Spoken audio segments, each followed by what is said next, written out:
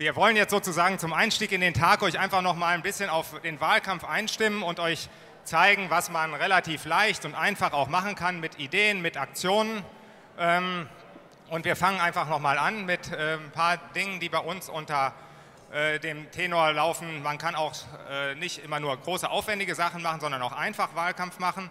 Und ähm, da ist ja gewisses Equipment da draußen auch. Und ich hole direkt erstmal schon mal die Edith hoch auf, auf die Bühne, weil wir das jetzt gemeinsam euch ein paar Dinge nämlich hier präsentieren wollen.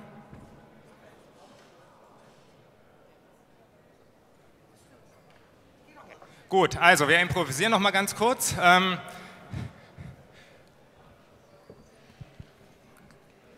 Dann fangen wir nämlich mit äh, unserer Lotte an, weil wir haben ja eben die, die ganz große Geschichte gehabt mit Lotte und äh, dem Spiel. Ihr habt das Hörbuch schon gehört und zu Lotte gibt es natürlich noch viele, viele andere Dinge.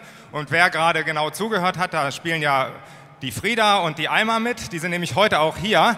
Kommt doch einfach mal auf die Bühne, Frieda und Alma. Also, los geht's, kommt.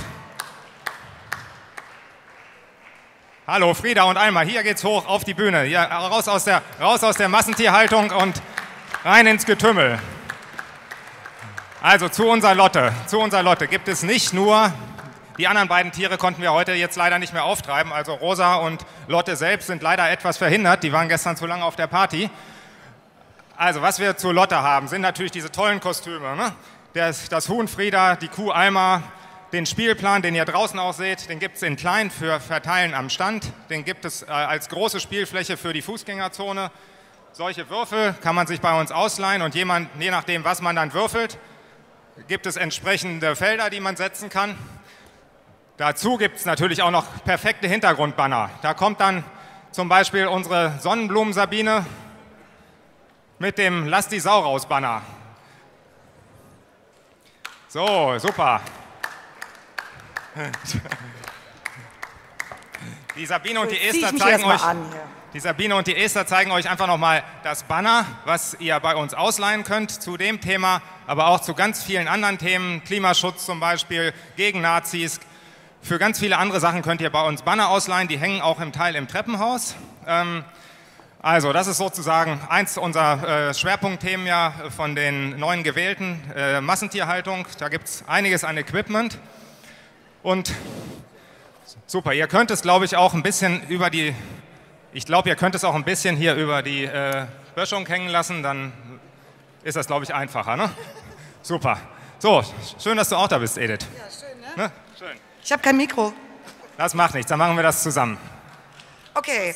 Was, was hast du uns denn mitgebracht? Ja, ich habe hier nochmal den Preis an, ne? den habe ich mir angezogen und möchte ja gern nochmal für die Aktionskarte Werbung machen. Das haben schon einige abgegeben. Ihr könnt das noch bis 12 Uhr machen. Ihr solltet euch jemand überlegen, dem ihr die schickt. Und ich verschicke, also ich verschicke die jetzt die kommende Woche für euch. Aber ihr, dass ihr die Postkarte ausfüllt an jemanden, den ihr einbinden wollt, den ihr anstupsen wollt, eine nette Zeile schreiben, was er bei uns machen kann.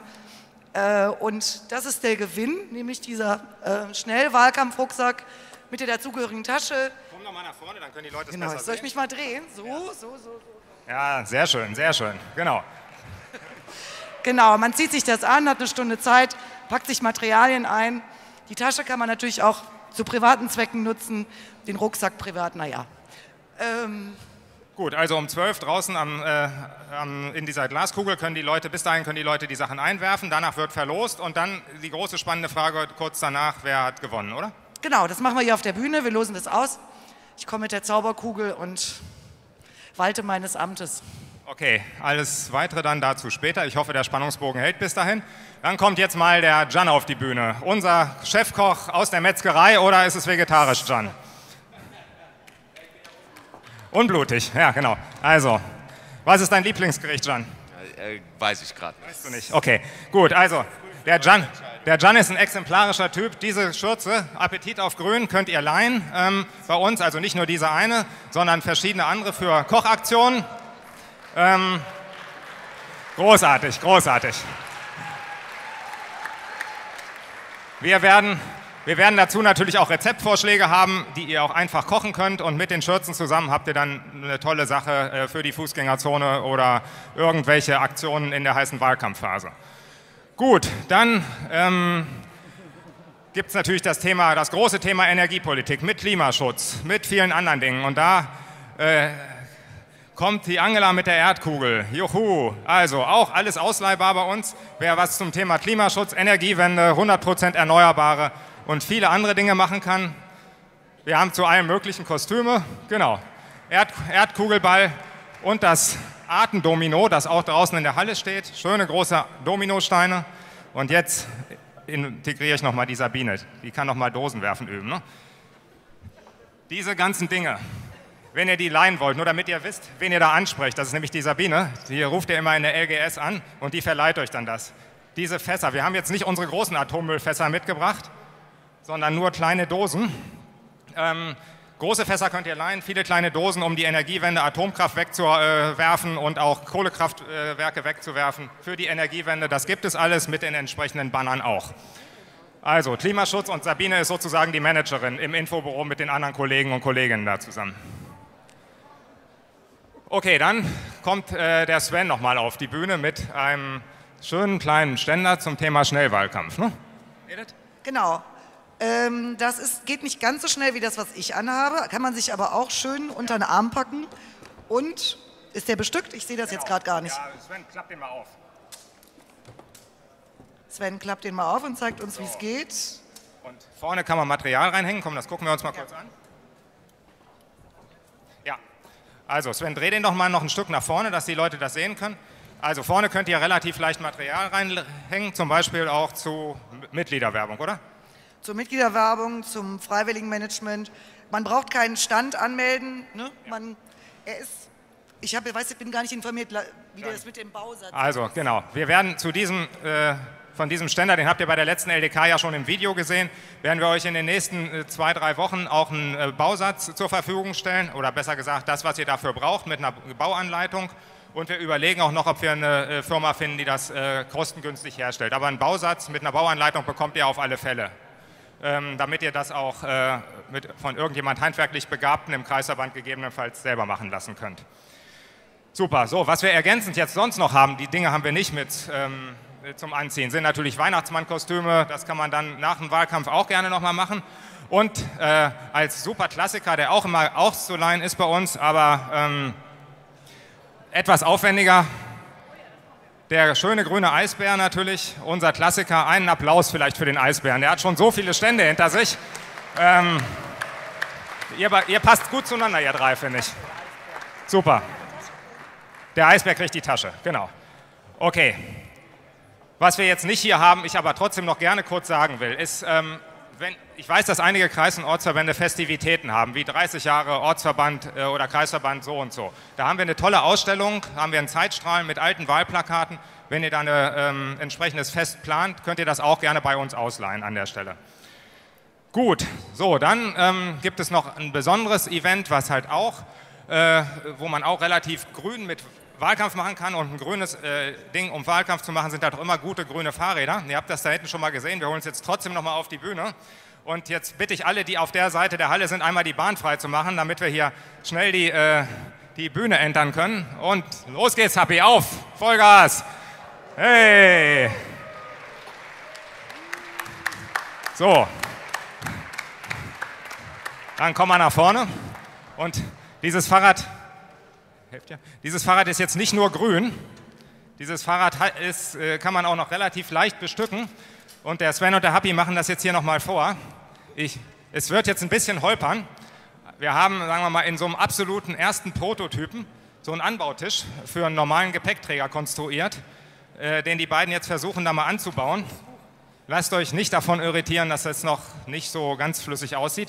Dieser Bausatz entsteht gerade. Ähm, und er hat den Vorteil, wenn es dann endgültig steht, dass, das, äh, dass man da noch schnell Material drauf auslegen kann.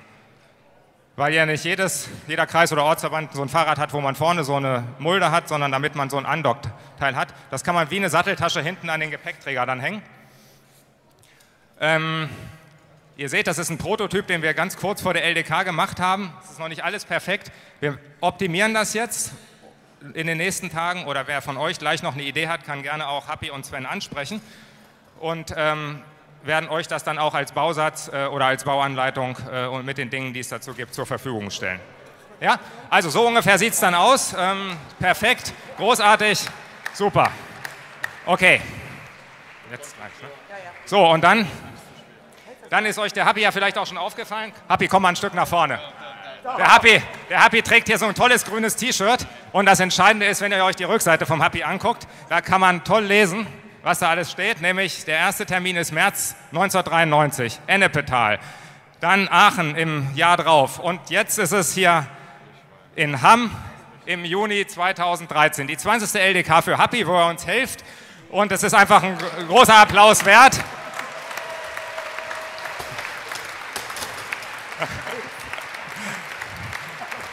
Happy. Super. Herzlichen Glückwunsch. Danke für deine Hilfe.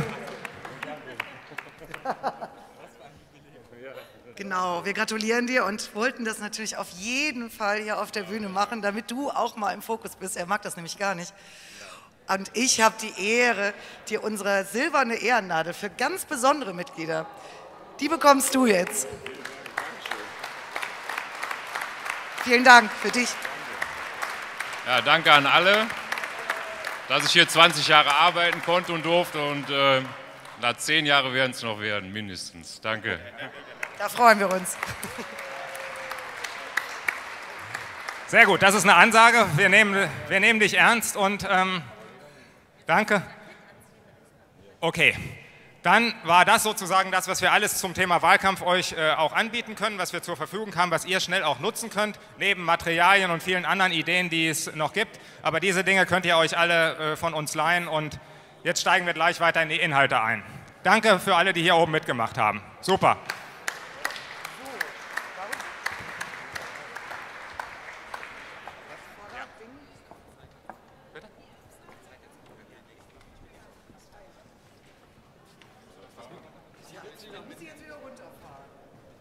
So, ich denke, jetzt seid ihr auch alle gut motiviert, in einen ganz grünen, ganz aktiven Wahlkampf einzusteigen. Nach diesem etwas auch durchaus lustigen, humoristischen Einstieg möchten wir aber aus gegebenem Anlass. Achso, Entschuldigung. Erst ist, erst ist nochmal Harald dran mit der Denkfabrik, genau. Okay, gut. Ähm ich will noch auf zwei Dinge besonders hinweisen, weil wir natürlich auch schon jetzt zwar die Bundestagswahl total im Fokus und im Blick haben, uns aber auch schon auf die Kommunalwahl im nächsten Jahr konzentrieren, die ja zusammen mit der Europawahl stattfindet. In ganz vielen Bundesländern gibt es mit der Europawahl auch Kommunalwahlen Ende Mai nächsten Jahres. Und wir äh, sind jetzt auch schon dabei, erste Planungen zu machen, ähm, damit ihr äh, auch sozusagen wisst, was, äh, an was wir dran sind und für euch ist das ja auch besonders wichtig, äh, auch in der Frühphase die äh, Kommunalwahlen programmatisch, aber auch äh, wahlkampftechnisch in den Fokus zu nehmen, haben wir einen ersten Fahrplan, der jetzt euch gerade verteilt wird. Das ist dieses hier, der grüne Fahrplan zur Kommunalwahl 2014 vorbereitet, mit ein paar Infos auf der Rückseite ähm, und halt einer Zeitleiste mit Terminen. Guckt euch das schon mal an, das ist aber eine Vorabversion. Das kriegt ihr noch mal ein bisschen ausführlicher in, äh, vor der Sommerpause auch zugeschickt, als Kalender oder als Zeitleiste auch fürs Büro mit vielen Infos nutzbar. Da stehen auf alle Fälle auch schon mal Termine drauf, die für euch äh, und uns wichtig sind, die wir schon festgelegt haben, wie äh, Thema Kampagnenplanung, wie LPR beispielsweise, wo wir halt auch kommunalpolitisch entsprechend Botschaften setzen wollen. Dieses Jahr gibt es jetzt auch schon, nämlich genau in zwei Wochen, mit einer großen Veranstaltung los, ähm, wo wir auch inhaltlich die äh, Kommunalwahlen vorbereiten wollen. Nämlich äh, seit äh, drei Monaten etwa haben wir online einen Prozess laufen zur Erarbeitung von Leitbildern, kommunalpolitischen Leitbildern für Kommunalwahlprogramme. Das läuft über unsere Beteiligungsplattform und auf unserer Webseite ähm, gibt es entsprechend auch Infos zu dieser Denkfabrik, nämlich lokale Zeiten heißt sie. Der Flyer liegt auch auf euren Tischen. Ähm, da geht es, wie gesagt, darum, programmatisch äh, Leitbilder für die Kommunalwahlen vorzubereiten, die ihr auch als Textbausteine für eure äh, Kommunalwahlprogramme dann nutzen könnt. Die Denkfabrik ist in zwei Wochen am 29.06. in Bielefeld. Und wir haben die Bitte, schaut euch das nochmal an, meldet euch auch an. Ähm, unser Wunsch ist, dass auch viele äh, Kreisverbände, viele Ortsverbände, Rats, Leute aus den Ratsfraktionen da vertreten sind. Wer sich hier anmelden will, kann das machen. Da draußen in der Nähe von unserem Infostand steht auch direkt ein Rechner, wo man sich anmelden kann. Ansonsten könnt ihr das natürlich auch ganz entspannt zu Hause machen über unser Online-Anmeldesystem, wo ihr auch direkt euer Ticket kaufen könnt. Ähm, da die Denkfabrik schon in zwei Wochen ist, ist unsere Bitte einfach, meldet euch in den nächsten Tagen an, damit wir auch die Workshops entsprechend gut planen können und äh, die Workshops auch arbeitsfähig gestalten können, damit wir kommunalpolitische Leitbilder haben, mit denen auch ihr vor Ort in, für eure Wahlprogramme gut arbeiten könnt. Das ist der Ausblick auf die Kommunalwahl, ähm, weil alles ist verzahnt ineinander ähm, und wenn die Bundestagswahl rum ist im September, steigen wir da richtig ein. Danke und viel Spaß im Laufe der Debatte heute. Ja, vielen Dank, Harald. Jetzt aber. Ihr habt es wahrscheinlich mitgekriegt, äh, in der Türkei ist äh, gestern Nacht ziemlich viel passiert. Das wollen wir zum Anlass nehmen, darüber hier auch noch mal ein paar Worte zu verlieren. Und da gebe ich dem Sven das Wort.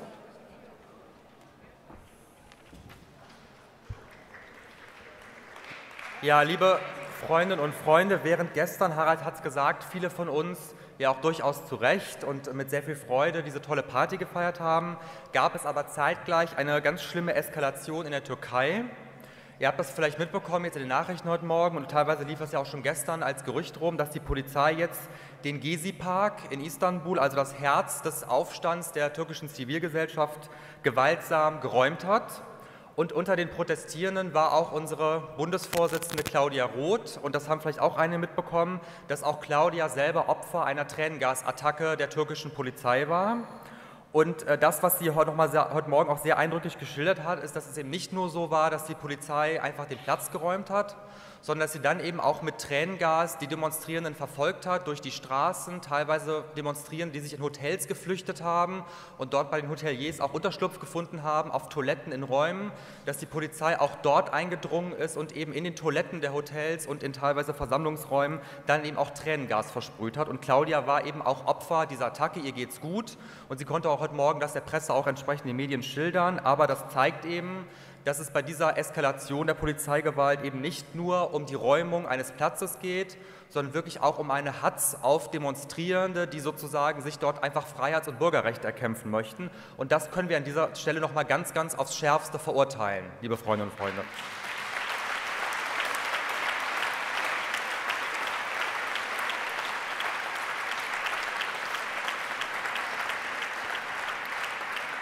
Wir können also, wir haben ja gestern diese Resolution auch verabschiedet und nochmal ganz, ganz deutlich diesen Kern der Resolution auch bekräftigen, indem wir die Regierung Erdogan auffordern, wirklich unverzüglich die Gewalt auf die friedlichen Demonstrierenden zu unterlassen. Und wir wollen das nicht nur mit einer Resolution tun, sondern wir haben uns auch überlegt, und das ist eine Idee, das möchte ich auch sagen, hier von der Terry Reintke, die Sprecherin der jungen europäischen Grünen ist, der Federation of Young European Greens, die jetzt im Laufe des Parteitags noch auch Solidaritätsplakate entwerfen werden, also Solidarität mit den Demonstrierenden in der Türkei.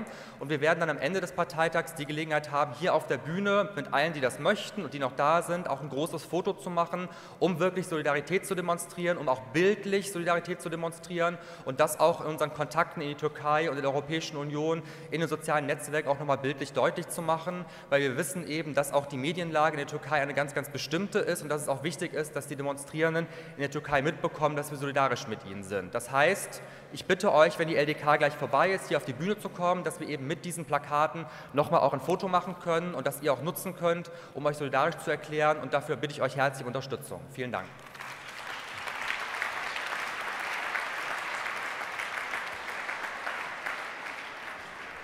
Ja, danke schön, Sven.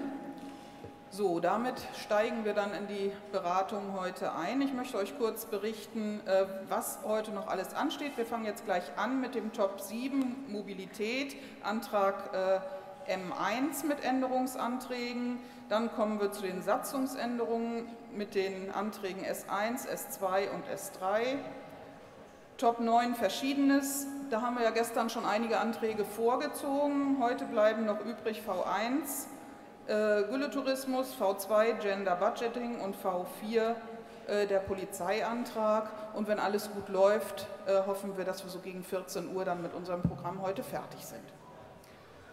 So, bevor wir jetzt in den Top Mobilität einsteigen, möchte ich euch noch darauf hinweisen, dass vorne im Foyer ja auch ganz viele ähm, Anbieter der Mobilitätswirtschaft oder der Mobilitätsverbände ihre äh, Stände aufgestellt haben. Also wenn ihr zwischendrin mal rausgehen möchtet, guckt euch das da an. Da gibt es viele gute Informationen zu gewinnen. So, und jetzt gebe ich erstmal an meinen Kollegen ab, der euch in den Top 7 einführen wird.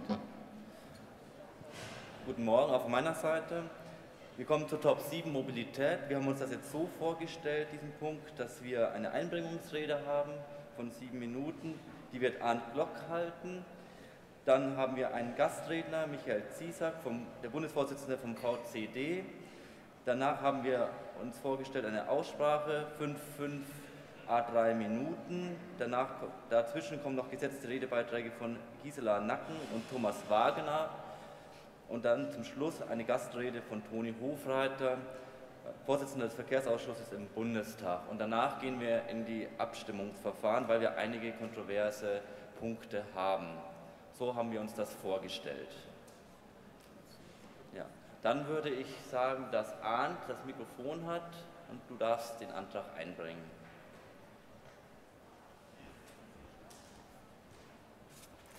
Ja, schönen guten Morgen, liebe Freundinnen und Freunde.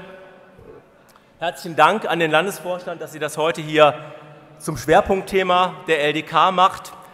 Denn Verkehrspolitik ist in den letzten Monaten wieder ganz klar in das Zentrum der Politik zurückgerückt. Viele haben das ja von euch mitbekommen, zum Beispiel durch die Situation auf unseren Straßen, den großen Sanierungsstau, die Sperrung der Rheinbrücke A1 bei Leverkusen, die Schließung einer U-Bahn-Linie in Mülheim der große Sanierungsstau, den wir einfach haben und über den wir diskutieren, ist ein wichtiger Punkt. Aber ein anderer wichtiger Punkt ist auch die Änderung des Mobilitätsverhaltens der Menschen heutzutage. Und da gab es Verbände, da gab es eine Partei wie die Grünen, die das seit vielen Jahren vorbereitet haben, die in Regierungsverantwortung schon Mitte der 90er Projekte vorangebracht haben, wie das Programm 100 Radstationen oder im Regionalisierungsbereich bei der Bahn wichtige Akzente gesetzt haben, Strecken reaktiviert haben etc. Der VCD, der ADFC, Leute, die da ganz dicke Bretter gebohrt haben in den letzten Jahren und Jahrzehnten. Und siehe da, mittlerweile wirkt es. Weil wenn man guckt, was heutzutage auf unseren Schienen los ist, an den Bahnsteigen, in den Abteilen, wie viele Leute heutzutage auf Bus und Bahn umsteigen, die ganze Generation Semesterticket, die sich in die Züge bewegt, Leute, wo man nie gedacht hat, dass sie ÖPNV nutzen, das, was sich im Radverkehrsbereich tut, die Fahrradläden, die zentralen Einkaufsgenossenschaften bei den äh, Radhändlern, die von riesigen ähm, Sprüngen sprechen beim Radverkauf, bei den E-Bikes etc. Es gibt heutzutage wirklich viele Menschen, die bereit sind, signifikant Mobilität zu verändern, auf umweltfreundliche Verkehrsmittel umzusteigen. Und wir Grüne, liebe Freundinnen und Freunde, waren die Vorreiter lange, lange bevor andere auf dieses Thema gekommen sind.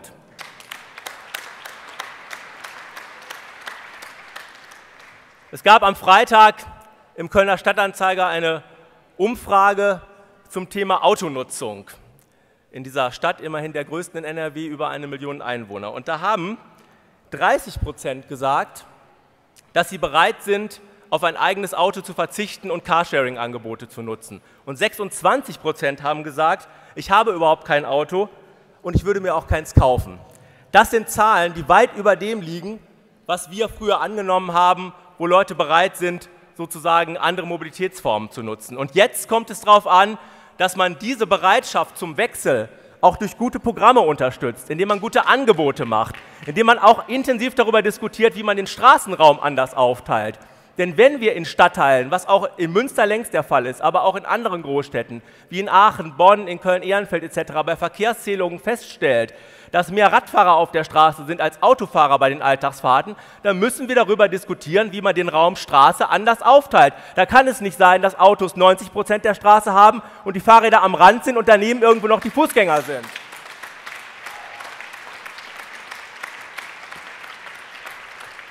Ich war vor einigen Wochen, vielleicht haben einige das bei Facebook verfolgt, in New York eine Woche. Und da hat Bloomberg mit einem Programm in den letzten zwei Jahren ganz konsequent durchgegriffen als Bürgermeister. Einige haben in New York gesagt in Gesprächen, das hat er deswegen gemacht, weil das ist eh seine letzte Wahlperiode.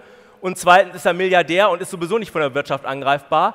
Auf den Hauptavenues in New York ist jeweils eine Autospur komplett jetzt als Radspur umgewandelt und für die Busse. Und zum 1. Juni ist eine große Kampagne an den Start gegangen mit 15.000 Leihrädern an über 400 Stationen, wo man im ganzen Stadtgebiet sich Fahrräder ausleihen kann. Und es gibt viele andere europäische Metropolen.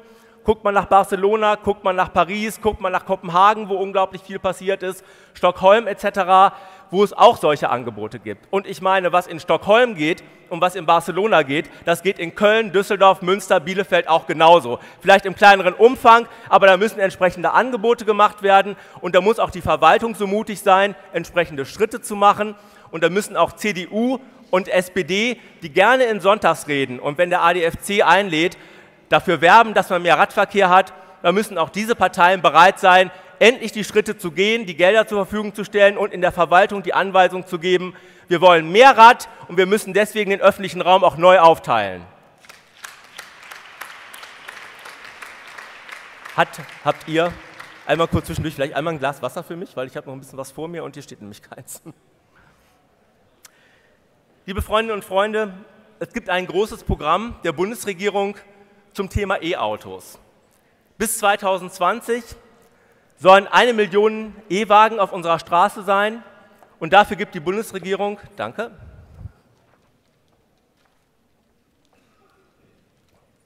gut, das ist besser. Dafür gibt die Bundesregierung 75 Millionen Euro aus in den nächsten Jahren. Dieses Programm läuft fünf Jahre und wir haben heutzutage noch keine 5000 E-Autos auf deutschen Straßen. Es gibt einen anderen Bereich, wo wir Ende letzten Jahres schon 1,2 Millionen Gefährte auf deutschen Straßen hatten, ohne einen Pfennig Subventionen. Das sind die E-Fahrräder und Pedelecs. Die Leute stimmen es beim Einkauf ab. Sie wollen ein vernünftiges Fahrrad haben, weil sie wissen, das braucht weniger Raum, da bin ich besser mobil und nutzen entsprechend diese Angebote. Und ich frage die Bundesregierung, ist auch eine Frage an Toni, gleich bei der Frage grüne Regierungsbeteiligung auf Bundesebene. Wollen wir dieses E Konzept weiterführen, indem wir da wirklich Millionen von Euro verbrennen, wo leider die Automobilindustrie entsprechend nicht darauf an, anspringt? Oder gibt es Ideen, wie man andere Mobilitätsarten wie zum Beispiel E-Autos und E-Pedelecs entsprechend fördert und voranbringt, weil die Leute entscheiden es beim Einkauf, dass sie entsprechend Fahrräder wollen und etwas skeptisch sind, was mehr Automobilität auf deutschen Straßen angeht. Wobei das will ich an der Stelle auch sagen. Ich bin nicht grundsätzlich gegen E-Wagen, das ist auch, wäre auch Quatsch. Aber ich glaube, sie haben eher ihren Platz im Bereich Carsharing, im Bereich Leihautos. Und ich glaube, die Vorstellung, die man noch vor einigen Jahren hatte, dass man einfach sozusagen die alten Benziner von der Straße verbannt und dass man das sozusagen durch E-Autos ersetzt, die man dann mit umweltfreundlichem Strom auch auflädt. Ich glaube, die äh, Vorstellung braucht man heutzutage nicht mehr zu haben. Es ist eine Ergänzung, aber es wird sozusagen auch nicht mehr bleiben in der Zukunft. Ich will zu einem zweiten Punkt kommen, das ist nämlich zur Frage der Verkehrsinfrastrukturfinanzierung. Nordrhein-Westfalen ist die Verkehrsdrehscheibe im Westen der Republik und auch im Herzen von Europa. Das gilt sowohl für den Güterbereich wie auch für den Personenbereich. Und was wir hier feststellen in der Landesregierung, dass wir seit Jahren in den zentralen Bereichen von der Bundesregierung unterfinanziert sind, dass wir abgehängt werden und dass zentrale, wichtige Projekte, die in Nordrhein-Westfalen dringend finanziert werden müssen, sowohl im Schienenbereich wie auch bei der Straßensanierung, leider nicht so unterstützt werden müssen, wie das dringend notwendig wäre. Und deswegen ist unser Auftrag mit diesem Antrag heute und mit der Debatte für die nächste Bundesregierung, hoffentlich mit grüner Beteiligung, für alle mindestens 20 gewählten künftigen grünen nordrhein-westfälischen MDBs, und natürlich auch für die nächste grüne Bundestagsfraktion. Das ist ein Kernthema für euch. Da gilt es zu kämpfen in den nächsten Jahren. Wir haben einen riesigen Sanierungsstau hier bei Straßen, Brücken, bei den Tunnelbauwerken. Und wenn wir hier nicht Stillstand erleben wollen in den nächsten Jahren, dann muss sich hier dringend was tun, da muss dringend investiert werden. Das Land wird da seinen Beitrag leisten, aber der Bund muss auch Nordrhein-Westfalen angemessen zu seiner Größe und zu seiner Einkommens, äh, zu seiner Einwohnerzahl und auch Einkommenszahl entsprechend berücksichtigen in den nächsten Jahren, lieben Freundinnen und Freunde. Uns stehen nach Königsteiner Schlüssel, das ist der Berechnungsschlüssel der Bundesländer, 21 Prozent für Nordrhein-Westfalen zu. Bei den Projekten und bei den wichtigen zentralen Projekten bekommen wir häufig nur drei bis fünf Prozent der Mittel und haben entsprechend wenig Möglichkeiten, das umzusetzen, was hier dringend notwendig wäre. Jetzt gab es am Freitagabend die Nachricht vom Verkehrsminister Groschek, dass es wohl Signale aus Berlin gibt, dass im Bereich RAX, also der schnellen Nahverkehrsverbindung von Dortmund übers Ruhrgebiet bis nach Köln und bei der Betüve-Linie der Güterverbindung von Duisburg über Emmerich nach in die Niederlande, also zum Rotterdamer Hafen, dass es dort Bewegung gibt. Das war, wenn es denn wirklich der Fall ist, ein Bohren ganz dicker Bretter, auch schon der letzten Landesregierung. Da hat unser damaliger Staatssekretär Horst Becker sehr viel Einsatz hintergeleistet. Da hat jetzt die Ministerpräsidentin entsprechend mitgebohrt. Es gibt da positive Signale von Seiten der Bahn, also von Grube und offensichtlich auch aus dem Kanzleramt. Aber ich sage Vorsicht an der Bahnsteigkante, bis heute ist da noch nichts unterschrieben. Es sind nur Zusagen, mündliche Zusagen. Und wir hatten schon mal 2010 einen Bahngipfel hier vor der Landtagswahl, damals noch mit Rüttgers als Ministerpräsident. Große Inszenierung in Düsseldorf, viel angekündigt, nichts umgesetzt. Wenn es jetzt diese Signale gibt, dass der RX endlich auf die Schiene gebracht wird, dass wir einen 15-Minuten-Takt im Ruhrgebiet bekommen, dass wir mehr Waggons bekommen, dass wir mehr Kapazitäten bekommen, dann wäre das ein riesenwichtiger Schritt. Aber ich sage, nicht zu früh freuen, genau hingucken und erstmal abwarten, bis die Tinte unter dem Papier steht, weil wir sind hier oft genug enttäuscht worden, insbesondere von Seiten der CDU-CSU, die jetzt wieder rausgegangen ist und gesagt hat, das Ding ist in trockenen Tüchern.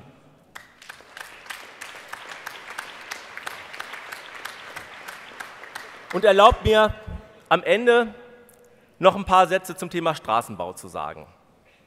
Und da muss man so offen und ehrlich sein, dass da zwischen SPD und Grünen auch an mancher Stelle entsprechend Dissens herrscht. Wir haben uns verständigt 2011 auf eine Straßenpriorisierungsliste SPD und Grüne, wo wir uns ehrlich gemacht haben, wo wir gesagt haben, es kann nicht alles realisiert werden, es soll auch gar nicht alles realisiert werden, weil es gute Gründe gibt, manche Straße auch nicht zu bauen. Und wir haben von 350 Straßenprojekten, die es mal waren, teilweise völlig überplant, Straßen NRW fast 60 Millionen Defizit und entsprechend durch die Planungsaufträge, die rausgegangen sind.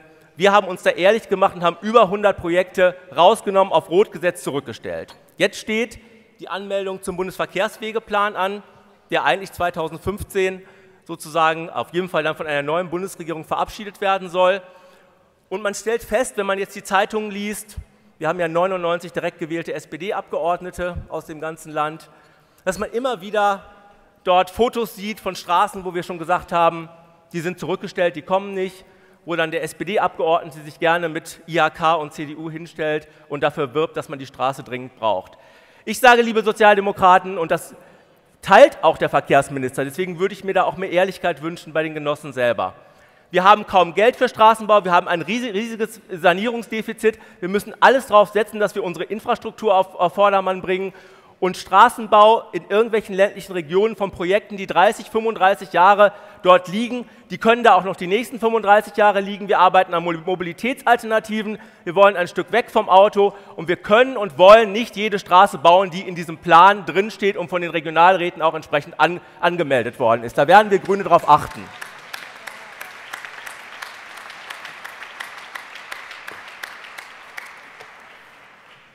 Und da ist es erfreulich und gut, dass auch die Grüne Bundestagsfraktion entsprechend die Dinge formuliert hat und jetzt auch mit einem Antrag zum Bundesverkehrswegeplan, wo auch klar drin steht, es muss ein Bürgermobilitätsplan sein, wo es Verkehrsalternativen gibt, wo auch Bürgerinnen und Bürger in Planungsprozesse einbezogen werden, wo auch alternative Verkehrsverbände gehört werden, wo man sich sozusagen Alternativen vorher anguckt, bevor man Dinge beschließt und dann mühsam, wie das bei Stuttgart 21 war, entsprechend zurückholen muss.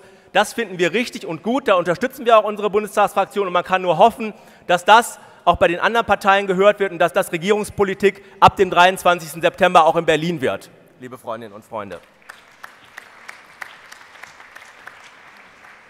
So, ich bin fast, fast am Ende meiner Rede. Nein, ich würde noch gerne was zu Luftverkehr sagen. Das äh, will ich mir dann doch nicht verkneifen, weil es auch da zunehmend zum Glück kritische Berichterstattung gibt.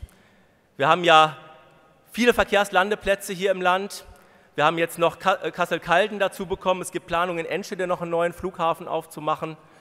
Viele dieser Regionalflughäfen sind im absoluten Defizit, auch mit kommunalen Zuschüssen, insbesondere in Dortmund, wo im letzten Jahr alleine 20 Millionen Euro von den Stadtwerken, einer Stadt wie Dortmund, mit großem Finanzierungsbedarf in vielen anderen Bereichen. Die Stadt Dortmund meint es sich leisten zu können, 20 Millionen Euro in einen maroden Flughafen reinzusetzen, statt das Geld für Schwimmbäder, für Kitas und für andere Dinge auszugeben. Und für uns, manchmal erinnert mich das ein bisschen an Georg Leber, Ende der 60er, Anfang der 70er, der gesagt hat, jede Stadt soll in 10 Kilometer Nähe einen Autobahnanschluss haben. Es gibt einige auch bei den Sozialdemokraten, die meinen, man müsste sozusagen in 20 Kilometer Nähe unbedingt einen Flugplatz hier in Nordrhein-Westfalen haben, weil immer mehr dazukommen oder aber Flughäfen, die marode sind, auch entsprechend nicht stillgelegt werden.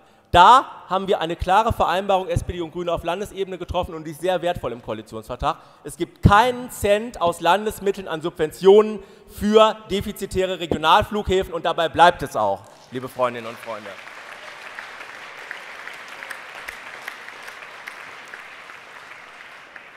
So, und jemand, der dafür auch engagiert gekämpft hat, kann leider heute nicht da sein. Vielleicht sitzt er zu Hause mit seinem iPad. Ich habe jedenfalls diese Woche mal mit ihm telefoniert. Da war Bundestagsverkehrsdebatte, hat Toni geredet. Da lag er gerade noch im Krankenhaus, hatte das iPad vor sich und sagte: Ja, ja, jetzt redet gerade der Hofreiter, jetzt kann ich nicht telefonieren, ruf mal gleich zurück. Also, herzliche Grüße von Horst Becker, der leider Anfang Mai einen schweren Fahrradunfall hatte, wie vielleicht einige von euch mitbekommen hatten. Er hätte nämlich heute hier auch einen gesetzten Beitrag gehabt. Vielleicht sitzt er zu Hause. Also, lieber Horst, wir grüßen dich ganz herzlich und ähm, ich soll auch Grüße ausrichten. Wir wünschen dir gute Besserung, dass du bald wieder bei uns bist. Ahn, Ahn, kommst du bitte zum Schluss? Ja, genau. Also, danke für die Aufmerksamkeit. Ich bin gespannt auf die Debatte. Es gibt ja auch einige kontroverse ähm, Geschichten, die wir nachher noch zu diskutieren und abzustimmen haben. Toll, dass ihr den Punkt heute setzt und getreu meinem letzten Wahlkampfslogan in Köln für besseren Verkehr danke ich euch für die Aufmerksamkeit. Möchte ich Toni Hofreiter begrüßen, der jetzt hier bei uns anwesend ist und später mit uns hierüber debattiert, über Verkehr. Herzlich, herzlich Grüße, dass du hier bist. Grüß Gott. So, und jetzt haben wir einen, einen gesetzten Redebeitrag von Michael Ziesack, Bundesvorsitzender VCD. Sie haben das Wort.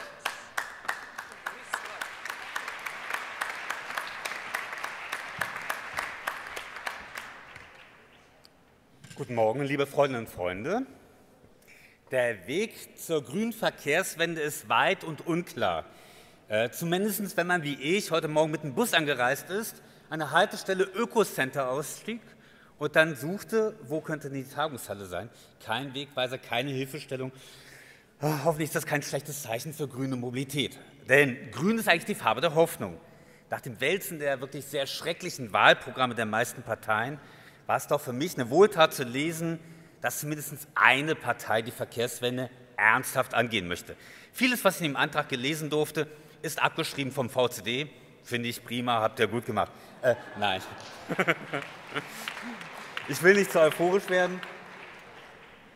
Euphorisch kann man schnell werden, wenn man Positives liest angesichts der Realitäten im Berliner Politikgeschäft. Da freut man sich doch schnell über jedes grüne Pflänzchen, was von der Verkehrspolitik Ramsauers und Co. noch nicht plattgefahren worden ist. Das ewige Mantra Verkehrswachstum bringt Wirtschaftswachstum. Seit Jahrzehnten folgt daraus Wirtschaft, Betonpolitik, Lobbyistenpolitik, nur Geldpolitik für mehr Infrastruktur. Nachhaltige Verkehrspolitik, Fehlanzeige. Beispiel Verkehrsminister. Aus seinen neu eingeführten geschlossenen Finanzierungskreisläufen für die Straße, Monster-Truck, Liberalisierungsideen, Festhalten an Prestigeprojekten, Rüpel, Radlern und Flensburger Pünktchenreform ist in den vergangenen Jahren leider nichts aus diesem Verkehrsministerium gekommen. Doch Ramsau hat recht. Und ich stimme Ramsau an einer Sache zu. Ich gebe ihm recht, wenn er sagt, ich lobe mich für die Quantensprünge, die ich in der Verkehrspolitik erreicht habe. Das sagt er so. Denn Quantensprünge, Physik, bedeutet kleinste Zustandsveränderungen im atomaren Bereich, meist ohne jene Auswirkung. Wenn also Ramsauer sagt, er hat da was bewegt im Quantensprungniveau, dann stimme ich ihm zu, es hat sich nichts bewegt. Das ist richtig. Was mich aber dann doch ärgert, ist, dass ein Doktor Ramsauer auch nach vier Jahren Verkehrsminister sein, Dasein immer noch nicht den Unterschied kennt zwischen Verkehr und Mobilität. Tja, doch wird dieser Ausfall leider nicht durch andere Umweltminister oder andere Minister kompensiert. Der Umweltminister selber hat außer für E-Autos eigentlich kein Interesse an umweltverträglicher Mobilität. Und das E-Auto ist ernsthaft erstmal nur ein Beitrag zur Industriepolitik, kein Beitrag zum Umweltschutz. Ansonsten Interesse für Lärm? Nö. Interesse für Luftreinhaltung, Luftschadstoffe? Nö. Der Wirtschaftsminister ist äh, wie der Umweltminister nicht zuständig, aber der Wirtschaftsminister hat da mehr gemacht. Er hat es als äh, Nicht-Zuständiger geschafft, dass beispielsweise Porsche-Autos zukünftig noch lauter fahren dürfen, als heute erlaubt. Das ist Verkehrspolitik 2.0 dieser Bundesregierung. Statt Lärmreduktion noch mehr Lärm für die Städte. Und die Klimakanzlerin Merkel, naja, sie ist das letzte Bollwerk der Daimlers und BMWs gegen schärfere CO2-Grenzwerte, wie sie gerade auf europäischer Ebene diskutiert werden. Klimaschutz, ja, aber bitte nicht in der Verkehrspolitik. Diese Verkehrspolitik, liebe Delegierte, ist das krasse Gegenteil einer nachhaltigen Mobilität. Aber leider nicht nur die CDU, leider nicht nur die FDP, leider nicht nur CSU, eigentlich auch die SPD als Natural Born Partner der Grünen, sie macht es leider nicht viel besser. Das SPD-Motorrad blinkt meistens nach links, biegt dann aber doch allzu oft nach rechts ab. SPD-Verkehrspolitik ist de facto auch nur allzu oft altbackene Infrastrukturpolitik, zu oft Betonpolitik und auch hier werden nur Partikularinteressen vertreten. Beispiel im Bereich Bahn, auch wenn man das da ein bisschen geschickter macht, da werden dann halt konzernnächste Gewerkschaftsfunktionäre im Doppelmandat gleichzeitig auch noch bahnpolitische Sprecher. Diese Verkehrswende ist mit Beton und mit dieser Klientelpolitik nicht zu erreichen. Und so sind wir als ökologischer Verkehrsclub darauf angewiesen, dass die Grünen eine andere, eine bessere Perspektive in Sachen Mobilität aufzeigen. Ihr habt in eurem Leitantrag die Probleme zu einem großen Teil zutreffend beschrieben. Viele gute Lösungsansätze sind im Antrag des Landesvorstandes zu finden. Für mich aber ist trotzdem die Frage, reichen die skizzierten Ansätze aus, um die gewaltigen Herausforderungen in der Verkehrspolitik anzugehen? Ihr wisst Bescheid über Klimaschutz, klar. Demografischer Wandel steht auch drin, klar. Lebensqualität mh, hm, wird schon dünn. Raum für Kinder, Raum, mehr Raum für Menschen, Raum für Verkehrssicherheit, aber auch für unzerschnittene Natur, äh, da wird es dünn. Luftschadstoffe taucht bei euch gar nicht auf. Ressourcenbegrenztheit, hm. die Zeit billigen Öls ist vorbei und billiger motorisierten Verkehrs ist, die Zeit ist eigentlich auch vorbei. Leider noch nichts. Schuldenbremse, äh, hm, taucht irgendwie auch nicht auf. Haushaltsknappheit und die Frage der Sicherstellung der Finanzen für kommunal, äh, der Finanzierung kommunaler Aufgaben auch hier finde ich bisher sehr wenig. Und da ist für mich die Frage, da muss nachgelegt werden, äh, was ist, wie können wir da Mobilität anders denken. Hier sind für mich noch große Fragezeichen, ob die von euch angeschlagenen, äh, vorgeschlagenen Ansätze der Verkehrswende ausreichend sind, die genannten Herausforderungen zu bewältigen. Natürlich, klar, so ein Verkehrspolitiker, so ein Öko wie ich, der kann natürlich sich viel wünschen und natürlich ist Verkehrspolitik viel komplexer und natürlich kann ich nicht äh, alles in einen einzigen Antrag setzen. Aber ich hätte schon ganz gerne mehr darüber gelesen, was die NRW-Grünen in NRW zur Verkehrswende beitragen wollen. Unter der Überschrift Die Weichen stellen wir, toller Titel, steht, der Bund soll Carsharing-Stellplätze zulassen, mehr Tempo 30 in den Kommunen ermöglichen, einen Bundesmobilitätsplan entwickeln. Der Bund muss die Lkw-Maut ausdehnen, Grenzwerte für klimaschonende Neuwagen forcieren, den Luftverkehr leiser machen, die Luftverkehrssteuer ausbauen, die eine Einbindung des Luftverkehrs in den Emissionshandel sorgen. Ja, stimme ich grundsätzlich zu. Aber da steht immer, der Bund muss. Der Bund muss weiterhin Geld in die Hand nehmen für eine Innovationsoffensive für den Erhalt der Netze. Der Bund soll die Entflechtungsmittel weiterführen und Planungssicherheit schaffen. Der Bund soll die Finanzmittel für den Lärmschutz verdoppeln. Der Bund soll die Regionalisierungsmittel erhöhen und auch neu verteilen. Frage auf Kosten anderer Länder? Fragezeichen. Und äh, er soll den Kommunen mehr Finanzmittel geben und der Bund soll auch noch mehr Anschlussstellen für Autobahnen schaffen. Nochmal die Überschrift, die Weichen stellen wir. Das klingt für mich gut, aber es ist immer nur das Aufhalten der Hand. Lieber Bund, gib uns mal, lieber Bund, mach mal. Ich würde gerne wissen, was wollt ihr?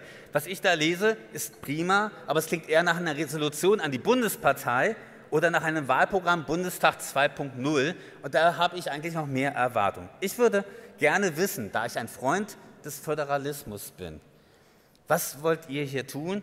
Was wollt ihr selbst noch zusätzlich tun? Ich gebe ein paar Stichpunkte. Stichwort ÖPNV-Finanzierung.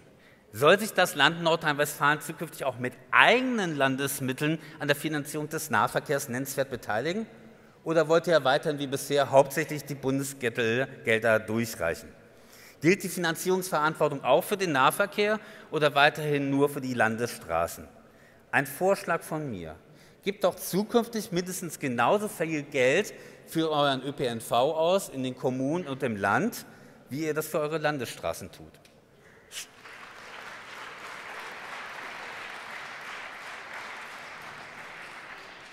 Stichwort Kommunen. Wie will ich denn den kleinen Kommunen helfen, beispielsweise den Betrieb ihres Nahverkehrs aufrechtzuerhalten? Oder ist das auch wieder Rolle des Bundes? Wo sollen weiterhin die Milliarden Euro für die Sanierung vorhandener Straßenbahnen herkommen, für die Sanierung vorhandener U-Bahnen? Der Bund hat dazu sich mit den Ländern geeinigt und gesagt, nach Föderalismusreform 2, der Bund ist nicht mehr zuständig. Die Kommunen können nicht, also liebes Land, äh, jetzt fangt mal an zu finanzieren, oder? Was wollt ihr tun? Wie will ich, die Kommunen, wie will ich den Kommunen äh, die Möglichkeit geben zur Finanzierung ihres Nahverkehrs? Keine Antwort bisher. Gibt es eine landesweite zweckgebundene Zuweisung auch für den Betrieb oder äh, sollen die Kommunen eigene Finanzierungswege angehen?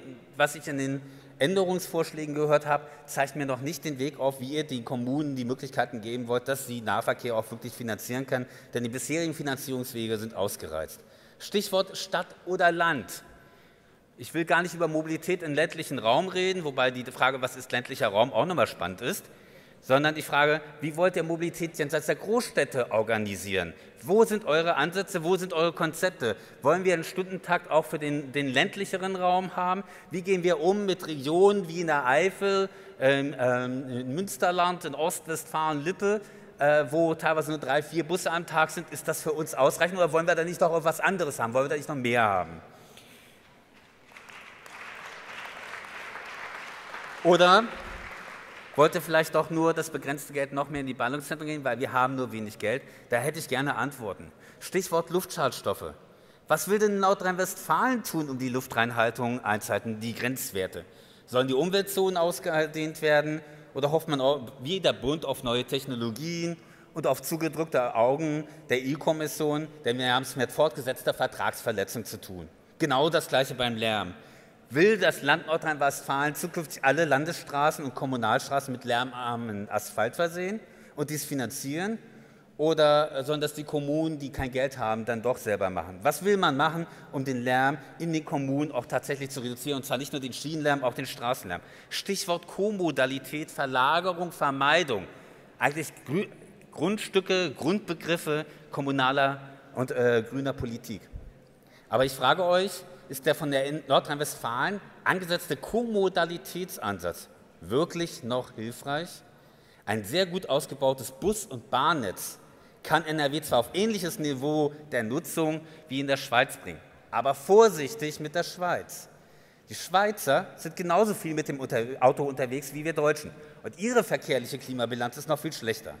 Nur den Ausbau von Bussen und Bahn voranzubringen, nur ein bisschen mehr Bundesgelder für Fuß- und Radverkehr zu machen, damit erreiche ich noch keine Verlagerung und nur durch Appelle und eine etwas veränderte Bauplanung erreiche ich auch keine Vermeidung. Dafür braucht es mehr. Und zuletzt der Straßenbau. 70 Jahre nach Ende des Zweiten Weltkriegs hat Nordrhein-Westfalen das mit Abstand dichteste Straßennetz der Welt. Braucht Nordrhein-Westfalen tatsächlich noch weitere Straßen? Wann habt ihr eigentlich euer Zielnetz erreicht? Oder gibt es gar kein Zielnetz und wir machen immer weiter? Und äh, ist das Thema Verkehrsvermeidung doch äh, eher zurückzustellen zu mehr Wachstum auch bei den Grüns? Welche Rolle spielt dabei der demografische Wandel, wenn Pendler beispielsweise zu Rentnern werden? Werden dann vielleicht auch die, werden sich wahrscheinlich auch die Mobilitätsbedürfnisse anders entwickeln?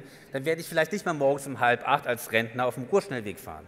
Und auch in Nordrhein-Westfalen wird die Zahl der berufstätigen Steuerzahler stark abnehmen. Was sind da eure Antworten? Doch nicht mehr Straßen für mehr Güter, oder? Liebe Delegierte, das sind nur einige der zentralen Fragestellungen, die mir bei Lesen eures Papiers gekommen sind. Für die Verkehrswende braucht man meiner Ansicht nach aber nicht nur Erkenntnis, was alles schiefläuft, sondern wir brauchen auch Willen, wir brauchen Vernunft, wir brauchen Mut zur Veränderung. Und ich rufe euch zu, habt mehr Mut. Als Umweltverband sage ich euch, werdet ihr als Grüne zur Anti-Schlaglochpartei. Wir haben so viel Instandhaltungsrückstand. Lasst uns doch erstmal schauen, was instand gehalten werden muss. Macht eine Summe, macht einen Strich drunter und stellt mal äh, dann fest, wie viel Geld habt ihr überhaupt da. Und dann werdet ihr ganz schnell feststellen, dass für jegliche Form von Neu- und Ausbau, auch bei den Landesstraßen, kein einziger Cent mehr übrig sein wird wird, wenn ihr eure Straßen wirklich komplett sanieren wollt. Ich finde das viel spannender, als hinzugehen und dann mit den SPD-Lern äh, zu verhandeln, was wollen wir denn jetzt nochmal verhindert haben, welches Projekt wollen wir jetzt nochmal vermeiden, welches Projekt wollen wir nicht haben. Da sollten wir mal einen anderen Ansatz machen. Werdet Anti-Schlaglochpartei. Werdet zur Verkehrssicherheitspartei. Ich finde es ein bisschen schräg, dass die Kommunen begründen sollen, wenn sie statt Tempo 50 in den Städten nur Tempo 30 wollen. Das müsste eigentlich umgekehrt sein. Sie müssen begründen, wenn eine Straße zukünftig 50 statt 30 haben soll, wenn es also umgekehrt ist, da 30 die Regelgeschwindigkeit sein soll. Setzt euch dafür ein. Wenn ihr euch dafür nicht durchringen könnt, dann kommt wenigstens anschließend an den VCD-Stand und unterschreibt bei unserem Stand für mehr Tempo 30. Wir brauchen im Rahmen der Europäischen Bürgerinitiative eine Million Unterschriften. Es wäre schön, wenn heute ein paar dazukommen. Redet aber nicht nur über Tempolimits auf Autobahnen. Die meisten Unfälle geschehen bei uns auf den Landstraßen. Die meisten Toten gibt es bei uns auf den Landstraßen. Fordert deshalb auch ein schärferes Tempolimit auf Landstraßen. Ausnahmen sind natürlich wie nach oben wie nach unten möglich. Und auch das braucht Mut. Sagt Nein zu jeder Form von Flatrate im Verkehrsbereich. Wie beispielsweise angedacht bei der Vignetten-Pkw-Maut. Nicht, weil sie Pendler belastet, das ist Blödsinn, sondern weil sie unsozial ist, die Pkw-Maut, weil sie unökologisch wird, die Pkw-Maut. Jede Form von motorisierten Verkehr versucht externe Kosten. Treibhausgase, Lärm, Luftschadstoffe, Tote, Verletzte, verbraucht wertvolle Ressourcen und Fläche. Und warum wollen wir auch noch Seltenfahrer, äh, warum sollten Seltenfahrer Vielfahrer unterstützen? Das macht für mich keinen Sinn. Sagt Ja, Ja zum NRW-Takt für Bus und Bahn eingebettet in einen Deutschlandtakt. Eine fahrplanorientierte Infrastrukturplanung für Personen- und Güterverkehr, wie in der Schweiz. Das bringt uns doch deutlich mehr, als wenn wir wieder anfangen und dann hätten wir ganz gerne nochmal hier die S13 und hier die S7 und hier die Regionalbahnstrecke und hier. Ich möchte einen anderen, ich möchte einen ganzheitlichen Ansatz, ich möchte weg von diesem Stuttgart 21 und Prestigeprojekt denken und dann hilft es nicht, wenn wir da andere Projekte reinbringen, die vielleicht ein bisschen sinnvoller sind. Wir brauchen einen gesamthaften, netzhaften Ansatz und deshalb sagt Ja zu einem NRW-Takt und schreibt das auch.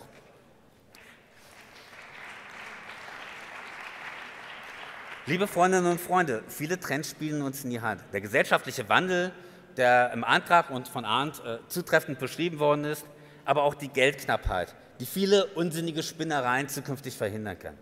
Wenn wir, wenn ihr einerseits mehr Kostengerechtigkeit und Kostenwahrheit erzeugt, auch durch andere Steuern, durch gerechte Steuern, durch Steuern, die Umweltbelastung äh, mehr äh, besteuert, und ihr kennt die Instrumente. Wenn ihr mehr Effizienz einfordert, auch im Nahverkehr, wenn ihr die Prioritäten neu setzt, und Prioritäten setzen heißt nicht nur, was wollen wir uns zukünftig leisten, sondern Prioritätensetzung heißt auch, was will ich mir zukünftig nicht mehr leisten, was können wir uns nicht leisten. Dann, glaube ich, kommen wir in Nordrhein-Westfalen sicherlich auch ein großes Stück ran in Sachen Verkehrswende.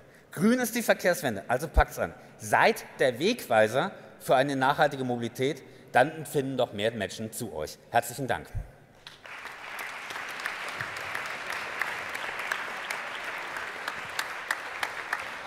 Halt, halt, halt, halt, halt. So, Moment. So schnell, so schnell geht es nicht. Lieber Michael Ziesack, wir freuen uns, hier einen kompetenten und mächtigen Verband an unserer Seite zu haben, den VCD, im Streiten um eine neue Mobilität. Und wir haben hier als Geschenk mal die Vision der Mobilität der Zukunft mitgebracht, nämlich ein Sonnenstrahl genügt und es bewegt sich. Und ich glaube, das als Symbol. Es gibt auch gleich noch einen schönen Bausatz zum selberbasteln dazu, nur damit alle schon mal sehen, wie es aussieht. Also ein kleiner Sonnenstrahl und es geht los und es geht rund und als Zeichen, naja, hier ist ja kein Sonnenstrahl. Oder ist nicht richtig eingestöpselt. Nein, nein, aber es muss ein Sonnenstrahl sein. Und dann geht's los. Ja, schönen Dank, herzlichen Dank fürs Kommen. Toll. Und äh,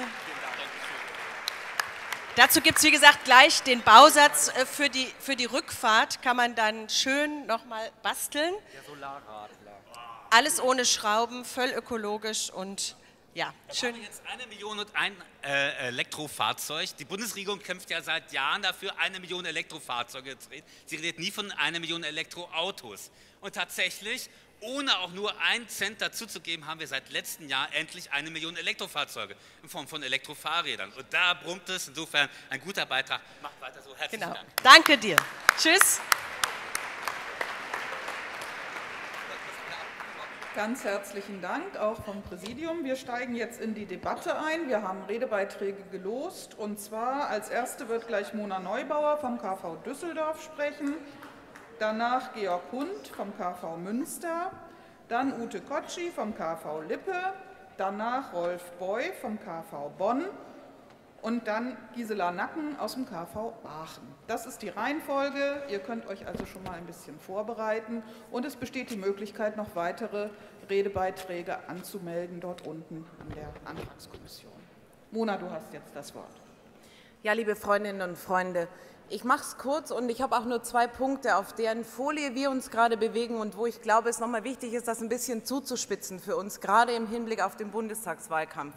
Das erste ist, wir stecken mitten im Klimawandel. Wir erleben es gerade mit dem Elbhochwasser tragisch und richtig mit Bildern jeden Tag wieder in der Zeitung, welche Schicksale da entstehen. Das ist bei uns, das passiert weltweit. Es gibt einen Beschluss, dass wir bis 2050 95 Prozent unserer CO2-Emissionen reduziert haben müssen. Das ist jetzt nicht ein Beschluss der Grünen Partei, sondern das ist ein Beschluss der aktuellen Bundesregierung.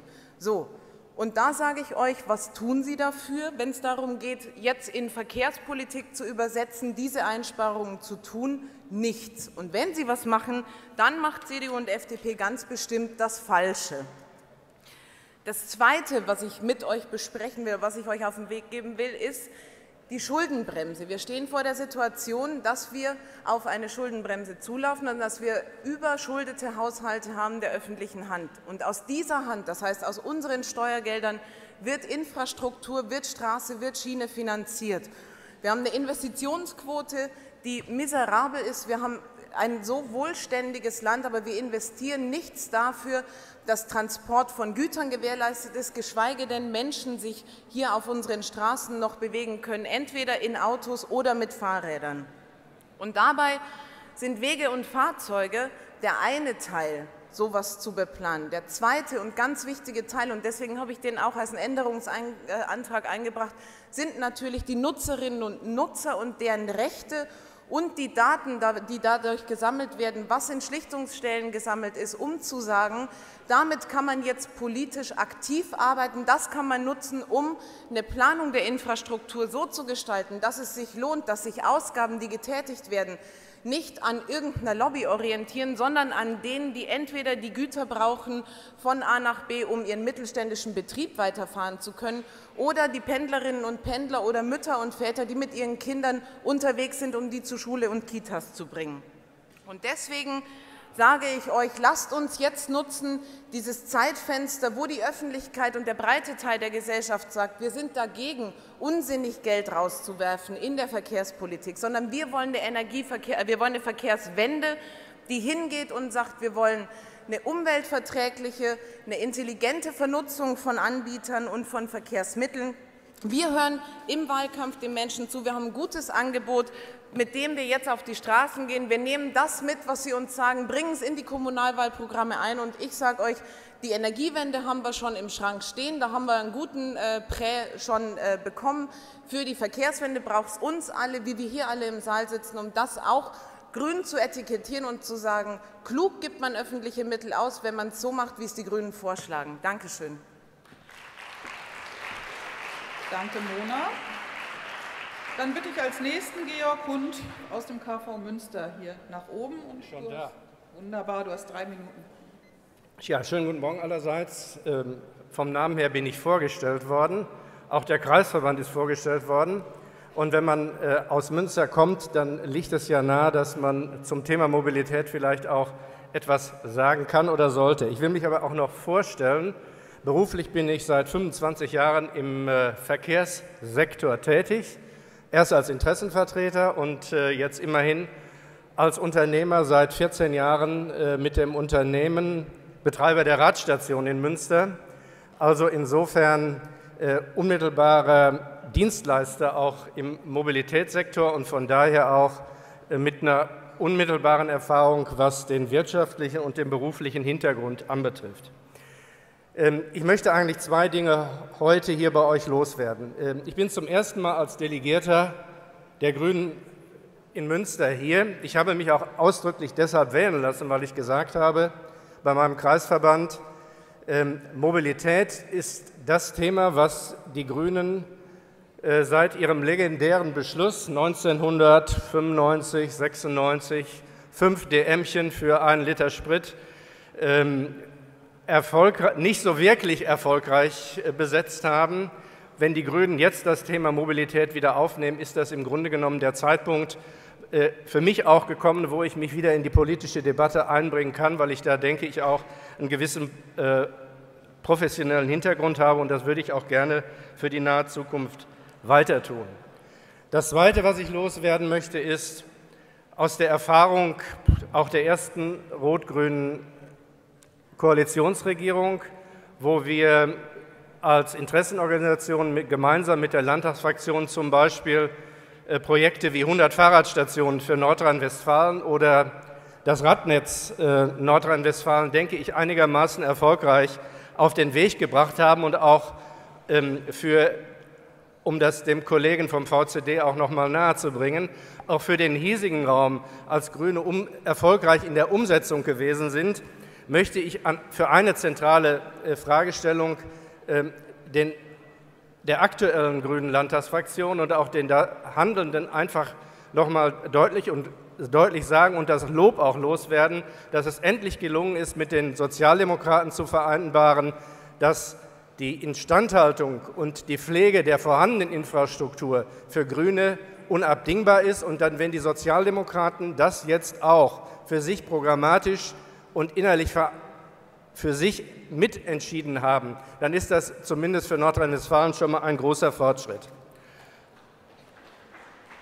Aber, und das Aber bezieht sich jetzt auch auf die, den vorliegenden Antrag, und was die Herausforderungen sind, ähm, die dort genannt worden sind. Von mir aus die Einschätzung, wenn es uns gelingen sollte, den Verkehrszuwachs einigermaßen CO2-neutral zu organisieren und dafür in den nächsten 20 Jahren die politischen, finanziellen und administrativen Rahmenbedingungen zur Verfügung zu stellen, dann haben wir eine Herkulesaufgabe bewegt. Aber ich habe ausdrücklich nur über den Verkehrszuwachs gesprochen. Über den Verkehrsbestand haben wir noch gar nicht gesprochen. Und ich möchte das jetzt an zwei Beispielen aus meiner Sicht erläutern, wie groß Kommst die auch. Ja, ich, dann mache ich nur ein Beispiel. Ähm, dann will ich es an einem Beispiel erläutern. Vor drei Wochen, vier Wochen ist äh, eine neue Regionalexpresslinie in Nordrhein-Westfalen neu vergeben worden. Ähm, für 15 Jahre, da ist jetzt alles vertragmäßig gesichert. Der Betreiber sagt, wir haben 20 Sitzplätze pro Zug, in Zukunft mehr bei gleichem Angebot. Das heißt, auf den Tag gerechnet sind es 400 Plätze.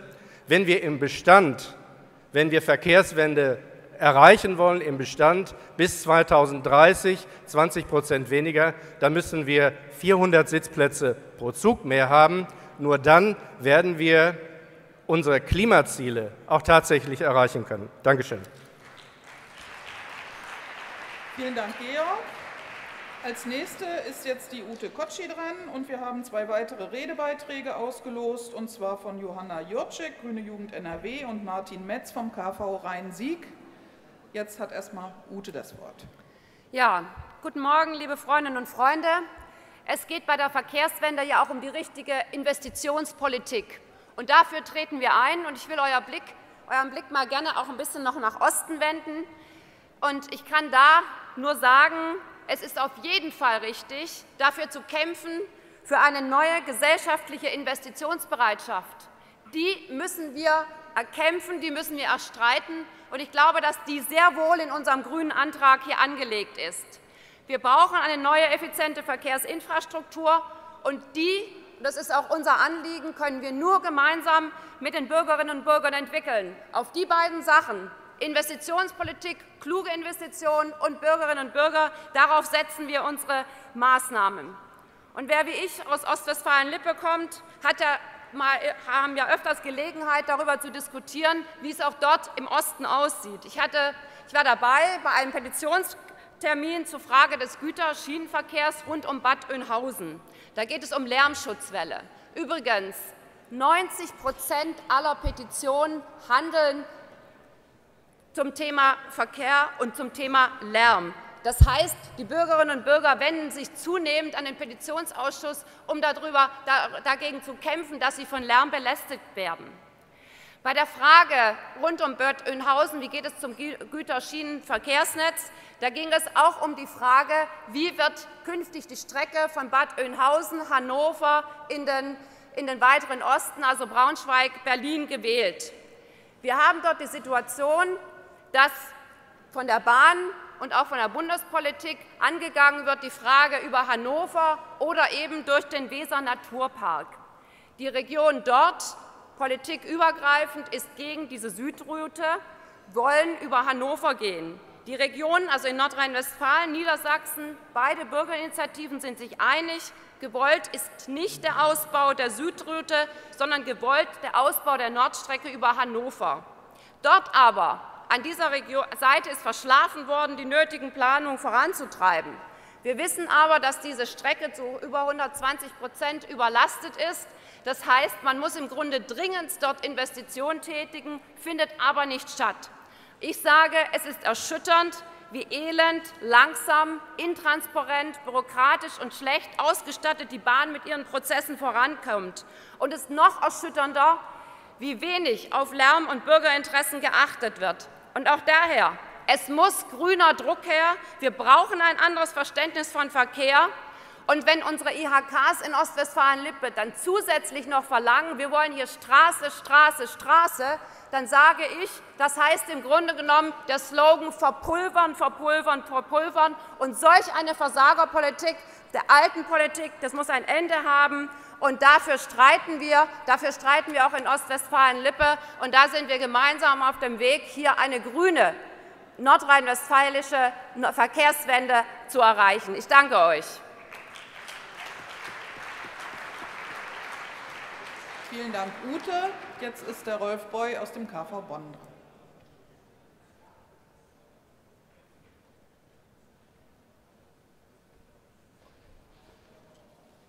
Liebe Freundinnen und Freunde, 50 Prozent der Fahrten mit dem Auto sind nicht länger als sechs Kilometer. Das bedeutet, wenn einmal pro Woche nur eine einzige dieser Fahrten zu Fuß gegangen würde, dann wäre schon eine Verkehrsreduzierung von sieben Prozent. Wenn dazu noch zwei weitere Fahrten im Prinzip mit dem Fahrrad zurückgelegt würden, kämen noch mal 11 Prozent dazu. Das hieß alleine dadurch, dass das eigene Verhalten könnten 20 Prozent der Autofahrten innerstädtisch oder in der Region vermieden werden. Wenn wir über Fußwege und Radfahrmöglichkeiten nachdenken, dann heißt das auch kommunal, wir müssen dafür mehr Platz schaffen. Sehr Späß, mehr Wege, auch aus mehr Hauptverkehrsstraßen tatsächlich dann nur zweispurige Straßen zu machen, daneben im Prinzip Radfahrmöglichkeiten, Fußwegemöglichkeiten zu schaffen, wird automatisch ein Angebot sein, eine kommunale Verpflichtung, die wir haben. Für den Bereich ÖPNV, und da muss ich natürlich dem VCD-Vertreter Rest geben, brauchen wir mehr Geld ins System. Das heißt, es krankt natürlich immer im Prinzip an der entsprechenden Finanzausstattung, dass wir am Ende keine zusätzlichen Straßen bauen werden, weder auf Landes- noch auf Bundesebene, ist meines Erachtens alleine schon aus der Finanznotwehr am Ende automatisch gegeben. Aber wir brauchen trotzdem Investitionsmöglichkeiten für den Bereich des SPNV und des ÖPNVs. Denn heute in NRW, in bestimmten Verdichtungsräumen zwischen Düsseldorf, zwischen Düsseldorf und Köln, zwischen Köln und Bonn, aber auch in anderen Teilen des Landes können wir mit den vorhandenen Zügen gar nicht mehr Leute befördern.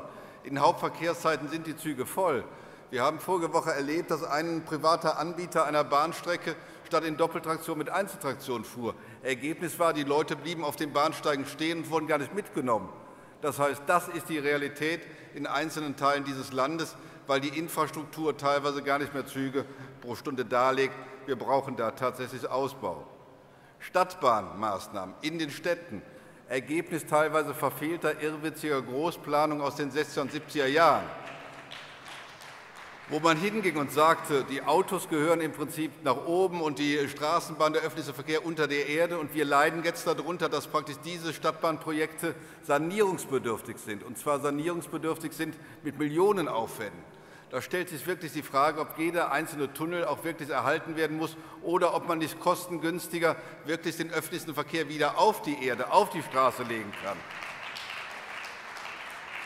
Wir fordern bei der Fortschreibung des ÖPNV-Gesetzes dafür zu sorgen, dass die Kriterien des Landes dann so geändert werden, dass zukünftig auch oberirdische Trassen gefördert werden können, wenn sie auch im Einzelfall keine eigenen Trassen haben, weil wir natürlich die historischen Innenstädte nicht abreißen können. Das sind also auch Kriterien, wo das Land durchaus tätig werden kann und auch tätig werden wird. Kommunal brauchen wir nachhaltige Mobilitätskonzepte als Aufgabe sowohl an die Kreisverwaltung wie an die Stadtverwaltung. Wir brauchen möglichst optimale Bedingungen für durchgängige verkehrsübergreifende Mobilitätsketten. Diese sind zu schaffen. Mobilitätsmanagement lohnt sich. Seniorenfreundlich, sozial, stadtverträglich, energie- und flächensparend. Das schafft Erreichbarkeit für alle. Vielen Dank. Vielen Dank, Rolf. Als nächste spricht Gisela Nacken, danach Martin Metz, danach Johanna Jurczyk und dann Tom Wagner.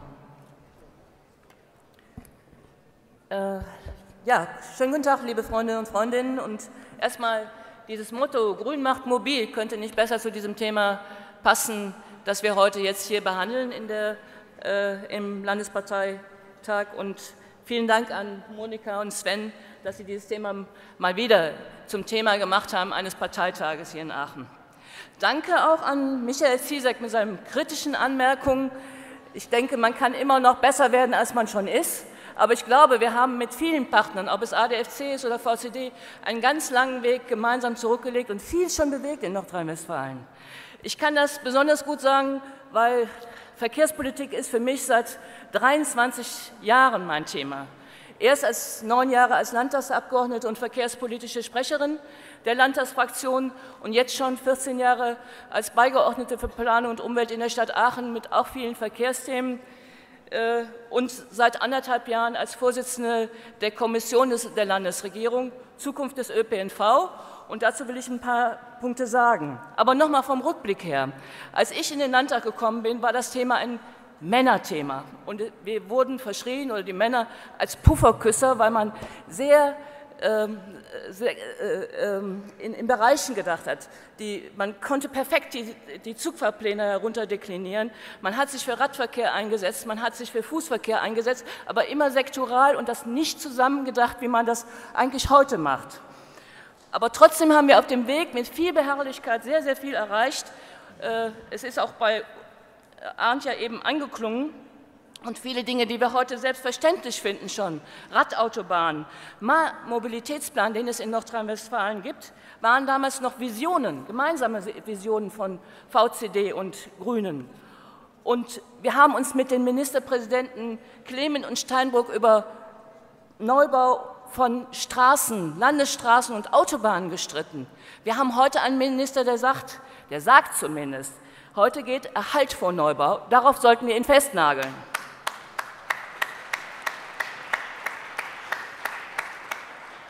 Und das ist unser Erfolg. Und jetzt sage ich noch mal was zu der Kommission ÖPNV. Es geht dabei in einem zentralen Punkt um die weitere Finanzierung des ÖPNVs. Wir haben festgestellt in einem Gutachten, was vor ein paar Monaten schon auch vorgestellt worden ist, dass NRW dort nicht finanziert wird nach dem üblichen Königstein-Schlüssel, den wir ja alle kennen, sondern in diesem Fall die Finanzierung basiert für den Schienenverkehr auf dem Kursbuch. Das muss man sich mal auf der Zunge zergehen lassen, auf dem Kursbuch von 1993 und 94. Ein völliges Unding. Und da müssen wir hin, dass es auch eine Pro-Kopf-Finanzierung des äh, äh, Schienenpersonennahverkehrs in Nordrhein-Westfalen gibt. Und das ist eine Bundesaufgabe und das ist eine Aufgabe für den nächsten Bundestagswahlkampf.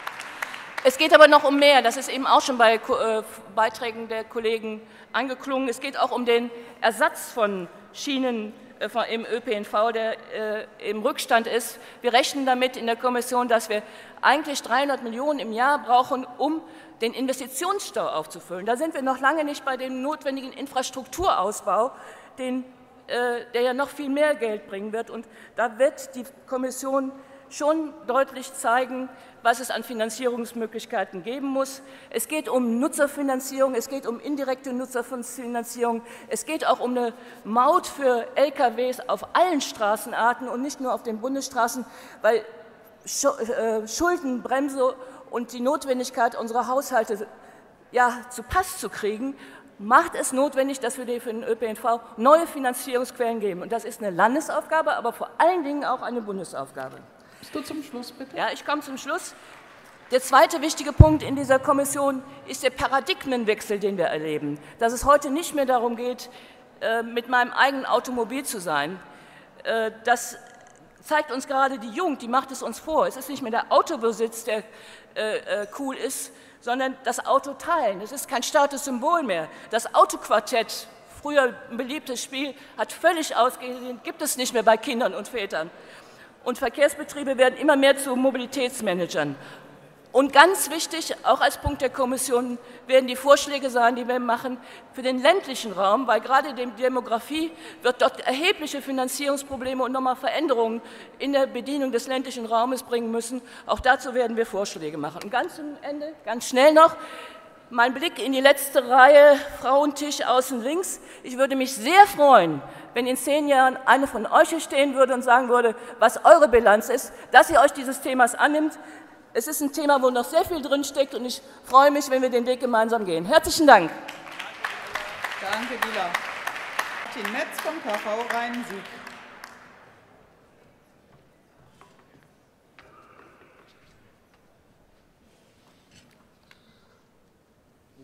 Liebe Freundinnen und Freunde, äh, Michael Ziesack hat ja schon einiges gesagt. Mobilität ist notwendig, sie sichert gesellschaftliche Teilhabe.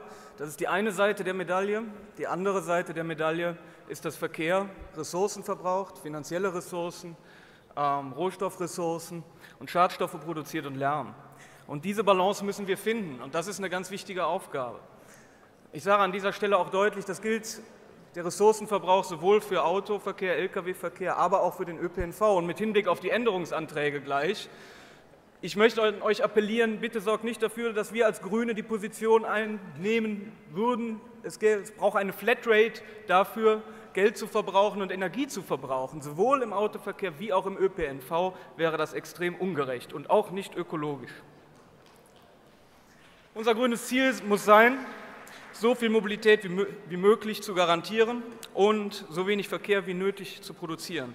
Die Eckpunkte sind klar, da wurde eben viel darüber geredet. Doch wir stehen zwar an der Seite eines wachsenden Anteils der Gesellschaft, der das für richtig hält, was wir sagen, doch die Realitäten in der politischen Landschaft sehen ganz anders aus. Man muss sich das angucken, wenn man kämpft unten in, in, den ganzen Kreistagen, in den Stadträten, Gemeinderäten, wie dort die verkehrspolitische Debatte läuft, so ist es doch oft so, dass Grüne alleine dastehen und CDU, FDP und SPD einfach oft eine ganz, ganz große Koalition des Straßenbaus bilden und dann, wenn es wirklich hart auf hart kommt, eben doch dem motorisierten Individualverkehr den Vorrang geben.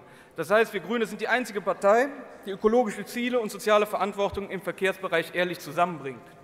Wir Grüne wehren uns gegen wilden Straßenbau. Wir sind die, die ehrlich sind mit Tempolimits. Wir sind die, die gegen Prestigeprojekte streiten und dafür sorgen wollen, dass das Geld dahin kommt, wo es den Menschen nützt und nicht Politikern, die mal wieder ein großes Spatenstichfoto produzieren können. Wir wollen Verkehrslärm reduzieren über Nachtflugverbote. Wir wollen das alles eben, Michael Ziesack hat das gesagt, nicht nur in Städten, sondern wollen es auch im Umland und im ländlichen Raum. Wir haben diese Konzepte. Dieser Antrag ist sicherlich nicht das Ende der verkehrspolitischen Debatte. Das kann es auch nicht sein, das soll es auch nicht sein. Dieser Antrag ist auch durch Änderungsanträge hoffentlich etwas reicher geworden. Wir werden diesen Weg weitergehen. Wir müssen standhaft bleiben, auf allen Ebenen, von der EU runter bis zu den Kommunen, egal ob in der Opposition oder eben auch in der Koalition. Das ist mir ein sehr wichtiges Anliegen. Und deshalb, ich glaube, wir können diesen Antrag heute sehr gut beschließen. Es ist ein wichtiger Weg, uns weiter als die Verkehrswendepartei hier zu positionieren. Deshalb möchte ich euch bitten, auch von meiner Seite diesem Antrag zuzustimmen. Herzlichen Dank.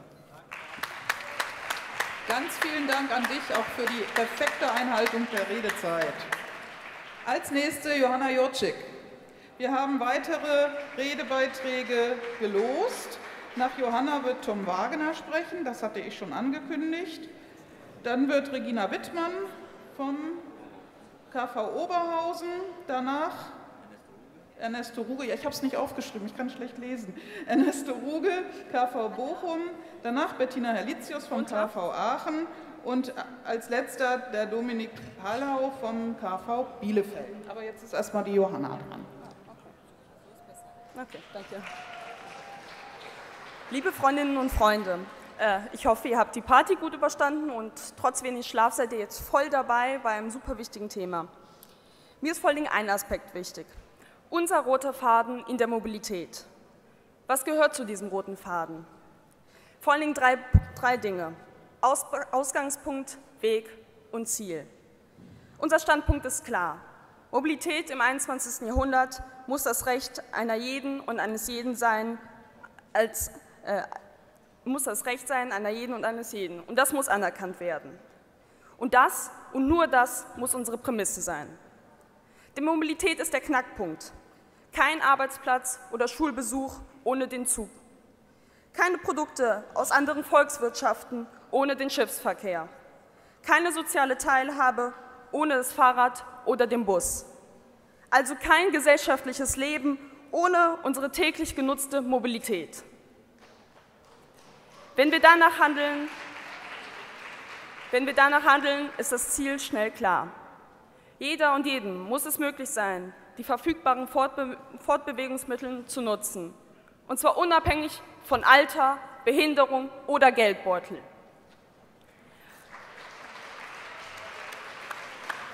Soweit sind wir uns in den meisten Punkten wohl einig. Aber der Weg, ja, der Weg, da gehen die Meinungen auseinander. Für die Grüne Jugend NRW ist ganz klar, wir müssen den Weg konsequent und ohne Kompromisse gehen. Und dafür brauchen wir mehr Kapazitäten im richtigen Bereich. Nicht im Flugverkehr. Wir brauchen auch keinen kein Ausbau der Autobahnen. Wir brauchen mehr Kapazitäten im Radverkehr und vor allen Dingen mehr Kapazitäten im ÖPNV.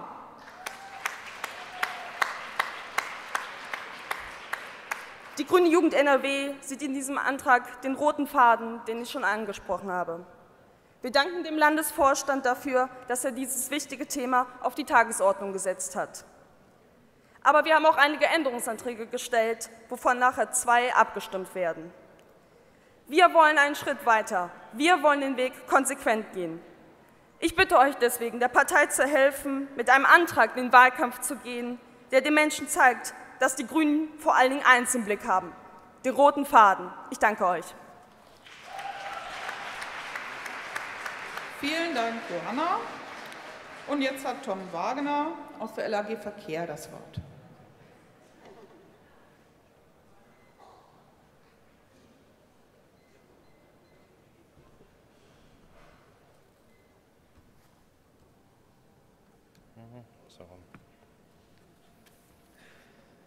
Ja, liebe Freundinnen und Freunde, noch nie war Deutschland so mobil wie heute, sagt man und meint dabei das Automobil. Während noch im Jahr 1990 35 Millionen Fahrzeuge über unsere Straßen rollten, sind es heute annähernd 60 Millionen Fahrzeuge. Also fast eine Verdopplung. Und die meisten davon rollen durch NRW. Liebe Freundinnen und Freunde, wir haben in NRW von, von allen Bundesländern die meisten Straßen. Wir haben den meisten Güterverkehr, sowohl auf der Straße als auch auf der Schiene und wir haben auch den meisten Personenverkehr. Das bedeutet aber auch, wir haben auch die meisten negativen Auswirkungen, sprich Lärm, Schadstoffe, Feinstaub, CO2-Emissionen. Und mittlerweile haben wir auch die größte marode Infrastruktur in Deutschland.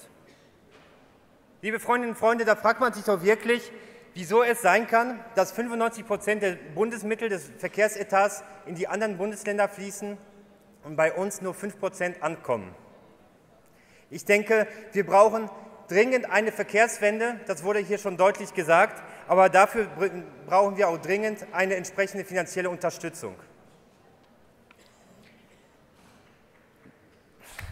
Dankeschön. Liebe Freundinnen und Freunde, insbesondere brauchen wir aber auch, das wurde auch schon mehrfach gesagt, einen attraktiven, bezahlbaren, aber auch insbesondere einen barrierefreien Personennahverkehr. Einen öffentlichen Personennahverkehr,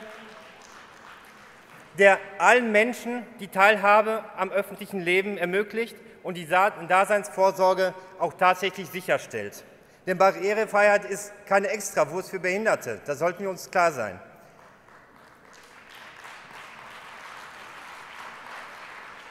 Barrierefrei nutzt uns allen, ob das die Durchsage im, im Bus ist, wo die nächste Haltestelle kommt, oder der niveaugleiche Ausstieg aus der Bahn oder Piktogramme oder der Aufzug, wenn man mit Koffern oder mit einem Kinderwagen unterwegs ist. Barrierefreie Zugänglichkeit und Nutzbarkeit des ÖPNVs, Serviceleistungen und Information und Kommunikation, die barrierefrei sind, muss einfach selbstverständlich sein. Und das ist ganz im Sinne des Inklusionsgedanken.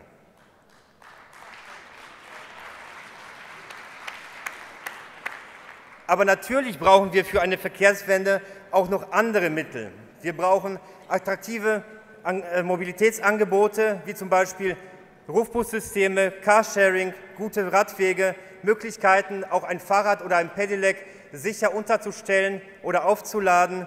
Wir brauchen eine Mobilitätskette, die eine Mobilität ohne Auto ermöglicht, und zwar nicht nur in der Stadt, sondern auch auf dem Lande.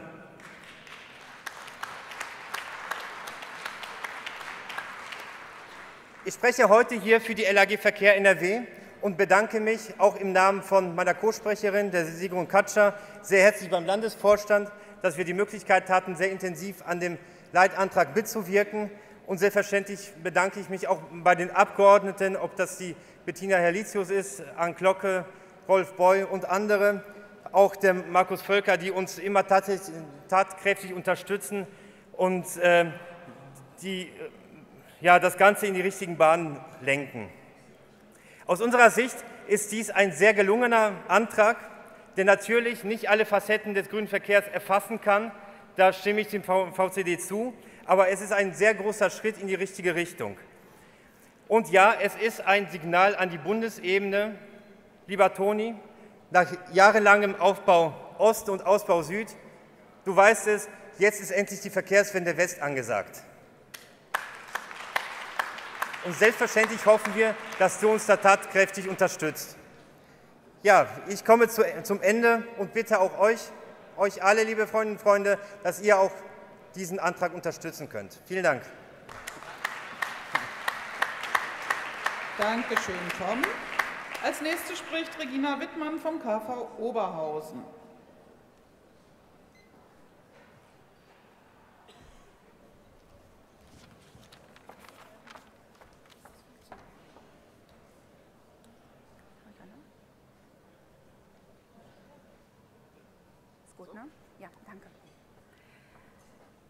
Guten Morgen, liebe Freundinnen und Freunde. Das Thema Mobilität ist aus der Stadtentwicklung nicht wegzudenken. Der Zustand der Verkehrsinfrastruktur wirkt sich nachhaltig auf unsere Lebensqualität auf. Wie mobil wir sein können und müssen, hängt auch davon ab, welche Wege wir in der Stadt- und Quartiersentwicklung gehen. Aufgrund dieser Schnittstelle haben wir uns auch in der LAG Regional- und Stadtentwicklung intensiv mit dem Antrag beschäftigt und eingebracht. Als Sprecherin der LAG möchte ich hier auch einige Aspekte dieser Debatte wiedergeben. Ähm, denn im Antrag finden wir an verschiedenen Stellen unter anderem äh, in der Forderung nach einer verknüpfenden Siedlungs- und Verkehrspolitik äh, wichtige Punkte wieder, die wir äh, unterstützen. Vor der Mobilität kommt erst einmal die Baustelle. Verkehrsinfrastrukturen prägen Stadt- und Landschaftsräume baulich ganz entscheidend. Vielerorts entstehen dadurch Barrieren und Zäsuren. Und wie gehen wir damit um? Zum Beispiel, wenn mit dem Bau von Schallschutzwänden fünf Meter hohe Betonwände durch dicht besiedelte Stadtquartiere geführt werden. Und hier darf die Frage der Gestaltung und der Maßstäblichkeit für uns keine Luxusdebatte sein, sondern selbstverständlicher und verantwortungsbewusster Umgang mit den räumlichen Konsequenzen, auch von Infrastrukturplanung. Ein wichtiger Baustein der Energiewende ist die Verkehrswende vor Ort. Hier stellen wir mit der Nahmobilität wichtige Weichen. Dies wird mit dem Aktionsplan und der Förderrichtlinie Stadtverkehr auf Landesebene bereits angepackt. Der Ansatz vom Rand zur Mitte korrespondiert mit grünen Ansätzen für eine zukunftsfähige Flächenentwicklung. Und dann sind alle Straßen, die wir haben, erforderlich. Hierzu brauchen wir differenzierte Ansätze für wachsende und schrumpfende Regionen. Wenn es uns mit der Umsetzung dieser Nahmobilitätskonzeption ernst ist, und davon gehe ich aus, dann habe ich angesichts der vorgesehenen Mittel allerdings noch Fragezeichen. Damit Nahmobilität vor Ort funktionieren kann, ist es wichtig, gleichzeitig lebendige Quartiers- und Dorfkerne zu stärken. Denn ob individuelle Teilhabe möglich ist, hängt maßgeblich von, der, von den Strecken ab, die im Alltag und darüber hinaus zurückzulegen sind. Hier wollen auch Mobilitätseingeschränkte teilhaben. Wir wollen sie nicht ausschließen, aber auch gleichzeitig die Chance nutzen, Verkehre zu vermeiden. Was das prozentual bedeutet, haben wir ja gerade schon gehört. Und dazu braucht es Angebote, die in der Nähe bleiben und dort etabliert werden. Zum Beispiel mit dem Erhalt eines nahräumlichen Einzelhandelskonzepts, äh, Einzelhandels äh, wie im Antrag formuliert. Liebe Freundinnen und Freunde, der Antrag gibt uns einen facettenreichen Rahmen, um das Thema Mobilität in den kommenden Wahlkämpfen zu nehmen. Für das Gelingen der Verkehrswende gilt es, Bürgerinnen und Bürger mitzunehmen und Mobilität als integrierter Bestandteil einer grünen Stadt der Zukunft zu planen. Vielleicht auch mit einem impulsgebenden Schwerpunkt Stadtentwicklung auf einer späteren LDK. Verkehrswende, das sind auch die zahlreichen Projekte vor Ort, die es mit belastbaren Aussagen ähm, konkrete Ziele formulieren gilt. Um hier das Mögliche machbar zu machen, ähm, brauchen wir den Wechsel im Bund und die Unterstützung im Land. Und ich freue mich darauf, diese Themen jetzt in den Wahlkampf mit einzubringen. Herzlichen Dank. Herzlichen Dank, Regina.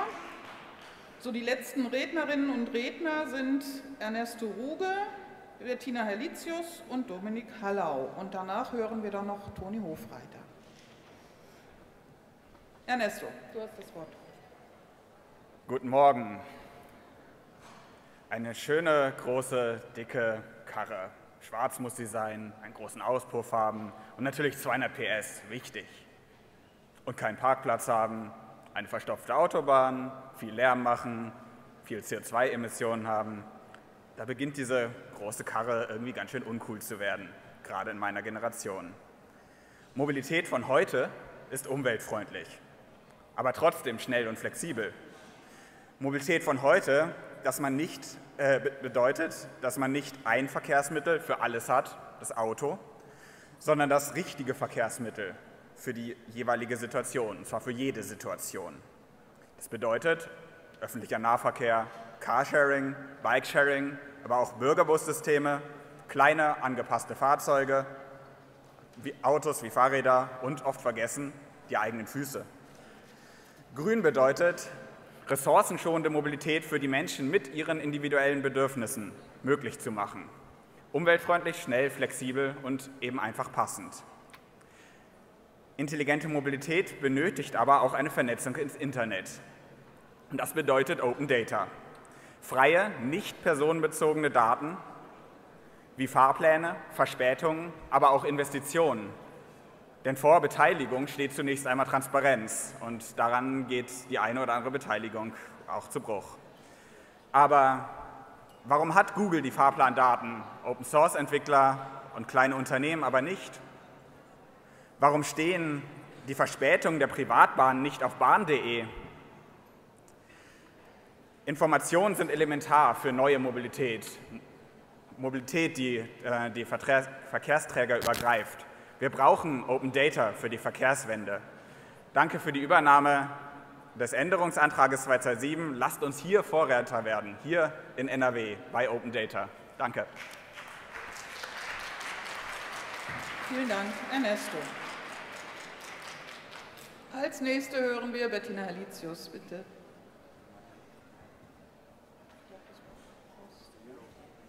Ist in Ordnung, danke. Hm? Liebe Freundinnen und Freunde, ein großes Dank an den Landesvorstand, dass er dieses Thema Verkehr in einer LDK so schwerpunktmäßig setzt. Und dank der Rede von Michael Ziesack, der uns sehr kritisch das Thema noch einmal beleuchtet hat, glaube ich, dass wir noch ein paar LDKs brauchen, um dieses Thema weiter zu besetzen. Vielleicht noch einmal zur Erklärung. Das Thema Verkehr auf dieser LDK hat wirklich den Schwerpunkt die nächste Bundestagswahl. Insofern ist der, Ein der Antrag, wie er jetzt vorgelegt worden ist vom Landesvorstand, thematisch schon etwas eingedampft.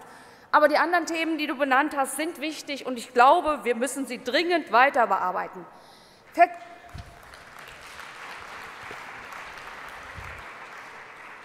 Verkehr ist ein ganz wichtiges Thema in Nordrhein-Westfalen.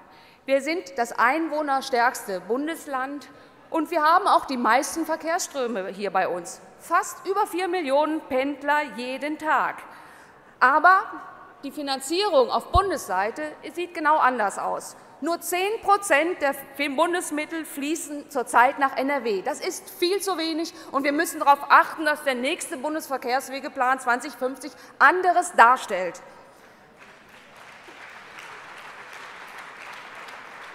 Nordrhein-Westfalen ist ein Industrieland. 70 Prozent der Güter, die durch NRW fließen, finden auch hier ihren Umschlag.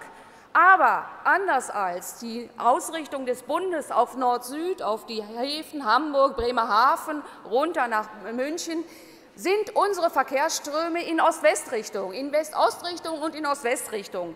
Wir wir sind das Hafenhinterland von den Sarahäfen, Seebrücke, Antwerpen, Amsterdam und und Rotterdam. Das sind die größten Häfen für uns und da laufen unsere Güterströme. Und hier haben wir Defizite in den Schienen-Hinterlandanbindungen. Die Betüve-Linie, der Kölner Knoten, das dritte Gleis in Aachen. Das sind wichtige Projekte für uns.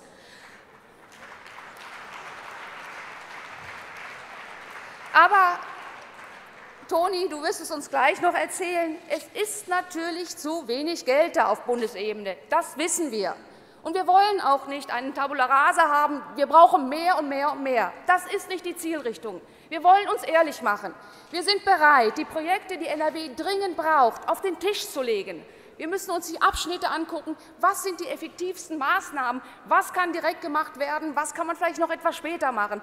Nur so können wir uns ehrlich machen. Nur so können wir wirklich Stück für Stück die Verkehrsinfrastruktur bei uns im Land nach vorne schieben. Und dafür brauchen wir vom Bund, und das ist unsere Forderung an den Bund im nächsten Bundesverkehrswegeplan, endlich eine Klarheit, eine Verlässlichkeit, wie unsere Projekte eingestellt werden, damit wir hier effektiv planen müssen.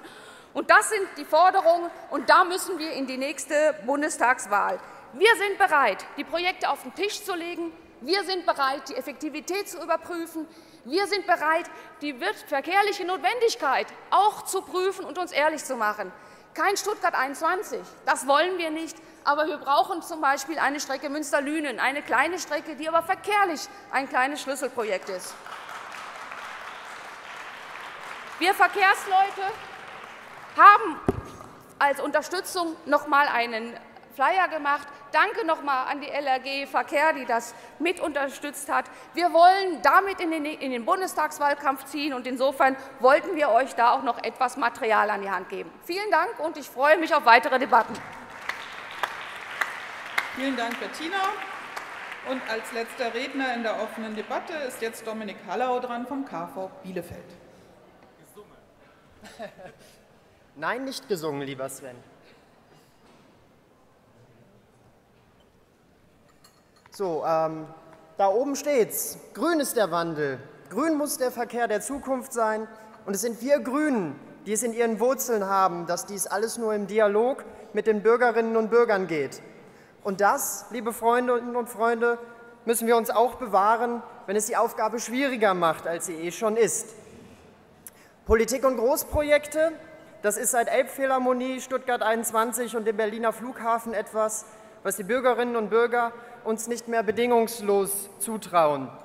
Wir merken dies gerade in Bielefeld, wo es um den Aufbau einer fünften Stadtbahnlinie und der Verlängerung einer bestehenden Linie geht, wo dadurch neue Stadtteile an das Schienennetz angeschlossen werden und es sogar die Chance gibt, den Jahnplatz autofrei zu gestalten.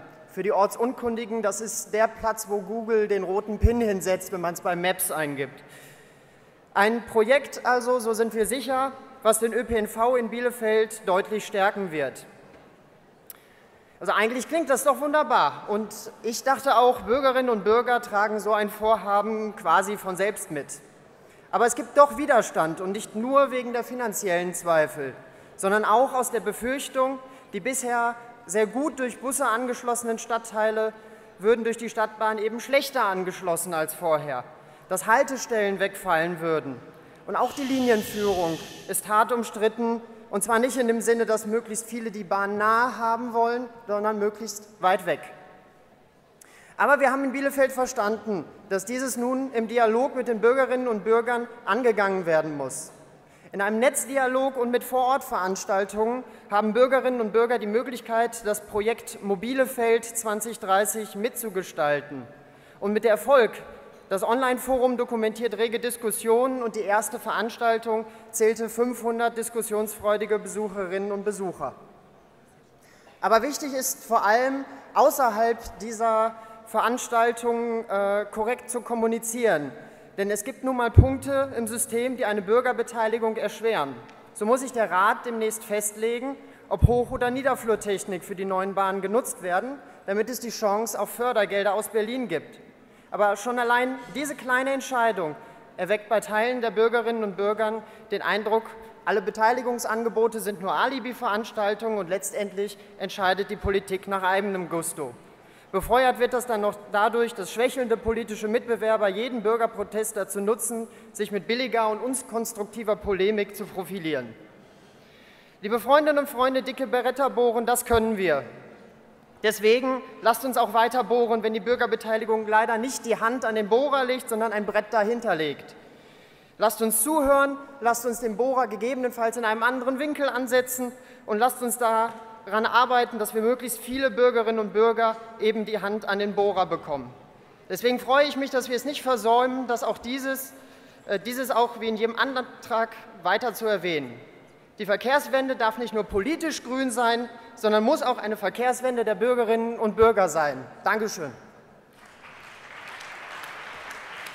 Vielen Dank, Dominik.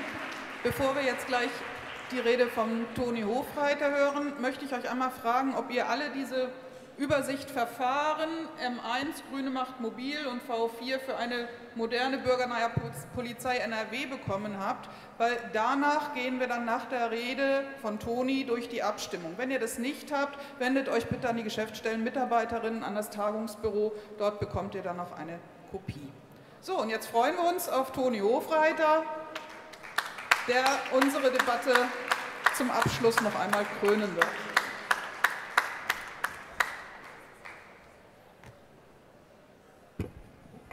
Liebe Freundinnen und Freunde, erstmal guten Tag von meiner Seite oder da ich ja ursprünglich aus Bayern komme, eigentlich Grüß Gott, ähm, auch wenn es hier eher ungewöhnlich klingt.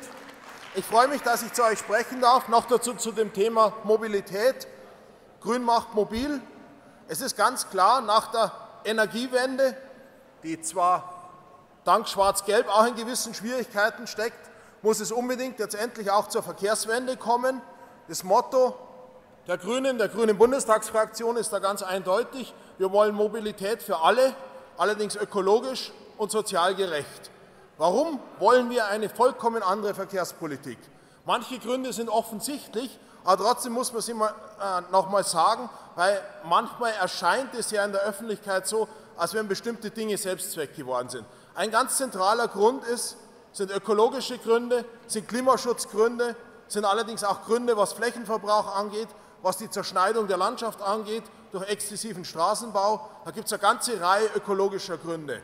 Gerade insbesondere der Klimawandel wird ganz, ganz stark befeuert von der Art und Weise, wie wir Verkehrspolitik organisieren, wie Verkehrspolitik bei uns in Europa organisiert ist. Ihr müsst euch vorstellen, wenn wir von der Endlichkeit von Rohöl sprechen, dann sprechen wir von Endlichkeit von Mobilität, von Verkehrspolitik, so wie wir es jetzt kennen. 70 Prozent des Rohöls, das Tag für Tag nach Europa importiert wird, verbrennen wir, nur, äh, verbrennen wir nur für Mobilität und unsere Mobilität hängt zu 95 Prozent am Rohöl das zeigt sich, die Verkehrswende kann nur, die Energiewende kann nur gelingen, wenn es uns gelingt, die Verkehrswende durchzusetzen. Denn wenn man mal ehrlich sein soll, wenn Schwarz-Gelb von Energiewende spricht, dann sprechen sie im Grunde in Anführungsstrichen nur von einer anderen Stromversorgung und schon das sind sie nicht in der Lage umzusetzen. Es gibt allerdings auch eine Reihe weiterer Gründe. Es gibt soziale Gründe und Teilhabegründe, warum wir zu einer anderen Verkehrspolitik kommen müssen. Wenn Schwarz-Gelb davon spricht, dass Sie Mobilität ermöglichen wollen, meinen Sie damit, Sie wollen Straßen bauen und in Ihrer beschränkten Sichtweise, die ganz häufig die Sichtweise von 50- bis 60-jährigen, wohlsituierten Menschen ist, die einen Führerschein besitzen und ein Auto, glauben Sie, nur wenn Sie Straßen bauen, ermöglichen Sie Mobilität für alle. Das ist ein absoluter Irrtum. Sie ermöglichen Mobilität für Menschen, die einen täglichen Zugriff aufs Auto haben.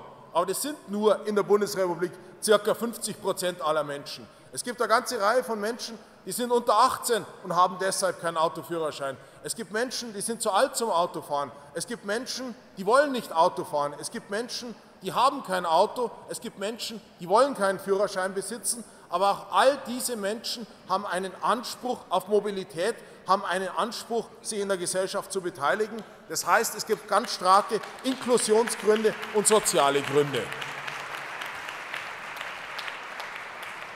Aber es gibt auch starke ökonomische Gründe, warum wir zu einer anderen Verkehrspolitik, zu einer anderen Mobilitätspolitik kommen müssen. Wenn wir uns anschauen, wie überlastet insbesondere im Bereich des Güterverkehrs unser Straßennetz ist, wenn wir uns anschauen, welche gigantische Summen da in den vergangenen Jahren ausgegeben worden sind, ohne dass die äh, Verkehrsprobleme wenigstens im Bereich der Straße gelöst worden sind. Wenn wir all das betrachten, kann man ganz klar erkennen, auch aus ökonomischen und finanziellen Gründen müssen wir zu einer anderen Verkehrspolitik kommen. Und wie wollen wir das erreichen? Wie wollen wir das erreichen, dass wir wirklich Mobilität für alle durchsetzen? Eine ganz, ganz wichtige Rolle spielen da die Kommunen. Die Kommunen sind und insbesondere die Städte, die größeren und die kleinen, sind ganz zentral, um eine andere Mobilitätspolitik zu erreichen. Es heißt dann immer oft von den Befürwortern des jetzigen Systems, naja, die Menschen, die Kunden wollen es so. Naja, nach Entscheidungen in den Räten, wo die bekannten wohlsituierten Autofahrer drin sitzen, hat man 90 Prozent des öffentlichen Raums ausschließlich für den Autoverkehr gewidmet. Und nachdem diese Machtentscheidung stattgefunden hat, sagt man, naja, die Menschen wollen das so. Aber wollen die Menschen nicht vielleicht auch Verkehrssicherheit für sich und ihre Kinder? Will man nicht ohne Sorge auch in einer großen Stadt kleine Kinder aufziehen können? Will man nicht vor Ort, vor seiner eigenen Haustür von Lärm und von Schadstoffen freigehalten sein? Will man nicht eine Stadt haben, die nicht nur Verkehrsraum ist, die nicht nur Durchgangsraum ist, sondern will man nicht eine Stadt haben, wo auch der öffentliche Raum Lebensraum für alle ist, und zwar gleichberechtigter Lebensraum für alle ist, seien es jetzt Fußgänger, seien es ältere, ältere Menschen, seien es kleine Kinder, seien es Rollstuhlfahrer, seien es Radfahrer, will, wollen das die Gesamtheit der Menschen nicht eher das? Und das ist das Entscheidende, was wir hier im städtischen Bereich, im Mobilitätsbereich durchsetzen müssen. Dazu müssen wir auch wenn das schreckliche Kooperationsverbot ein schwerer Fehler in der Föderalismusreform II dem entgegensteht, müssen wir von Bundesseite Wege finden, in denen wir die Kommunen auch finanziell dazu ermächtigen, dass sie in der Lage sind, den öffentlichen Raum so zu gestalten, dass es wieder ein öffentlicher Raum für alle wird. Und auf Bundesebene gibt es noch eine ganze Reihe weiterer äh, Dinge zu tun. Auf Bundesebene brauchen wir eine andere Bahnpolitik, eine Bahnpolitik, die dafür sorgt, dass die Bahn sich wieder insbesondere zuständig fühlt für die Eisenbahn und weniger zuständig fühlt für Speziallogistik in Australien und weniger zuständig fühlt für Hafenlogistik in China, sondern eine Bahn, die zu 100 Prozent der öffentlichen Hand gehört und damit zu 100 Prozent im Grunde den Menschen in Deutschland gehört. Eine Bahn, die sich verantwortlich dafür fühlt, äh, pünktliche, saubere und auch bezahlbare Züge in Deutschland anzubieten und in Europa anzubieten. Ich glaube, das ist etwas, was die Bundesebene verantwortlich durchsetzen muss. Und da muss man ganz klar sagen, es ist ein Bereich, wo wir leider noch im Grunde gegen alle anderen stehen. Das ist ein Bereich, wo es ganz, ganz stark auf Grüne ankommt. Da gibt es eine ganz, ganz große Koalition, dass die Bahn vor allem als Konzern gesehen wird und sehr, sehr wenig als Dienstleister für ökologischen Transport von Menschen und Gütern. Des Weiteren in der nächsten Legislatur steht der nächste Bundesverkehrswegeplan an. Der Bundesverkehrswegeplan ist im Grunde ein technokratisches Monster, wo für 15 Jahre festgelegt, werden, festgelegt wird, welche Straßen, welche Wasserstraßen und welche Schienen ausgebaut werden. Dieser Bundesverkehrswegeplan hat in der Vergangenheit ist er so zustande gekommen, dass die Bundesländer, die DB AG und interessierte Kreise Unmengen Projekte angemeldet haben und diese Projekte sind dann in ewig langen Listen zusammengeschrieben worden, völlig unabhängig davon, ob sie sinnvoll oder unsinnig sind. Ich kenne da Beispiele aus meinem Bundesland. Da ist ein stellvertretender Fraktionsvorsitzender der SPD, hat einem Bürgermeister versprochen gehabt, dass er eine Umgehungsstraße kriegt, kleine Ortschaft. Dann ist mit Bundesgelder 30, 40, 50 Millionen für 1500 Autos, was de facto nichts ist, äh, was so viel ist wie an einer normalen Ortsdurchgangsstraße, ist eine Umgehungsstraße gebaut worden und woanders, wo dringend Geld benötigt wird für den Ausbau der Bahn oder durchaus auch für die äh, Sanierung des Straßennetzes, woanders war kein Geld vorhanden. Diesen Bundesverkehrswegeplan müssen wir ganz, ganz anders gestalten. Wir müssen damit endlich,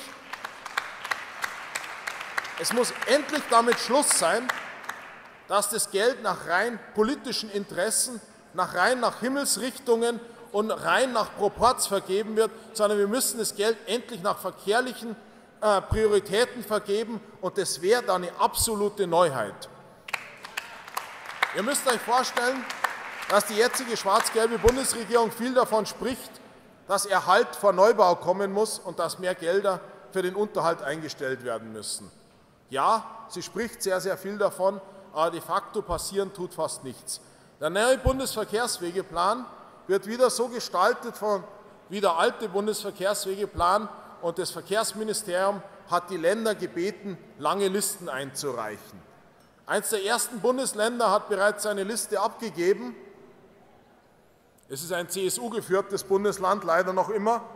Aber das wollen wir ja auch ändern. Das müssen wir ändern.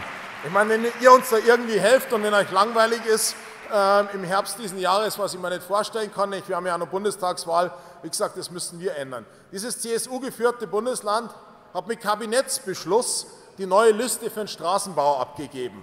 Sie haben 398 neue Straßenbauprojekte abgegeben zu einem Volumen von 17 Milliarden. Wenn man diese 17 Milliarden jetzt teilt durch die Mittel, die vorhanden sind, Jahr für Jahr, für das wunderschöne Bundesland Bayern, das ganz schrecklich politisch geführt wird, und wir haben immerhin auch einen CSU-Bundesverkehrsminister, dann kommt man zu der absurden Zahl von 160 Jahren. Das heißt, die haben eine Wunschliste abgegeben, nur im Bereich Straße für 160 Jahre und das mit Kabinettsbeschluss. Politik, die so agiert, ist nicht nur peinlich, sie macht sich sogar gegenüber jedem, der einigermaßen vernünftig denken kann, lächerlich. Das ist ein weiterer Grund, warum die weg müssen. Aber diese Form von Prioritätensetzung bzw. Nicht-Prioritätensetzung muss aufhören. Wir müssen die Prioritäten da setzen, im Bereich der Infrastruktur, wo es sehr, sehr viel Verkehr de facto unterwegs ist. Im Bereich der Straße müssen wir da Prioritäten setzen, dass wir Güterverkehr von der Straße auf die Schiene verlagern können. Und da gibt es ja dann immer Befürchtungen in den Bundesländern, wenn es von Bundesebene eine neue Prioritätensetzung kommt. Aber NRW braucht da, glaube ich, nicht die geringsten Sorgen haben, nämlich mit dieser Methode, dass der Bund die Infrastruktur selber eigentlich überhaupt nicht geplant hat, sondern letztendlich das Geld nur nach Himmelsrichtungen vergeben hat, hat NRW als dicht besiedeltes Bundesland, als Bundesland, wo sehr, sehr viel Güterverkehr aus den Häfen durchläuft, wo sehr, sehr viel Ausbaupotenzial auf der Schiene vorhanden ist, hat NRW letztendlich immer ganz, ganz schlecht abgeschnitten. Das heißt, wenn wir dafür sorgen, dass Prioritäten nach ökologischen, nach verkehrlichen, nach ökonomischen Kriterien gesetzt werden, wird NRW eins der Bundesländer sein, das ganz, ganz groß davon profitiert. Denn wir sollten ja auch eine Bundesverkehrswegeplanung haben.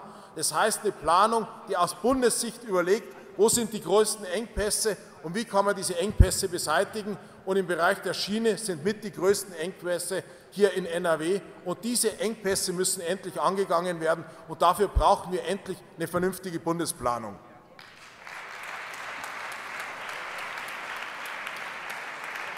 Aber es kommt nicht nur darauf an, dass wir die Infrastruktur endlich vernünftig gestalten, sondern es kommt auch ganz stark darauf an, dass wir dafür sorgen, dass die Mobilität, die wir haben, in ihren Sektoren ökologischer wird.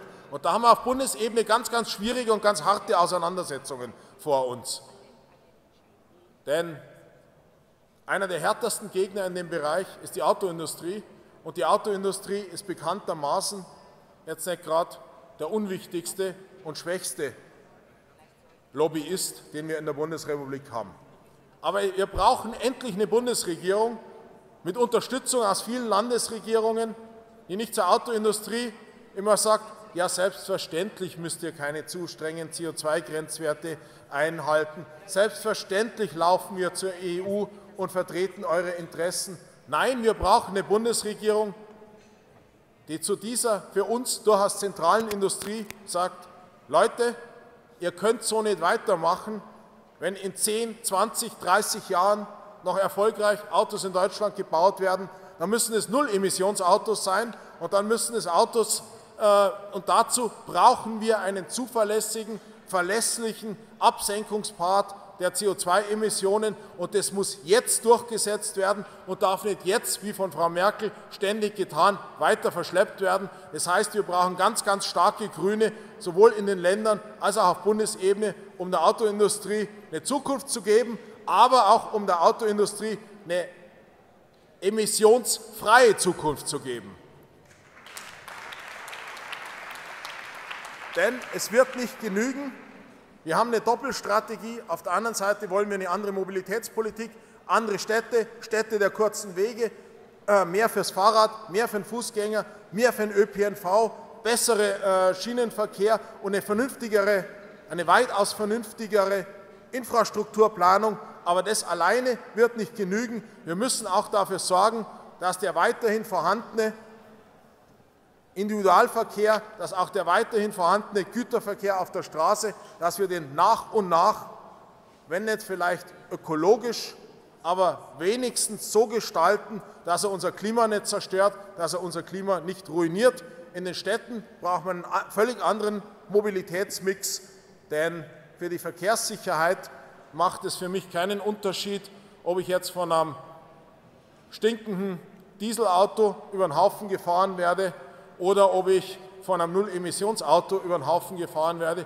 Für die Verkehrssicherheit braucht man da vernünftige, integrierte Ansätze. Und deswegen haben wir da ein ganz wichtiges, nicht nur symbolisches Thema, das wir in der nächsten Legislatur durchsetzen müssen, auch gegen die SPD, auch gegen alle anderen, die im Parlament sind, nämlich endlich 120 auf deutschen Autobahnen. Es kann doch nicht sein, dass ausgerechnet ähm, Deutschland im Herzen von Europa das letzte Land dieses Planeten ist, wo man so schnell rasen kann, wie man will, egal sozusagen, wer sich sonst noch auf der Straße aufhält. Das kann doch nicht sein. Da brauchen wir endlich auch einen zivilisatorischen Fortschritt äh, in diesem Bereich in Deutschland.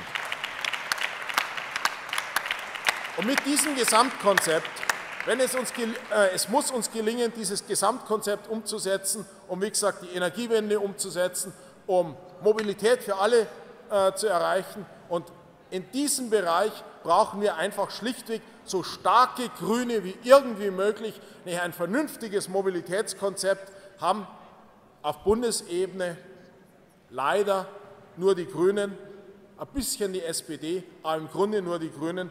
Deshalb kämpfen wir um die Verkehrswende Realität werden zu lassen und nicht nur Programm und Antrag werden zu lassen, kämpfen wir dafür, dass wir ganz, ganz starke Grüne im nächsten Bundestag haben. Danke.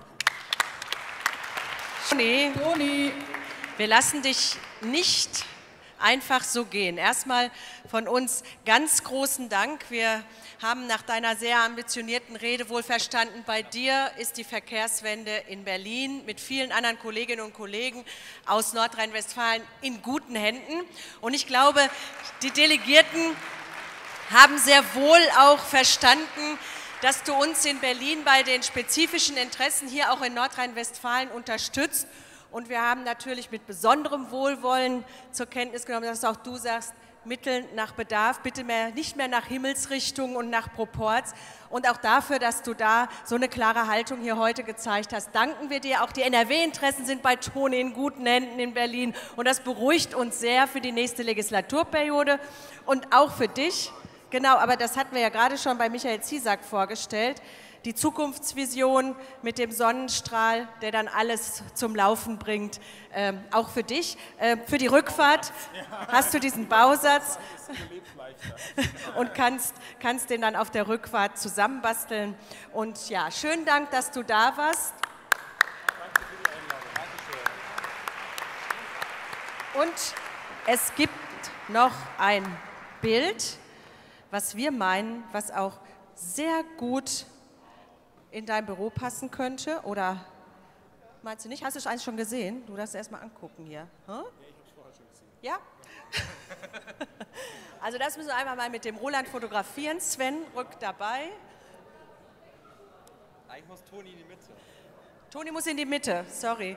Du weißt, die Bilder sind eigentlich jetzt hier nochmal der Höhepunkt des Tages. Okay, danke lieber Roland fürs Foto. Nochmal herzlichen Dank.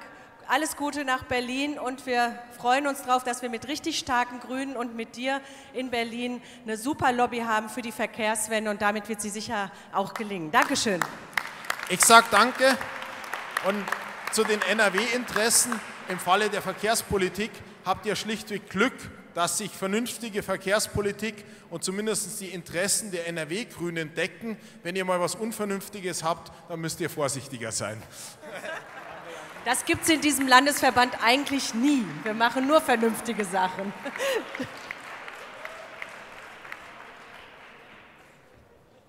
So, liebe Freundinnen und Freunde, bevor wir jetzt in die Antragsbefassung gehen, haben wir einen GO-Antrag von Anna Schröder aus dem Kreisverband Bonn. Du hast die Möglichkeit, ihn vorzustellen.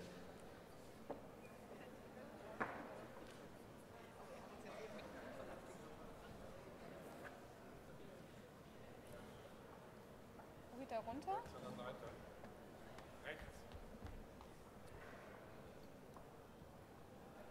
Okay, danke schön. Ja, liebe Freundinnen und Freunde, an den letzten beiden Tagen, glaube ich, habe ich kein Wort so oft gehört wie das Wort streiten. Lasst uns streiten für dies, lasst uns Streit für, streiten für jenes und das ist doch auch gut, denn wir wollen doch miteinander streiten. Deshalb, liebe Freundinnen und Freunde, wir haben zu diesem Antrag tatsächlich schon viel miteinander geredet. Wir haben gesehen, dass dieser Antrag Grün macht mobil begeistert, dass Mobilität diese Debatte dazu begeistert. Und deswegen glaube ich, dass gerade diese vielen motivierten grünen Menschen, die hier zu diesem Antrag geredet haben und gezeigt haben, dass sie mit Leidenschaft bei diesem Thema sind. Ich glaube, dass diese, diese Menschen auch Positionen haben zu den Änderungsanträgen, die hier gestellt werden und die noch zur Abstimmung stehen werden. Ich glaube, dass die durchaus auch was zu sagen haben zu diesen Änderungsanträgen, dass sie da eben pro oder contra sind. Dass diese, diese Änderungsanträge sind ja schließlich auch noch strittig. Und deshalb lasst uns darüber streiten mit folgendem Verfahren. Ich schlage euch vor, abweichend von dem Verfahren, das wir vorhin beschlossen haben, zu jedem Änderungsantrag, der zur Abstimmung stehen wird, jeweils zwei Pro- und zwei Kontrabeiträge zu losen. Dafür wirft man sich dann vorher, vorne in eine Pro- oder in eine Kontrabox ein. Warum zwei und nicht einer jeweils, damit wir eben äh, die Redeliste auch gendern können. Und ja, lasst uns diese offene Aussprache wirklich zu den Änderungsanträgen haben, denn die sind doch wirklich umstritten.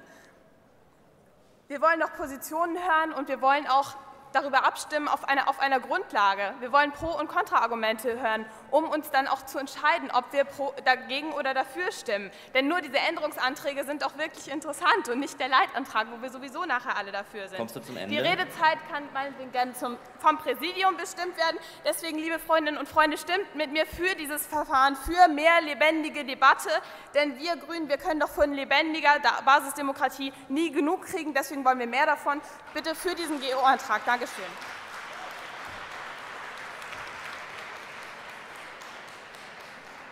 Okay. Gibt es eine Gegenrede? Ich habe gehört, dass es formal ist. So. Gut, dann frage ich euch.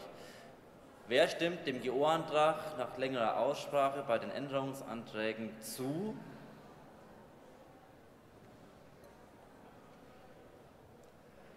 Danke. Wer stimmt dagegen? Danke. Und wer enthält sich? Danke. Für uns ist es noch nicht eindeutig hier oben.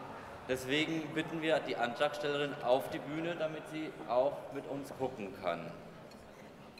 Und, die, und wenn ich gleich sage über die Abstimmung, dann bitte ich euch aufzustehen. Ja? Einen Moment.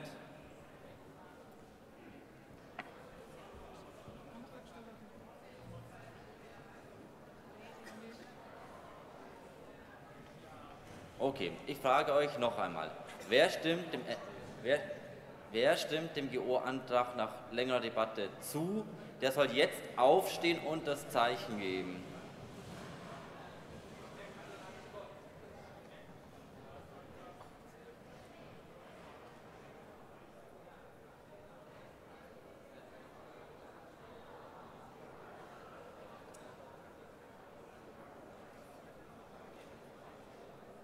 Danke. Wer stimmt gegen den Antrag?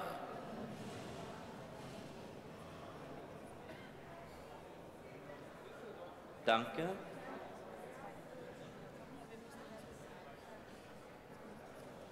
Okay. Wir müssen uns jetzt hier beraten noch.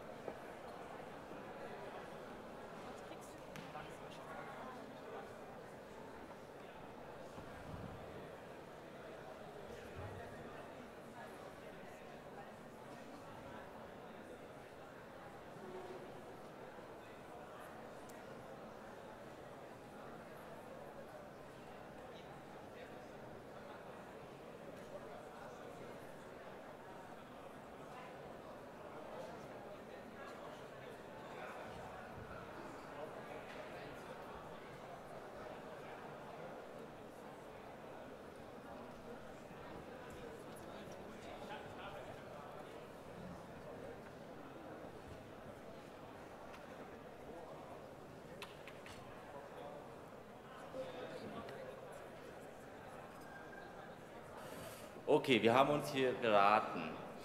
Wir sehen den enormen Debattenbedarf bei den Änderungsanträgen noch und schlagen euch jetzt deswegen vor, dass wir zwei, zwei jeweils ziehen, also zwei Kontra und zwei Pro reden und das dann auch noch votieren. Wir weisen aber nochmal darauf hin, dass dadurch auch die LDK ein wenig länger werden könnte. So, ähm, das muss man nur berücksichtigen. Seid ihr damit einverstanden? Dann würde ich jetzt gerne um ein Kartenzeichen bitten. Vielen Dank. Dann machen wir das jetzt so.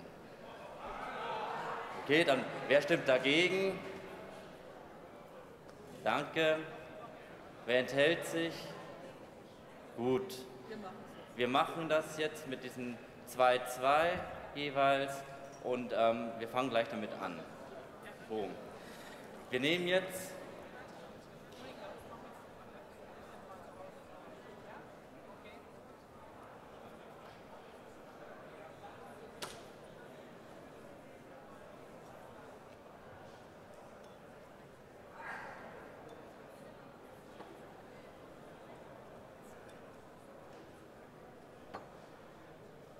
Gut, also, wir nehmen jetzt die Übersicht her, das euch ausgeteilt worden ist. Darin seht ihr die ganzen Änderungsanträge und die Sachen, die übernommen worden sind oder die modifiziert übernommen worden sind. Ja? Wir haben, wenn ihr euch das anguckt, vier strittige Punkte, die noch nicht geklärt sind und auch wo wir Abstimmungen machen müssen. Das wären in der Zeile 165 von der Grünen Jugend, das wäre Zeile 172 Grüne Jugend, dann wäre das nochmal 172, falls der von der Grünen Jugend abgelehnt wird, von Ralf Lottmann. Und es ist ein Antrag in Zeile 201 von Werner Ignatowitz und anderen. So, wir machen zuerst einen Änderungsantrag zu Zeile 165 Grüne Jugend.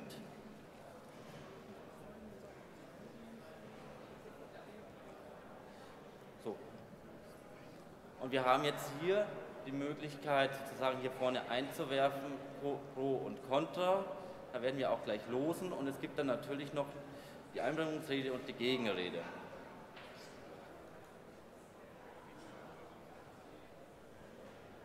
Einbringen wird jetzt den Antrag Sophie Caro von der Grünen Jugend.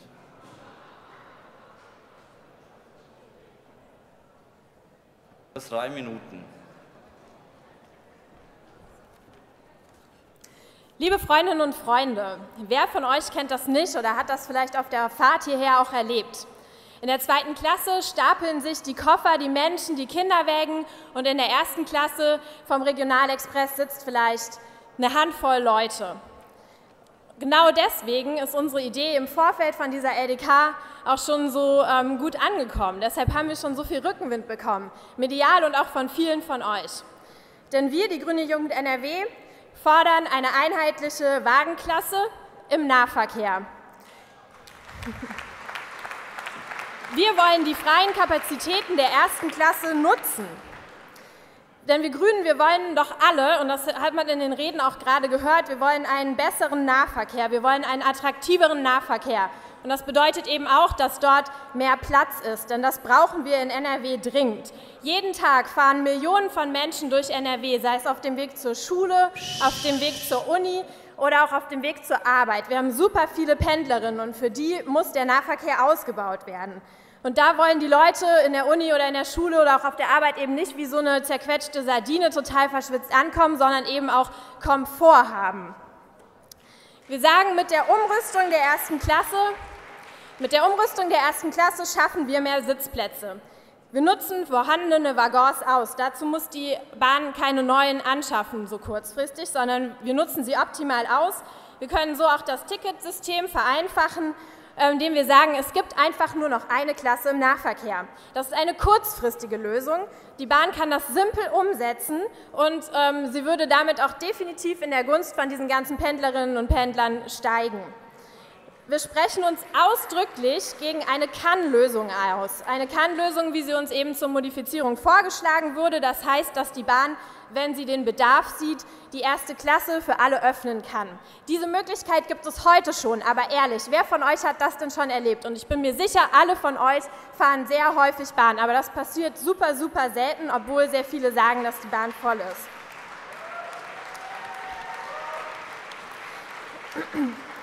Wenn klar ist, dass ähm, alle mit einer Klasse fahren, dann herrscht da auch Planungssicherheit. Dann kann eben auch die, die den Komfort der ersten Klasse bei einer Kannlösung unter unsicheren Umständen nutzen können, die wüssten genau, okay, es gibt nur eine Klasse. Das ist eine Attraktivitätssteigerung. Wir wollen einen einfacheren, einen attraktiveren Nahverkehr, eine pragmatische Lösung. Das ist unsere Idee. Und ich hoffe, dass wir euch von unserem Änderungsantrag überzeugen können, dass ihr euch dafür ausspricht, für einen erstklassigen Nahverkehr, aber einen ohne erste Klasse.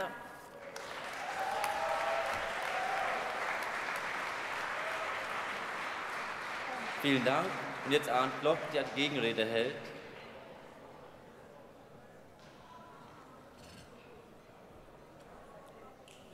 Ja, liebe Sophie, liebe grüne Jugend, ich kann den Antrag ein Stück nachvollziehen, wenn man jeden Tag, so wie ich auch, Bahn fährt in Nordrhein-Westfalen, gibt es viele Situationen, wo man wirklich verzweifelt ist aufgrund der Platznot in den Zügen, insbesondere Feierabendzeit, Wochenende etc., nach Großveranstaltungen, Fußballspielen etc. Aber insbesondere vormittags oder auch in der Feierabendzeit ist auch in den Regionalexpresslinien die erste Klasse voll. Das kann ich sagen, weil ich da jeden Tag mitfahre und auch sehe, dass diese Plätze entsprechend ausgenutzt werden. Die Pendlerinnen und Pendler, die in der ersten Klasse sitzen, haben dafür bezahlt und zahlen 60, 70 Prozent höheren Fahrpreis. Wir haben hier in Nordrhein-Westfalen ja, das ist, das ist sozusagen äh, ein Privileg, was man sich auch äh, finanziert, entsprechend, indem man das auch bezahlt. Und darüber finanziert sich auch entsprechend der Nahverkehr, liebe Coesfelderinnen und Coesfelder. Wir haben in NRW keine Staatsbahn. Also wir können nicht als Landesregierung beschließen, wir machen jetzt eine Einheitsklasse, sondern wir haben drei Zweckverbünde hier in Nordrhein-Westfalen, die sehr eigenständig als VRR, NVR und NWL die Züge bei den entsprechenden Anbietern bestellen. Wir haben bei den Regionalexpresslinien entsprechend auch die erste Klasse sozusagen im Angebot, häufig sozusagen ein halber Wagen ähm, bei den sechs äh, äh, Waggoneinheiten der Hauptregionalexpresslinien. Ich würde euch vorschlagen, äh, weil ich das Anliegen oder weil wir auch das Anliegen äh, gut nachvollziehen können, zu sagen, es ist absoluter Unsinn, wenn die Züge voll sind zu den Stoßzeiten und in der ersten Klasse ist viel Platz, der nur deswegen freigehalten wird, weil die Leute entsprechend keinen Fahrschein haben. Dass wir noch einen, einen Appell an die Nahverkehrsverbände machen, an die Zugleitungen, gebt diese erste Klasse frei, auch für Leute mit zweite Klasse Fahrschein, insbesondere am Wochenende, bei großen Volksfesten, nach Fußballspielen, nach großen Ereignissen, weil es überhaupt keinen Sinn macht, da einen Wagen oder einen halben Wagen freizuhalten und entsprechend das andere sozusagen, dass die Menschen da gequetscht stehen, gedrängelt stehen etc. Aber grundsätzlich die erste Klasse abzuschaffen, also zu sagen, man hat das gar nicht mehr im Angebot, das schafft keinen Platz mehr und es würde entsprechend Kosten äh, uns nehmen, die wir äh, sozusagen Erträge nehmen, die wir haben. Und es sind einfach auch viele Leute, die bewusst diesen Platz buchen. Es sind viele Business-Pendler, die da jeden Tag drin sitzen, die bewusst aufs Auto verzichten, die heutzutage mit der Bahn fahren, die sich nicht mehr kutschieren lassen mit dem Auto, die mit Notebook, mit Arbeitsmaterialien sich in Zug setzen und dafür den Aufpreis für die erste Klasse zahlen. Und diese Chance den Leuten zu nehmen, das fänden wir falsch. Und deswegen schlagen wir euch vor, diesen Antrag der Grünen Jugend abzulehnen. Vielen Dank. So, wir haben jetzt, wir haben jetzt gelost. Wir haben zwei Pro- und zwei Kontrareden. Die zwei Pro-Reden sind männlich und die zwei Kontrareden weiblich. So, das heißt jetzt Pro-Rede René Hesen vom KV Viersen. Zwei Minuten. Ja, lieber Arndt, also ich habe mir fast gedacht, dass du genau darauf eingehst, dass die Leute dafür mehr bezahlen und musste direkt so ein bisschen auch in Richtung Gesundheitspolitik gucken, wo es wirklich den Unterschied des allgemeinen Pöbels gibt und der Privatversicherung. Meiner Meinung nach darf Mobilität und auch das Platzangebot in Zügen nicht vom Geldbeutel abhängen. Aber ich wollte noch auf eine ganz andere Sache hinaus, nämlich wieder an den, den ländlichen Raum. Du sprichst wahrscheinlich gerade oder hast gerade von den DOSTOS geredet, von den großen Nahverkehrszügen RE1, RE5 und so weiter und so fort. Ich komme aus Kempen, bei uns fährt der RE10, das sind Dieseltriebwagen von Einfach- bis Dreifachtraktion. In jedem dieser Dieseltriebwagen ist ein Drittel des Platzangebotes der ersten Klasse zur Verfügung gestellt. Wenn ich mir morgens am Bahnsteig angucke, dass die Bundespolizei täglich aus dem überfüllten zweite Klassenabteil Leute wieder aus dem Zug rausholen muss, während in der ersten Klasse gehende Lehre herrscht, dann frage ich mich wirklich nach der Sinnhaftigkeit der ersten Klasse und auch nach der Sinnhaftigkeit, dass man wirklich gucken muss, ja, ich weiß, ich muss schon zu Ende kommen, dass man gucken muss, dass wir wirklich Platzangebot schaffen. Wir haben ein strukturelles Problem wo die Leute dann eben in die erste Klasse gehen und das darf nicht dann hinterher vom Geldbeutel schön erkauft werden. Danke.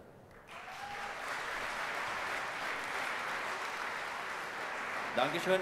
Jetzt kommt die Kontrarede von Anne Schröder, auch zwei Minuten. Und bitte bleibt hier vorne, wir haben jetzt wirklich einen zeitlichen Druck, ja? Bleibt hier vorne, wenn ihr redet. So. Zwei Minuten, nach einer Minute zeigen wir euch ein Signal, dass ihr noch mehr eine Minute habt.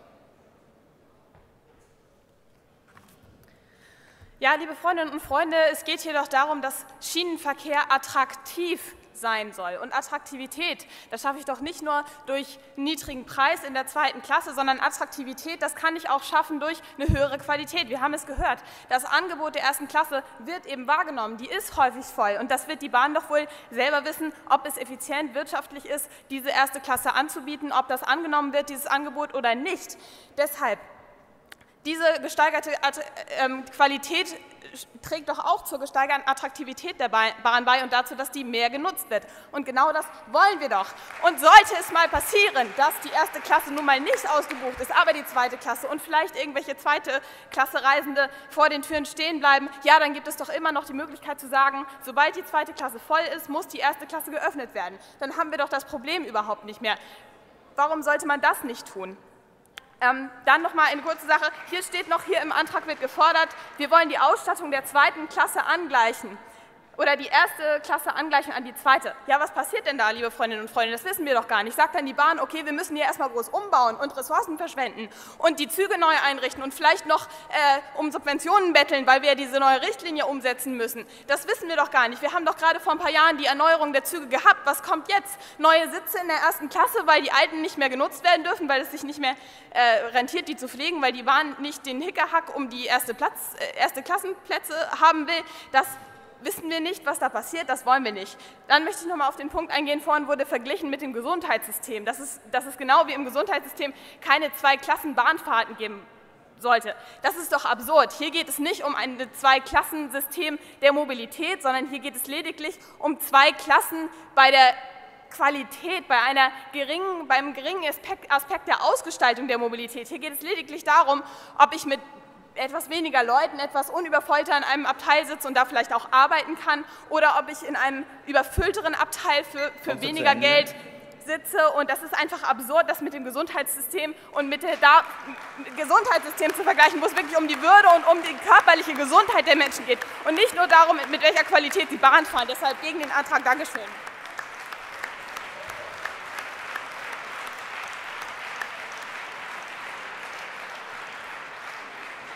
So, vielen Dank. Wir haben jetzt nochmal gelost. Es gibt keine Pro-Rede mehr, es gibt aber eine Kontrarede mehr. Eine Kontrarede gibt es noch und die lassen wir zu von Bettina Herlitius, Aachen. Wir haben vereinbart 2-2 und da sich keiner eingeworfen hat und wir haben auch das Verfahren. Das war noch wir, eine möglich gewesen. Nein, das war ein und wir haben gerade schon gelost und es ist jetzt vorbei. Ihr müsst euch vorher einwerfen. Das ist zu, ne? Ja. Komm. Ja, okay, dann lassen wir das zu. Dann lassen wir das jetzt zu. Aber dann wird zuerst die Vorrede gemacht.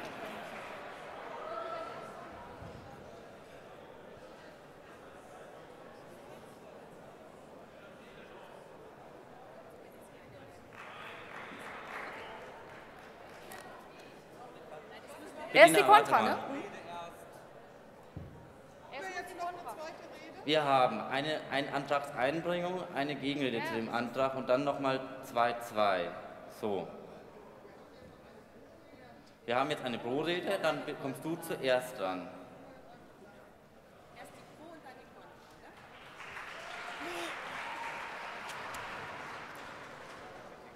Okay, ähm, tut mir leid, das ist jetzt echt spontan. Ähm, aber mir ist der Antrag echt wichtig, weil ich fahre oft mit der Bahn und es ist immer total voll. Ich fahre immer im Regional, also im RE1, der ist jedes Mal voll und die erste Klasse ist leer. Also das stimmt überhaupt nicht, was Arndt eben gesagt hat. Also jedenfalls nicht da, wo ich fahre, dass die erste Klasse irgendwie auch voll ist. Das sehe ich nicht. Da sitzen ein, zwei Leute drin, es sei denn, es sitzen nicht Leute rein, die kein Ticket haben, weil es einfach zu voll ist. Aber sie wird von der Bahn einfach nicht geöffnet auch, auch wenn es voll ist. Und da sind kleine Kinder und, also, und die, da fallen Leute drüber und es sind alte Leute, die können nicht mehr so gut stehen und sie müssen trotzdem stehen, weil die erste Klasse einfach leer ist und nicht geöffnet wird, weil die Plätze einfach nicht zur Verfügung stehen. Also öffnen.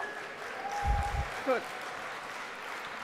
Außerdem noch ein Argument, was Arndt eben genannt hatte, dass die erste Klasse die zweite Klasse finanzieren würde. Das stimmt im Regionalexpress oder im, äh, im Nahverkehr einfach nicht so. Die erste Klasse ist ja leer, wie soll die denn die zweite Klasse finanzieren? Ja, außerdem ähm, war das Argument, die, zwei, die, erste Klasse könne da, ja geöffnet werden. Das kann, sie im Moment schon, also es kann im Moment schon gemacht werden, es wird aber nicht gemacht. Das kann natürlich verbessert werden. Ich sehe das aber überhaupt nicht, dass das passiert. Außerdem ist es nicht die Lösung. Denn gerade ähm, wenn viel los ist, dann wird das ja das Prinzip der ersten Klasse völlig aushebeln. Die Leute, die da sitzen wollen, gut, die brauchen Ruhe, was weiß ich was. So, wenn das, gerade dann, wenn es voll ist, wenn Sie dann die Ruhe brauchen, sonst können Sie die auch in der zweiten Klasse haben, aber wenn Sie die Ruhe bräuchten, theoretisch, ähm, und die dann geöffnet wird, so dann haben Sie die Ruhe da auch nicht mehr. Also das ist ja, ne, dann wird die erste Klasse, dann kann man sie gleich abschaffen. Ähm, außerdem müssen andere Leute, die sich das nicht leisten können, auch arbeiten im Zug. Die haben, brauchen auch Ruhe. Bloß weil sie nicht so viel Geld verdienen und sich das nicht leisten können, heißt es doch nicht, dass sie dadurch benachteiligt werden ähm, sollen. Wer arbeiten muss, fährt mit dem Zug teilweise, ja, das stimmt. Kommt zum Ende, bitte. Okay, ich komme zum Ende. Aber das kann doch kein Privileg von Reichen sein, sondern es muss allen gleich zur Verfügung stehen. Nicht Leuten, die reich sind, die können sich das leisten, in der ersten Klasse zu fahren. Die anderen wollen genauso viel Platz und deshalb sollte der Platz gerecht verteilt werden und nicht an Leute, die reich sind und die anderen müssen sich irgendwie quetschen. Dankeschön.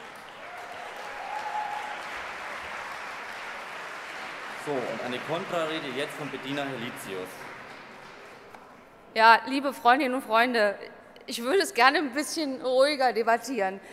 Ich finde es schade, dass wir hier über ein, das so ein bisschen zuspitzen auf den Konflikt erste, zweite Klasse. Das ist doch nicht unser Problem in NRW. Unser Problem in NRW ist, dass die Züge zu voll sind.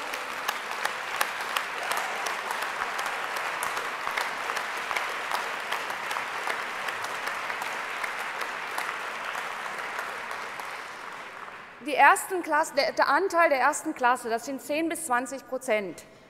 Das ist wirklich nicht viel. Es gibt wohl, und da kann ich die Säuernis und die Ärgernis wirklich verstehen, es gibt Züge, da sind vier Waggons, normal, zweite Klasse, und dann kommt ein ganzer Waggon, erste Klasse. Das ist natürlich nicht nötig und das ist ungeschickt. Und das ist auch, was wir fordern und was auch der Landesvorstand den Antragstellern noch mal angeboten hat. Wir müssen die bedarfsgerechte Einsetzung der, der Waggons machen. Wir brauchen mehr und erste und zweite Klasse muss natürlich im Verhältnis stehen.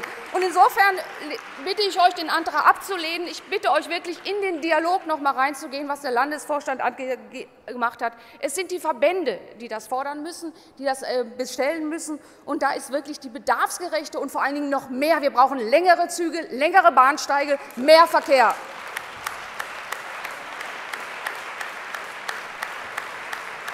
Vielen Dank.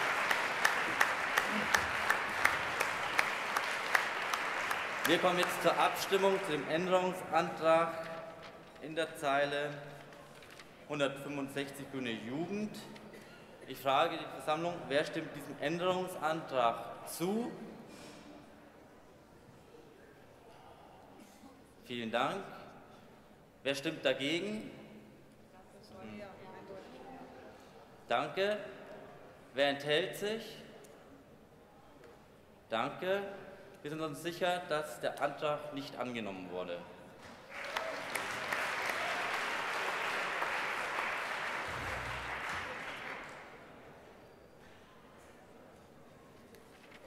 So, dann kommen wir jetzt zu dem nächsten Änderungsantrag. Und zwar, auch von, das ist in der Zeile 172, auch von der Grünen Jugend. Dieser Antrag ist im Zusammenhang zu sehen mit einem Antrag, der dahinter steht von Ralf Lottmann. Der Antrag der Grünen Jugend ist weitergehend. Insofern stimmen wir den jetzt auch gleich als erstes ab. Sollte dieser Antrag abgelehnt werden, stimmen wir dann über den nicht so weitgehenden Antrag von Ralf Lottmann ab. Soweit zu diesem Vorgehen. Wir haben jetzt eine Einbringung des Änderungsantrages von der Grünen Jugend. Das macht der Max Lux, wenn ich das jetzt hier richtig notiert habe. Die Gegenrede wird Arndt halten und dann machen wir eine kurze Debatte, zweimal pro, zweimal contra und da könnt ihr euch jetzt schon äh, eure Wortmeldezettel einwerfen. Max, du hast drei Minuten für die Antragseinbringung. Liebe Freundinnen und Freunde, im Leitantrag ist festgehalten, dass sich die Anzahl der Pkw-HalterInnen von 1994 bis 2011 der unter 30-Jährigen drastisch reduziert hat. Und gerade bei den jungen Menschen wird der ÖPNV immer attraktiver. Und ich glaube, wir sind uns zweifelsohne einig, dass das mit dem Studierendenticket zusammenhängt. Und deshalb machen wir euch einen Vorschlag, um auch diesen Effekt, dass Menschen den ÖPNV nutzen, dass sie das anpacken, dass sie von der Straße auf die Schiene kommen und deshalb wollen wir mit euch gemeinsam heute ein solidarisch finanziertes Pauschalticket beschließen, das NRW-weit gültig ist. Denn warum sollten wir denn nicht ein Konzept beschließen, das für alle Menschen ein Plus an Lebensqualität wäre, wenn man einfach den Nahverkehr ohne irgendwelche Komplikationen oder Hindernisse nutzen könnte? Das liegt doch auf der Hand.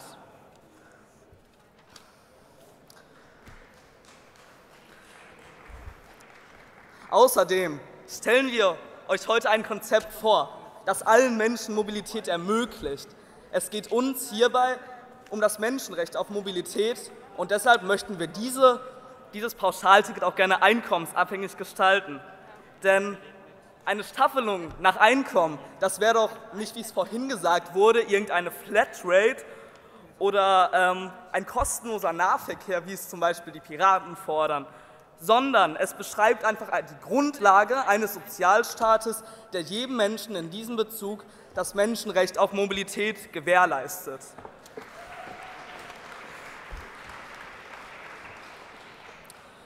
Hm, ich würde auch noch gerne daran anknüpfen, was Michael vom VCD gerade gesagt hat. Er sagte, wir brauchen Mut zur Veränderung für die Verkehrswende. Und ich glaube, hier ist es gefragt, dass wir einen sehr progressiven Schritt in Richtung Verkehrswende gehen, dass wir uns trauen, das jetzt zu beschließen, dass wir für einen solidarischen Nahverkehr kämpfen in ganz NRW. Und dazu ist ein Pauschalticket ein wichtiger Schritt. Also bitte nimmt diesen Änderungsantrag an. Dankeschön. Dankeschön, Max. Arndt, du hast drei Minuten für die Gegenrede.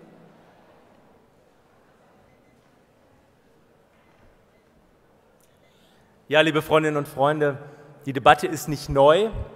Die hat die letzte Landtagsfraktion mal sehr intensiv geführt, mit vielen Gutachten auch, damals Horst Becker und Johannes Remmel. Und letztlich haben wir uns mit großer Mehrheit dafür entschieden, in Nordrhein-Westfalen ein Sozialticket einzuführen. Weil alle Studien und Gutachten belegt haben, dass pro Person monatlich Kosten von zwischen 60 und 70 Euro entstehen würden wo wir Leuten dann das Fahren im bestehenden System ermöglichen, aber noch kein Geld dafür haben, die dringend notwendigen Kapazitätsausweitungen überhaupt zu finanzieren. Und jetzt ist für einen Kölner, Aachener, wie auch immer, für 60 Euro freie Fahrt im Monat, wenn man in der Innenstadt wohnt und ein gutes ÖPNV-Angebot vor Ort hat, natürlich ein lukratives Angebot. Aber für alle im ländlichen Raum also meine Eltern, die im Kreis Herford wohnen, in Floto, wo sechsmal am Tag ein Bürgerbus fährt, für die ist natürlich, wären 60 Euro im Monat, das ist eine Familie mit drei Personen, 180 Euro, die sie im Monat abdrücken, exakt für nichts. Und es würde sich nur dann finanzieren, ein solches Bürgerticket, wenn ich es von jedem erwachsenen Bürger in Nordrhein-Westfalen, Bürgerinnen und Bürger, auch einsammeln würde. Und das ist mega ungerecht für all diejenigen, die in den ländlichen Räumen wohnen, wo es kein vernünftiges Angebot gibt und wo es auch absehbar kein adäquates Angebot gibt, was mit Großstädten vergleichbar ist. Wir haben in Nordrhein-Westfalen eine Reihe von guten Angeboten, natürlich mit dem Semesterticket an den Hochschulen, mit solchen Dingen wie dem Junior-Ticket, Bärenticket beim VHR. Wir haben es geschafft und das war eine große Kraftanstrengung das war, ist ein riesiger grüner Erfolg, weil es eben nicht auf dem Mist der SPD gewachsen ist, sondern das war unser grünes Anliegen in den Koalitionsverhandlungen, das Sozialticket einzuführen, wo wir jetzt mittlerweile zwar noch nicht landesweit, aber in vielen Kreisen und Kommunen für unter 30 Euro die Möglichkeit haben, für Leute, die im Hartz-IV-Bezug sind, die nicht genug Einkommen haben, die entsprechend in Ausbildung sind, dieses Sozialticket anzubieten. Und da weiterzudenken, diese Angebote aufrechtzuerhalten, ist ein großer Aufwand. Und das kostet uns entsprechend viel Geld. Aber jetzt darüber hinaus noch ein solches Bürgerticket anzubieten, wie das von der Grünen Jugend vorgeschlagen wird, das scheitert an der Realität der Verkehrsverhältnisse in Nordrhein-Westfalen. Wir hätten nicht genug Geld, die ganzen Kapazitäten, die entstehen würden, wenn die Leute auf einmal da stehen und sagen, jetzt will ich aber auch fahren für diese 60, 70 Euro, die ich da entsprechend investieren muss. Diese Kapazitäten sind nicht vorhanden. Wir sind mühsam dabei, neue Kapazitäten aufzubauen. Das wird einige Jahre dauern, aber ein solches Bürgerticket würde leider dazu nicht beitragen. Deswegen bitte ich euch, entsprechend diesen Antrag abzulehnen. Dankeschön, Arndt. So, wir haben jetzt die Redebeiträge gelost für Pro und Contra. Als erste wird für den Änderungsantrag reden Julia Wenzel, Grüne Jugend. Gegen den Änderungsantrag reden wird Christian Trützler, KV Bonn. Dann noch einmal für den Änderungsantrag Felix Lüttke vom KV Wesel und gegen den Änderungsantrag Gisela Nacken vom KV Aachen. So, Ja. Du kannst jetzt anfangen, Julia. Hallo, liebe Freundinnen und Freunde. Die meisten von euch kennen mich wahrscheinlich noch nicht. Ich heiße Julia Wenzel, bin im Moment AStA-Vorsitzende der Universität Duisburg-Essen. Wir haben in der letzten Woche ein Wahlergebnis von an die 40 Prozent geholt mit der Grünen Hochschulgruppe. Und das haben wir unter anderem auch dadurch eingebracht, dass wir uns konsequent für ein sozial gerechtes und ein zugängliches Semesterticket einsetzen. Nun geht es hier in dieser Debatte nicht ums Sozialticket, wie der Arndt gerade gesagt hat, sondern es geht darum, ein Mittel zu schaffen, eben wie an den Hochschulen, ein, ein gerecht zugängliches Ticket zu schaffen. Wir wollen den Nahverkehr stärken als Grüne. Wir wollen Anreize setzen, dass Pendlerinnen und Pendler mehr Bahn benutzen und das Auto stehen lassen. Diese Anreize können wir durch eine sichere Finanzierung schaffen. Wir wollen eben nicht eine Pauschalabgabe für jeden Bürger und jede Bürgerin, sondern eine einkommensabhängige Solidarabgabe, die diese Finanzierung sicherlich attraktiv macht. Darum bitte ich euch im Prinzip für ein solidarisches und gerechtes Ticket zu stimmen und dem Antrag zuzustimmen. Dankeschön. Die Kontrarede von Christian Trützler.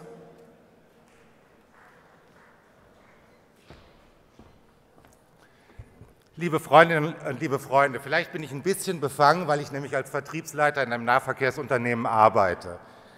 Äh, Insofern habe ich auch zwei Seiten. Es kommen immer neue Wünsche für irgendwelche Ticketanträge. Auf der anderen Seite soll es einfacher werden. Langsam ist das nicht mehr schaffbar. Prinzipiell muss klar sein, Nahverkehr kostet. Und wie Arndt auch schon sagt, ein Ausbau von Nahverkehr kostet eben noch viel mehr. Die andere Sache, warum soll ich jetzt bei meinem Einkommen 70, 80 Euro Flatrate zahlen, wenn ich für ein Formel-9-Ticket für Bonn weit weniger zahlen muss? Das muss mir auch mal jemand begründen. Das kann es doch nicht sein, dass man dann dadurch Leute davon abhält, ihr normales Ticket zu kaufen. Nahverkehr ist Allgemeingut auf der einen Seite, aber Nahverkehr ist auch eine Dienstleistung. Jeder will einen qualitativ guten Nahverkehr. Jeder will, dass die Anschlüsse stimmen. Das kostet einfach Geld. Und wir müssen einfach auch gucken, zum Beispiel als Nahverkehrsunternehmen, wie kriegen wir dieses Geld rein. Abhängig ist es davon dann natürlich, was die Politik auch bereit ist zu zahlen. Ich fand es hervorragend mit dem Sozialticket. Da haben wir die 30 Millionen zur Verfügung gestellt. Jetzt können wir Menschen mit wenig Geld Mobilität anbieten. Aber ich denke mal, eine Flatrate für alle hat wenig, wenig Sinn. A, glaube ich kaum, dass sehr, sehr viel mehr bei dem derzeitigen Angebot dann auf Bahn äh, umgehen, denn neben der Preisentscheidung ist nämlich noch eine andere da. Wie gut komme ich irgendwo hin, wie qualitativ ist es? Wir müssten da wirklich wahnsinnig viel Geld reinstecken. Und wer soll das bitte bezahlen? Die Kommunen sind fast alle am Ende, bis auf ganz wenige Ausnahmen. Äh, Das Land hat auch nicht mehr Finanzierungsspielraum. Deswegen bitte ich euch, hier den Änderungsantrag der Grünen Jugend abzulehnen. Vielen Dank. Dankeschön. Als nächster Felix Lüttke, KV Wesel mit der Pro-Rede. Ja, liebe Leute, ich würde gerne noch mal dafür reden, dass ihr diesem Antrag zustimmt. Anders als das jetzt bislang gesagt war, ist es ja so, dass bei dem Semesterticket, wie es bei den Studierenden gilt und was wir jetzt eigentlich als Modell anbieten wollen, was alle Leuten dann frei zugänglich ist, ist es ja nicht so, dass wir da eine Pauschalabgabe für jeden einfordern und jeder zahlt dann gleich viel Geld und hat dafür keine Leistung. Es ist so, was wir machen können, und es steht ja auch in dem Antrag, steht überhaupt noch gar nicht so konkret drin, wie das hier behauptet wurde. Wir können ja zum Beispiel eine einkommensabhängige Mobilitätsabgabe machen, dass wir bei dem gleichen Prinzip, was wir an anderen Stellen haben, starke Schultern können auch mehr tragen. Und Mobilität kann dadurch jedem zugänglich gemacht werden. Dass wir irgendwelchen Hartz-IV-Leuten jetzt 60 oder 70 Euro aus den Taschen ziehen wollen, steht nirgendwo. Wir wollen, dass Mobilität jedem zugänglich ist und wir glauben, dass das auch durch eine solidarische, starke Gemeinschaft bezahlt werden kann. Wir haben bei den Semestertickets in Nordrhein-Westfalen haben die Universitäten in Verhandlungen mit den äh, Verkehrsverbünden das explizit abgemacht, dass zum Beispiel Leute, die sich das nicht leisten können oder Leute, die halt ähm, schon durch andere Gründe vom ähm, Ticket befreit sind, können individuell verhandeln, dass sie von dieser Umlage befreit werden. Wenn wir als Universitäten, als Universitätsvertretungen das können, als ganz kleine Studierendenvertretungen, warum sollten wir das dann als Land mit den Verbänden nicht auch können? Wir können das schaffen, dass hier eine Mobilität für alle garantiert wird. Wir können das schaffen, dass wenn alle einen kleinen Beitrag dazu leisten, dass dann auch wirklich für alle ein freier Ticketzugang möglich ist. Ich glaube auch daran, dass wir, wenn wir diesen Anreiz schaffen, dass wir dadurch ja den Verkehrsverbünden eben eine sichere Finanzierung bieten, weil ein gewisses Geld immer, immer reinkommt. Und dadurch schaffen wir eben auch die Anreize, dass dann auch ländlicher Raum, dass auch kleinere Betriebe, kleinere kleinere Kommunen besser angebunden werden können. Wir schaffen Anreize dafür, dass der Nahverkehr für alle ausgebaut wird. Und deswegen würde ich euch bitten, stimmt diesem Antrag zu. Dankeschön. Die Kontrarede jetzt von Gisela Nacken, KV Aachen.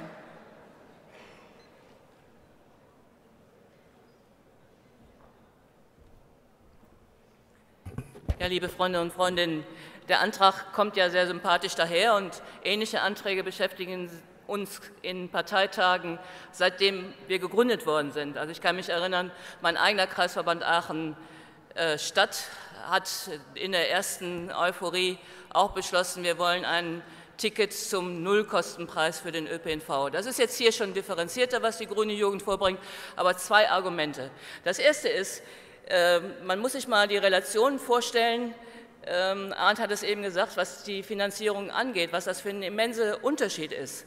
Semesterticket kostet einen Studierenden in der Stadt Aachen, ob jetzt FH oder TH, 10, 12 Euro im Monat.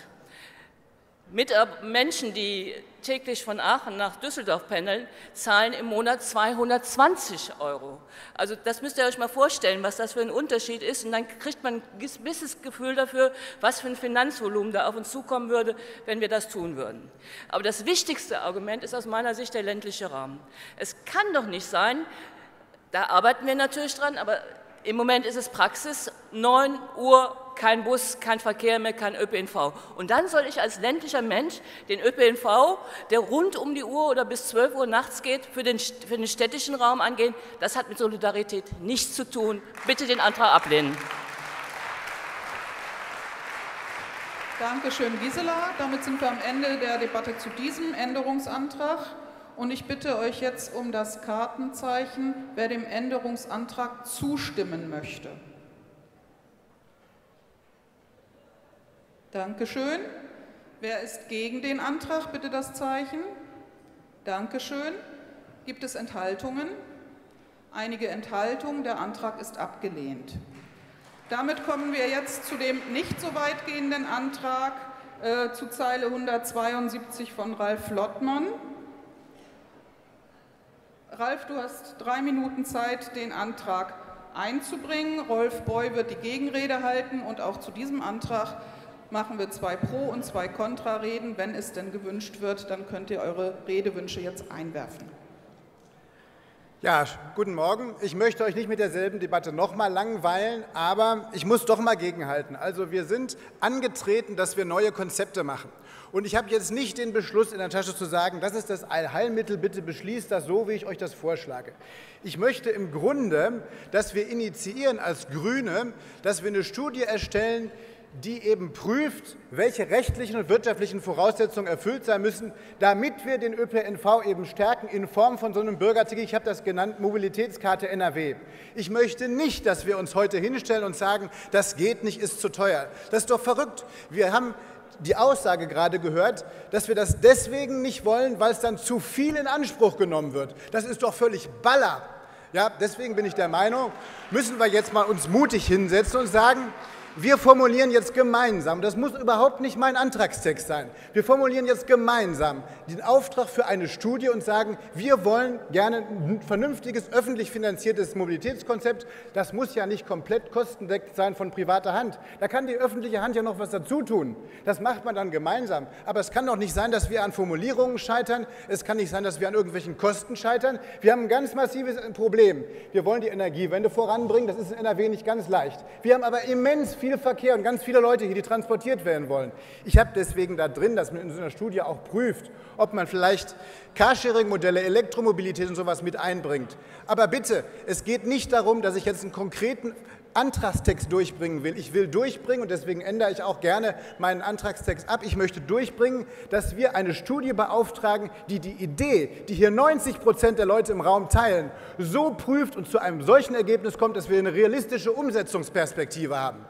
Das ist jetzt nicht, dass ich als Rede einen Beitrag vorbereitet hatte, aber ich stelle fest, dass wir im Grunde ziemlich nah beieinander sind von den Emotionen und von der Sache und dass wir auf der formalen Ebene scheitern. Das kann es nicht sein, erlebe ich bei grünen Zusammenhängen immer wieder und ich möchte dafür werben, deswegen mein Antrag, der ist zwar noch nicht lange bekannt, aber ich möchte, dass wir uns mutig hinstellen und sagen, wir machen jetzt eine Studie. In der Studie soll geprüft werden, welche Rahmenbedingungen müssen erfüllt sein, welche Auswirkungen hat das und mit dem Impetus, jawohl, das muss eine Lösung geben, die grünes Konzept ist. Ich möchte damit bewirken, dass wir ein tolles grünes Leuchtturmprojekt für uns hinkriegen, das wir später verwirklichen können. Und das lassen wir gründlich prüfen. Und da bitte ich dafür, dass ihr dem Antrag zustimmt, so eine Studie zu beauftragen. Ich danke ganz herzlich. Dankeschön, Ralf. Rolf Boy mit der Gegenrede.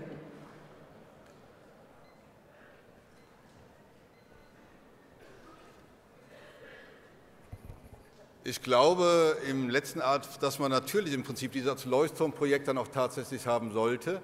Und man kann, glaube ich, auch perspektivisch durchaus auch Untersuchungen zu dem Thema machen. Die Untersuchungen sollten aber tatsächlich auch da stattfinden, wo sie tatsächlich in NRW vorgenommen werden müssen, nämlich bei den Aufgabenträgern. So viel zum Kurzen. Denn wir stehen ja hier letztendlich vor der Frage, und ich kann ja nur auf den Antrag eingehen, ein landesweites für jeden Bürger in NRW einheitliche Mobilitätskarte dass es hier kein einheitliches Land gibt, weil die Rahmenbedingungen ganz unterschiedlich sind, haben, glaube ich, beim vorigen Redebeitrag über den anderen Tagesordnungspunkt ja doch durchaus diverse Leute, glaube ich, erklärt. Der eine Teil des Landes leidet darunter, dass die Kapazitäten erschöpft sind, dass man gar nicht mehr Bahnen fahren lassen kann, dass man letztendlich die Infrastruktur braucht, dafür die Einnahmen auch tatsächlich generieren will, während im anderen Teil des Landes das Angebot so schlecht ist, dass man da überhaupt einfach nicht sagen kann, das muss dieselben Kosten einheitlich dann über das Land gedeckt werden. Unterschiedliche Rahmenbedingungen gibt es. Aber was beinhaltet der Antrag noch? Er heißt auch eine kostendeckende Gebühr. Die kostendeckende Gebühr würde bedeuten, dass die Leute, die mit öffentlichen Verkehrsmitteln fahren, mehr zahlen müssten, wirklich mehr zahlen müssten, weil heute ja noch nicht mal 50 Prozent der Kosten des öffentlichen Verkehrs über die Einnahmen äh, erzielt werden. Es ist so, dass 50 Prozent, über 50 Prozent teilweise steuerfinanziert sind. Das heißt, wenn ich einen Antrag stelle, kostendeckende Gebühr, dann verteure ich letztendlich das Angebot für alle Nutzer. Wir haben es mal bei einer Stadt durchgerechnet, eine Stadt mit 400.000 Einwohnern, eine Stadt im Prinzip, die zwischen dem Rheinland und dem Bergischen Land liegt, ohne sie nennen zu können oder nennen zu wollen. Da kam es zu dem Ergebnis, dass so eine Karte, selbst ohne Beteiligung von Carsharing, 30 Euro pro Monat für jeden Bürger vom Baby bis zur Großmutter betrachten würde. Und wenn man dann hingeht und sagt, es soll letztendlich dann nur für jeden sozialversicherungspflichtigen Arbeitnehmer sein, dann würde man auf einen Betrag kommen über 100 Euro. Da kann man doch eher sagen, versucht doch außer Semestertickets die Jobticketbedingungen, die sonstigen Bedingungen zu vereinheitlichen, zu vergünstigen. Es ist ein Preis, ist entscheidend auch für die Nutzung. Und das heißt, die Preise müssen runter. Vor allem muss die Struktur der äh, Preise und der Tickets vereinheitlicht werden. Es kann nicht sein, dass es diverseste Tickets an diversesten Grenzen gibt. Aber die Einnahmesituation kann nicht zulasten der Fahrgäste sein, dass man ihnen ein Ticket zwangsverordnet, was teurer ist als Semesterticket, das teurer ist als Jobticket und das unter Umständen sogar teurer ist als neue Umwelttickets. Vielen Dank. Danke, Rolf. Wir haben jetzt ein, einmal Pro und Contra gelost. Wir können jetzt keine zweite Runde losen, weil wir keine Frau haben, die für den Änderungsantrag sprechen möchte. Es spricht jetzt für den Änderungsantrag René Hesen und die Kontrarede von Sigrun Katscher. René Hesen, KV Viersen und Sigrun Katscher, KV Dortmund. Jetzt erst die Pro-Rede von René Hesen aus Viersen. Ja, ich bin auch froh, dass der Antrag modifiziert wurde in Richtung einer Studie. In einer Zeit, wo wir von Faktenchecks, von Studien umgeben sind, gilt es auch, grüne Ideen und grüne Konzepte, die potenziell möglich sind, zu erforschen und darüber zu gucken, was kostet es uns und was bringt es. Das Zweite, das Zweite, wo ich darauf hinausgehen möchte, wo gerade schon wieder die Kosten im Raum standen. Wir haben, glaube ich, heute Morgen ellenlang darüber diskutiert, wo Gelder in Infrastrukturausbau und Infrastruktursanierung fließen müssen. Und wir sollten uns eher die Frage stellen, ist es richtig, dass wir veraltete Mobilitätskonzepte wie Autobahn, innerstädtische Autobahn und so weiter und so fort fördern oder ob das Geld sinnvoller für eine breitere ähm, Empfängergruppe eben zur Verfügung stellen und das lieber dort einsetzen. Weil wenn man sich insbesondere auch auf kommunaler Ebene die Bauetats für Straßen und gleichzeitig die Abgaben etc. pp. für ÖPNV anguckt, merkt man einen großen, ein großes Defizit eben an dem Gespür für die Effizienz in der Mobilität. Danke.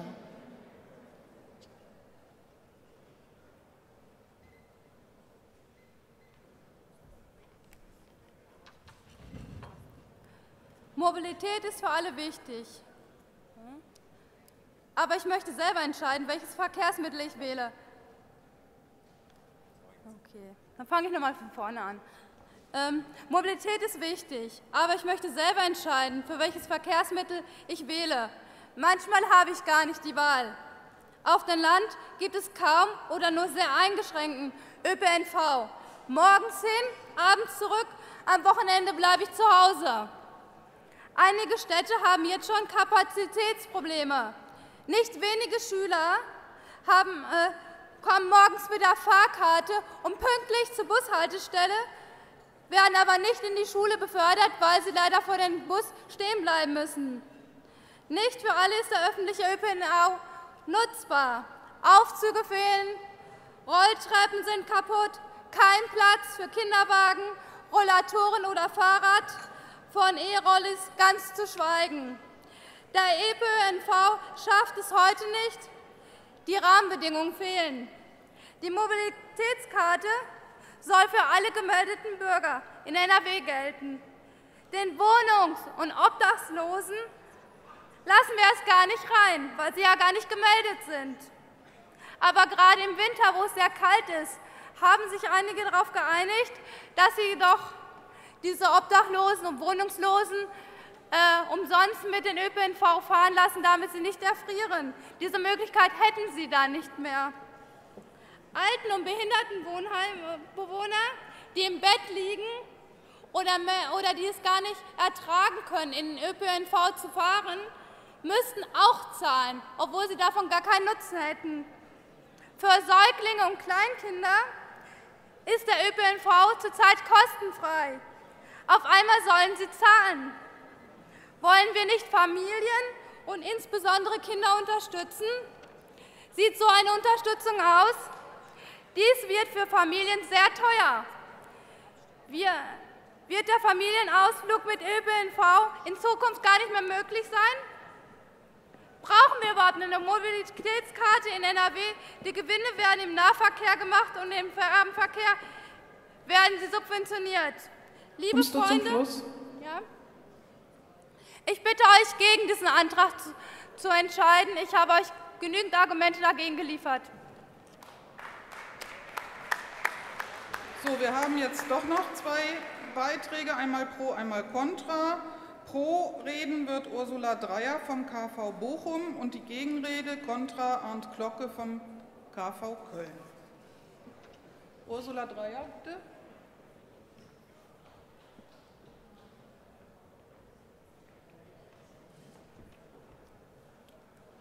Hallo, mein Name ist Ursula Dreier vom KV Bochum. Es gibt eigentlich nur einen Grund, dass ich jetzt für diese Studie rede. Die Studie soll ergebnisoffen sein. Das heißt, wir wollen eine Vision, erstmal, wir wollen eine Vision entwickeln. Das wollen wir als Grüne. Wir wollen nicht mit fertigen Lösungen da jetzt rangehen, sondern wir haben etwas, wie die grüne Jugend auch gesagt hat, eine Idee, wie es sein sollte, wie es wünschenswert ist. Ich habe jetzt ganz viele Gründe dagegen gehört. Erstens, die Kapazität ist auf dem Land noch nicht genug ausgebaut. Richtig. Es würde insgesamt zu teuer werden. Auch richtig. Aber eine Studie soll doch diese ganzen Dinge mitbedenken und gucken, kann es nicht eine Lösung geben? Sollten wir uns das total verbauen? Jetzt schon? Danke. Dankeschön. Arndt jetzt. Die Gegenrede.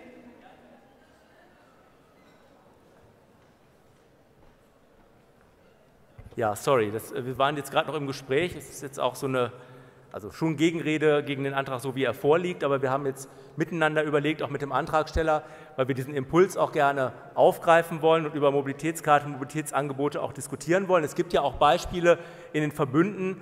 Die Rheinbahn in Düsseldorf hat eine solche Mobilitätskarte ja im letzten Herbst an den Start gebracht, also auch als Angebot sozusagen gleichzeitig mit dem Rheinbahnticket Carsharing zu nutzen, äh, Call a Bike zu nutzen, entsprechende Zugänge auch zu haben, dass wir eine Veranstaltung machen, Fachveranstaltung als Landtagsfraktion, dass wir uns die verschiedenen Gutachten auch nochmal äh, kommen lassen, dass wir das offen diskutieren. Auch Best-Practice-Beispiele. Es gibt ja in wenigen, aber einigen Städten Süddeutschland, der, äh, der Boris Palmer sitzt da gerade an einem Konzept. Es gibt auch ähm, bei verschiedenen Mobilitätsanbietern Überlegungen, dass man das mal alles zusammenführt in, eine, in, in einem Kongress, in einer Fachveranstaltung die Sachen auswertet. Und deswegen würde ich eher vorschlagen, dass man den Antrag jetzt nicht konträr abstimmt, sondern überweist äh, in die Landtagsfraktion, dass wir auch bei nächster Gelegenheit, wenn wir das gemacht haben, LPR oder LDK entsprechend berichten werden und dass wir das jetzt sozusagen nicht Ja oder Nein abstimmen, sondern dass wir das als Arbeitsauftrag mit in die Landtagsfraktion nehmen. Wenn das eure Zustimmung finden würde, dann müsste der Ralf jetzt auch was zu sagen. Ich habe das mit dem Rainer Priggen abgesprochen, ich habe das mit Rolf eben kurz geschlossen. Ähm, also das wäre sozusagen unser Angebot oder unser Vorschlag an euch. Okay, dann hat das ja jetzt noch eine Wendung genommen. Insofern ist der Antrag jetzt überwiesen worden an die Landtagsfraktion und an die LAG Verkehr, die das Weitere dann beraten sollen. Es ist jetzt dann keine Abstimmung mehr nötig und wir kommen damit zum nächsten Änderungsantrag. Den findet ihr auf Endseite 201 von Werner Ignatowitz und anderen. Äh, Werner wird die Einbringungsrede halten und Arndt wird dann die Gegenrede halten. Du hast drei Minuten. Ja, hallo liebe Freundinnen und Freunde. Mein Name ist Werner Ignatowitz. Ich komme aus dem KV Euskirchen. Ich bin gerne grünes Mitglied und außerdem seit Jahren aktiv beim Fahrgastverband ProBahn. Beschäftige mich da deswegen auch mit Verkehrspolitik und freue mich sehr, dass Mobilität hier bei dieser Landesdelegiertenkonferenz unser Thema ist. Ich möchte allen danken, die an dem großen Leitantrag mitgearbeitet haben. Ich finde ihn insgesamt gut. Ähm, ich bin nur äh, in dem Abschnitt, im Forderungsabschnitt für eine angemessene Nutzerfinanzierung bin ich über etwas gestolpert. Und zwar geht es da um die Ausweitung der Lkw-Maut auf Landstraßen und auf kleinere äh, Sprinterfahrzeuge. Das finde ich gut und richtig. In einem Nebensatz wird allerdings formuliert, ähm, die, eine Pkw-Maut wird also ausgeschlossen, weil sie nicht zielführend sei. Ich finde das nicht richtig, denn eine Pkw-Maut kann man durchaus kontrovers diskutieren. Wir haben äh, mit 13.000 Kilometern Autobahn das drittlängste Autobahnnetz der Welt in Deutschland und das komfortabelste dazu. Alle 30 Kilometer gibt es einen Rastplatz, habe ich gerade heute Morgen im Radio gehört. Ähm, man kann also das Für und Wider einer Pkw-Maut lange kontrovers diskutieren. Das will ich aber gar nicht. Ich möchte nur, dass wir uns in diesem ansonsten sehr guten Antrag nicht mit einem Nebensatz dazu äußern und mit einem Nebensatz, eine Pkw-Maut sei nicht zielführend, diese ausschließen und dass es nachher heißt, wenn es dann doch wieder diskutiert wird, die Grünen haben was versprochen, aber dann doch gebrochen, lasst uns diesen Passus äh, streichen und deswegen bitte ich euch, diesem Änderungsantrag zuzustimmen. Vielen Dank. Vielen Dank und jetzt hat Arndt Glocke das Wort.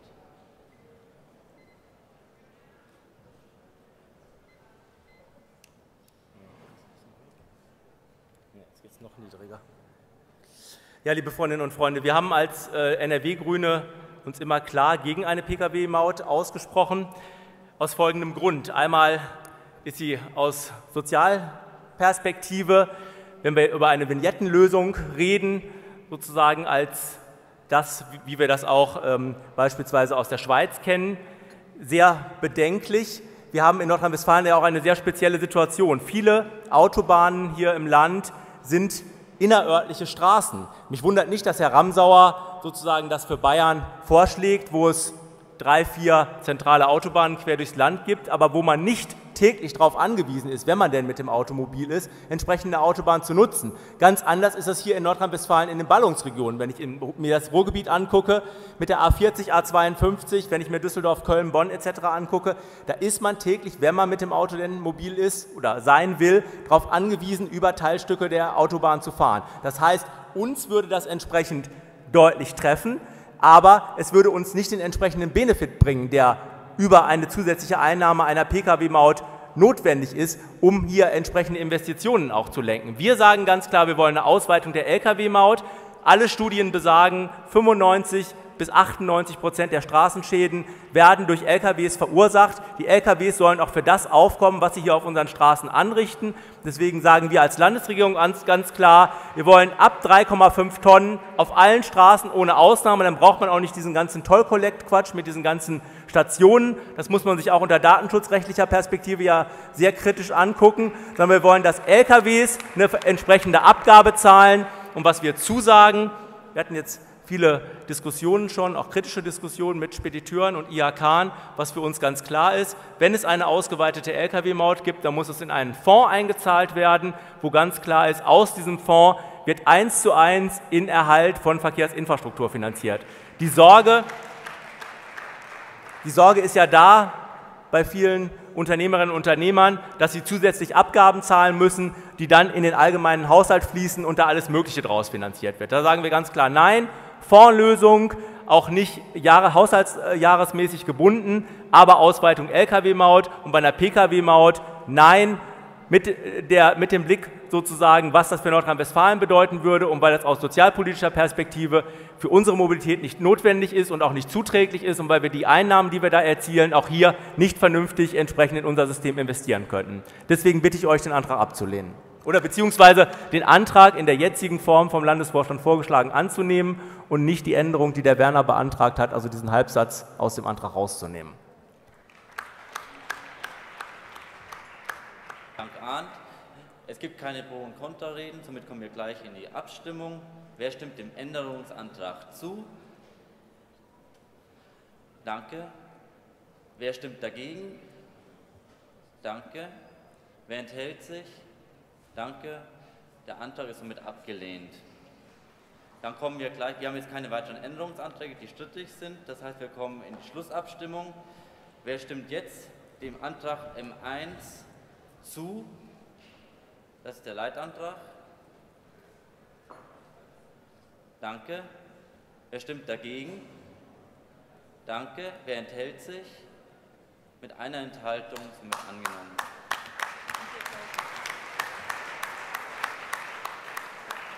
Hier im Präsidium gibt es jetzt einen Wechsel. Wir brauchen ein paar Minuten, dann sind wir gleich wieder da.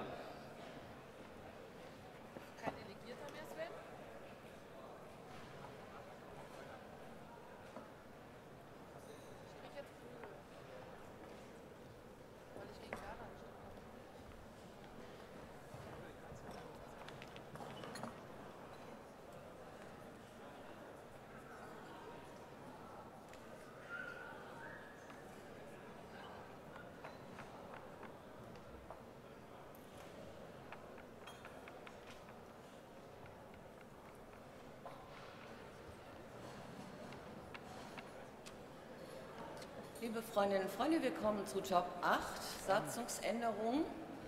Beginnen mit S1, Landesschiedsgericht, Neufassung des, der Landesschiedsgerichtsordnung, kurz zum Verfahren. Der Antrag wird eingebracht von Barbara Nagui. Dann hatten wir drei Änderungsanträge. Wir werden S1 66 und S1 146 äh, befassen und abstimmen.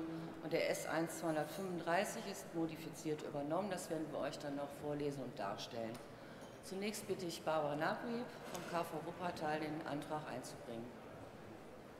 Hast sieben Minuten.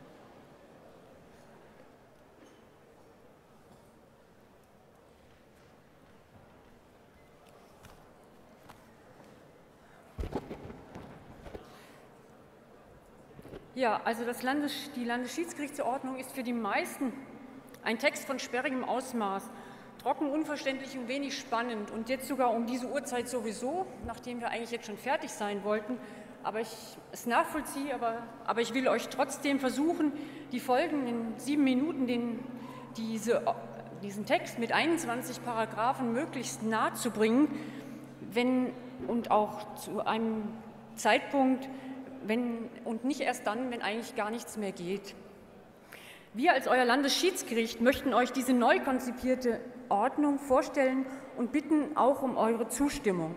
Im Vorfeld war es ein langer Prozess, bis wir diesen Text neu konzipiert haben und es hat ungefähr ein halbes Jahr gedauert, bis er in der jetzigen Form zusammengekommen ist. Diese neue Landesschiedsgerichtsordnung ist notwendig geworden, weil die bisher gültige Form im Ursprung aus dem Jahr 1994 stammt und letztmalig überarbeitet 2008 ganz schön in die Jahre gekommen ist und auch den heutigen Erfordernissen, wie sich unsere praktische Arbeit gezeigt hat, nicht mehr gewachsen war. Bei den Verhandlungen bzw. auch bei der Arbeitsaufteilung hat sich gezeigt, dass so manches nicht eindeutig geregelt war und diese Lücken sollten jetzt unbedingt geschlossen werden. Nach unseren Vorstellungen sollte diese neue Landesschiedsgerichteordnung vor allen Dingen transparent, übersichtlich und verständlich sein. Der Umfang und die Überschriften haben sich im Wesentlichen nicht geändert, aber ihr werdet, wenn ihr diese neue Landesschiedsgerichtsordnung durchblättert, schon mit der Struktur und der Anordnung der Paragraphen durch den Ablauf eines Verfahrens geführt. Was sich im Wesentlichen geändert hat und neu ist, sind die Regelungen zu den Mitgliedern des Landesschiedsgerichts.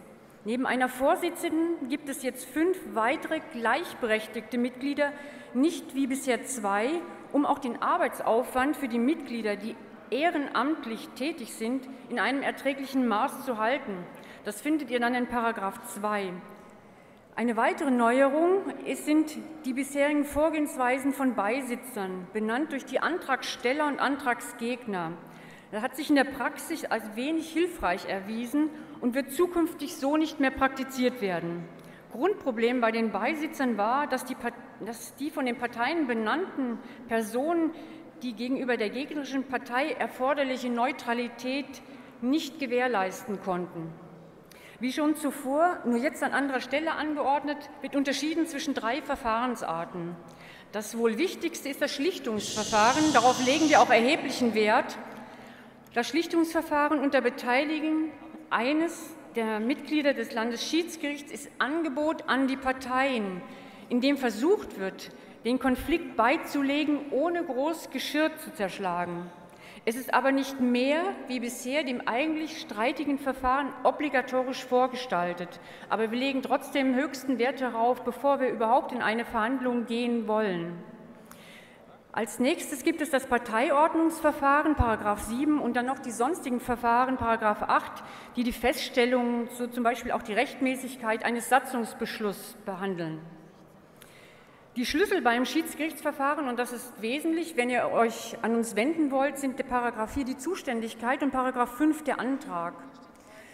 Paragraph 4 beschreibt explizit, für welche Angelegenheiten das Landesschiedsgericht grundsätzlich zuständig ist und wer sich an das Landesschiedsgericht wenden kann. Das Landesschiedsgericht ist zuständig für Streitigkeiten innerhalb des Landesverbandes NRW, die von Bedeutung sind für das Parteiinteresse. Also wir sind ein politisches Institution und durch die Parteiinteressen berührt werden. Sehr wichtig. Das Landesschiedsgericht ist erste Instanz, wenn es unterhalb der Landesebene in den Gebietsverbänden keine eigenen Schiedsgerichte gibt. Es kann aber auch zweite Instanz sein, wenn dies der Fall ist. Paragraph 5, also der schriftliche Antrag ist auch sehr entscheidend, muss zwingend schriftlich erfolgen, um dass wir überhaupt tätig werden und beschreibt explizit, welchen Personenkreis und die Parteiorgane, die einen gültigen Antrag stellen können. Der Antrag muss in Schriftform abgefasst sein, den Antragsteller, Antragsgegner benennen, eine Beschreibung des Sachverhalts beinhalten und entsprechende Beweismittel aufführen und vor allen Dingen auch gültige Adressen und Kontaktdaten müssen vorhanden sein. Ich gehe hier nicht auf alle Paragraphen ein, das wäre zu lang und auch mit den sieben Minuten nicht machbar. Und ich richte mein Augenmerk auf zentrale Bereiche wie das Parteiordnungsverfahren, das in Folge einen Parteiausschluss verhängen kann. Die Gründe für einen Parteiausschluss sind können wir nicht bestimmen und sind im Wortlaut aus dem Parteiengesetz Paragraph 10 übernommen worden. Die sonstigen Verfahren in Paragraph 8 ist dann wichtig. Hierbei ist das Landesschiedsgericht ist in einem Verfahren nur für uns ist nur das wichtig und Entscheidungsgrundlage, was durch die Beteiligten in dem Verfahren, nicht was schriftlich vorher mitgeteilt wurde, in dem Verfahren mündlich vorgetragen wird und die jeweiligen Formulierungen auch der Anträge. Deshalb sollten die Antragsteller und Antragsgegner, wenn es dazu kommen sollte, besonderes Augenmerk auf diesen Teil der Vorbereitung legen. Die Verhandlungen sind parteiöffentlich und werden auch protokolliert. Die Beratung des Landesschiedsgerichts über das jeweilige äh, Verfahrensausgang ist natürlich nicht öffentlich. Im Weiteren findet ihr eine Beschreibung des Verhandlungsablaufes, Paragraph 11 und 12, die Möglichkeit, Mitglieder des Landesschiedsgerichts wegen Befangenheit abzulehnen und über Mitwirkungspflichten der Verfahrensbeteiligten und der Zeuginnen sowie die Möglichkeit eines Alleinentscheides auch durch unsere Vorsitzende. In besonderen Fällen wenn man ein reguläres Verfahren nicht abwarten kann, kann das Landesschiedsgericht auf Antrag eine einstweilige Ordnung erlassen, Anordnung erlassen. Diese Entscheidung kann auch durch ein einzelnes Mitglied des Landesschiedsgerichts getroffen werden. Es besteht das Rechtsmittel der Beschwerde, aber ohne dass das dann aufschiebende Wirkung bedeutet. Sachentscheidungen des Landesschiedsgerichts können durch das Bundesschiedsgericht überprüft werden. Gegen diese Beschlüsse hingegen sind keine Rechtsmittel möglich.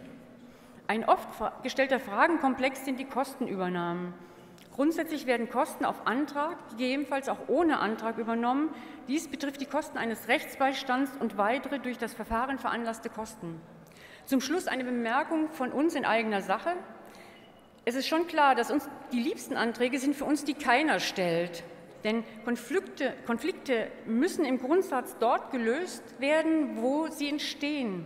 Wir entscheiden nur nach den Möglichkeiten der Landesschiedsgerichtsordnung, nicht mehr und nicht weniger.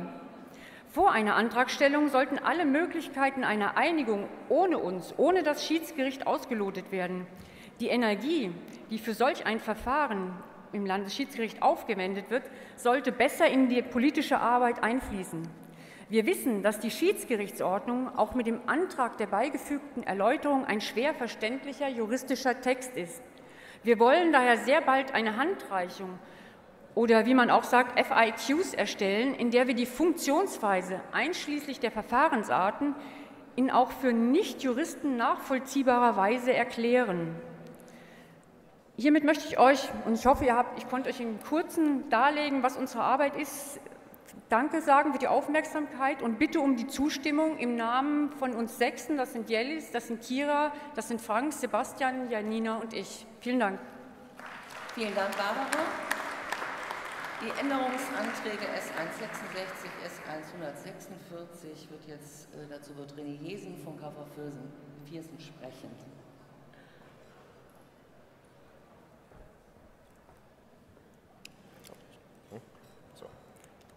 Ja, Fersen wird öfters mal gesagt, heißt aber wirklich Viersen. Und zwar, wir haben aus eigener Erfahrung und jetzt, die Überrasch und jetzt dem überraschenden Aufkommen diesen neuen Vorschlages zur Landesschiedsgerichtsordnung uns Gedanken gemacht, hätten es wahrscheinlich sonst unter Formalie abgepackt. Und uns ist aus dem praktischen Betrieb sind uns zwei Sachen aufgefallen. Und zwar, die Landesschiedsgerichtsordnung weist Unsicherheiten für die Basis auf. Und daher sind auch von unserer Basis Anträge gekommen, zwei Stück. Und der erste, der ist 166, der behandelt eben die sogenannten Ausschlussfristen. Das heißt, man kann nicht unbegrenzt nach allem klagen. Wir brauchen Sicherheit für die Kreisvorstände, für die Ortsvorstände. Und da sagen wir ganz eindeutig, wer vier Wochen nach einer Veranstaltung kein Misstrauen bzw. keinen Antrag gegen diese Veranstaltung gestellt hat, sollte dann auch Ruhe sein, da sollte dann Rechtsfrieden herrschen, damit diese Leute ganz einfach normal arbeiten können. Natürlich, Die Praxis hat gezeigt, unter anderem bei uns im Kreisverband, dass teils nach einem halben Jahr Leute, weil in der Zwischenzeit irgendwas nicht passt, irgendeine fadenscheinige Formulierung hervorheben bzw. rauspicken, um den Vorstand und die Arbeit des Kreisverbandes lahmzulegen de facto. Wir aus dem Kreisverband Viersen wissen, was es heißt, ein Vierteljahr sich nur auf ein Schiedsgerichtsverfahren konzentrieren zu müssen. Wir wollen inhaltlich arbeiten und deshalb wollen wir einen Rechtsfrieden haben, wo ein Vorstand arbeiten kann.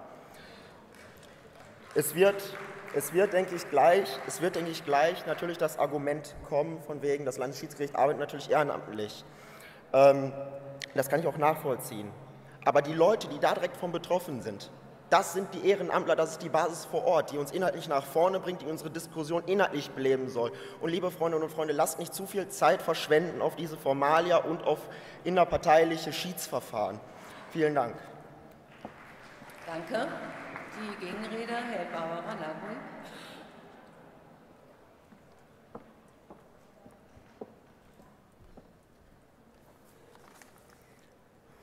Also der René hat sich ja jetzt auf den, auf den Antrag von Andreas Sonntag bezogen. Das nehme ich jetzt so an. Ja, das war der? Nein? Von Monika Schütz-Madrid? Okay. Ähm, grundsätzlich gibt es dazu zu sagen, dass ähm, Fristen, wie sie hier ähm, gewünscht werden, also grundsätzlich erstmal vorweggeschoben, diese Anträge, die jetzt kommen, die sich über Fristen befassen, müssen abgelehnt werden. Und das werde ich dann im Folgenden erläutern. Ein Antrag haben wir modifiziert übernommen. Wir sind gegen diese Fristenregelungen, weil sie zwar formell Rechtssicherheit darstellen mögen, wie René es wohl auch gesagt hat, aber sie im Zweifel auf Kosten der, wie es im Juristendeutsch heißt, der materiellen Gerechtigkeit geht. Sprich, die basisdemokratischen Rechte werden eingeschränkt. Diese Fristen überhaupt von vier Wochen kennt man im äh, Rechtsgebilden eigentlich nur im Verwaltungsrecht und im Aktienrecht. Und da finde ich es auch sinnvoll, im, in diesem Geschäftsbereich mit diesen Fristen zu arbeiten. Aber ein Schiedsgericht, wie wir es sind, ist keine hochprofessionelle Aktiengesellschaft, sondern eben eine schlichte Untergruppierung eines Vereins und zugeordnet dem Vereinsrecht. Und hier gibt es keine gesetzlichen Fristen, sondern wir sind dem Satzungsrecht, äh, Satzungsrecht gebunden. Und jetzt stellen wir uns mal vor, so ein ganzer Klassiker, der dann so im, vom Verfahren vorkommt, ist, äh, wir sind Mitglied es findet ein MV statt, wir sind Mitglied und sind nicht eingela anständig eingeladen worden. Wie immer auch das sein mag, ob Schusseligkeit oder andere Gründe der Geschäftsführung, aber wir sind nicht eingeladen. Dann kommt es im Zweifel auch dann bekommt man im Zweifel also nicht mit, was so in, in, so einer Versammlung beschlossen wurde. Und dann soll noch nach einem Monat für mich selbst oder für euch, die ihr in der Lage sein könnt, einfach finito sein. Ihr könnt also absolut nichts mehr dagegen unternehmen und habt auch keine Rechtsmittel und könnt euch auch schließlich nicht an uns wenden. Unabhängig davon, wann überhaupt man das auch erfährt. Es stellt euch also, stellt euch vor, ihr wärt das und ihr habt keine Möglichkeit, ihr werdet einfach ausgeschlossen. Und es ist ja auch so, dass diese Mitgliederversammlungen nicht öffentlich ausgeschrieben werden müssen. Also man hat keine andere Möglichkeit, als über eine Einladung zu erfahren. Es gibt keinen Bundesanzeiger oder irgendwas anderes, wo man es erfahren könnte. Ein letztes Argument, ich weiß, es klingelt schon wieder. Ähm, Ein letztes Argument wäre dann, ähm, ganz entscheidend ist dann für uns auch dieses Landesschiedsgericht, wie wir es sind. Wir sind politisch. Und der Gang zum Landesschiedsgericht sollte nur gewählt werden, wenn also politisch nichts mehr klappt, um es mal ganz salopp auszudrücken. Und Politik ist eben etwas, was Zeit braucht. Zeit auch für Aufregung und für Abregung, für Diskussionen, für Dazulernen und auch eben aus diesem kriselnden Miteinander neue, bessere Beschlüsse zu fassen. Und mit solch einer Monatsfrist verbaut man all diese Möglichkeiten unnötigerweise. Und diese Frist wirkt praktisch wie ein Maulkorb. Und man möchte hier auf Kosten von basisdemokratischen Werten eine Frist durchdrücken. Das können wir alle nicht unbedingt wollen. Also ich bitte euch, diesen Antrag abzulehnen. Danke, Barbara. Gut, dann möchte ich jetzt über den 166 abstimmen und bitte um euer Kartenzeichen. Wer dem Änderungsantrag zustimmt, bitte ich, bitte? Ja, Zweidrittelmehrheit, bitte ich die ums Kartenzeichen. Wer ist dagegen? Wer enthält sich? Damit ist der Antrag deutlich abgelehnt. Wir kommen zum Änderungsantrag S146. Wer dem Änderungsantrag zustimmt, den bitte ich um das Kartenzeichen. Wer ist dagegen? Enthaltungen? Mehrheitlich abgelehnt.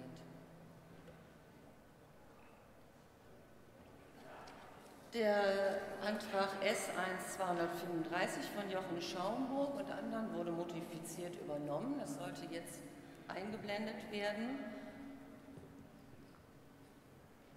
Und zwar sollte wie folgt ergänzt werden. Erste Zeile 236 vor das Wort ergänzen wird die Ordnungsziffer 1 eingefügt und nach Zeile 239 ist, genau, nach Zeile 239 folgender Absatz eingefügt. Zwei Entscheidungen des Landesschiedsgerichts von grundsätzlicher Bedeutung sind in anonymisierter Form den Mitgliedern und von Bündnis 90 Die Grünen zugänglich zu machen, sofern berechtigte Interessen der am Verfahren Beteiligten nicht entgegenstehen. Einzelheiten der Veröffentlichung regelt die Geschäftsordnung. Gut, dann kommen wir zur Abstimmung über S1 mit dieser modifizierten Übernahme. Wer dem zustimmt, den bitte ich um das Kartenzeichen. Danke. Gegenstimmen? Keine Enthaltungen? Bei wenigen Enthaltungen so angenommen.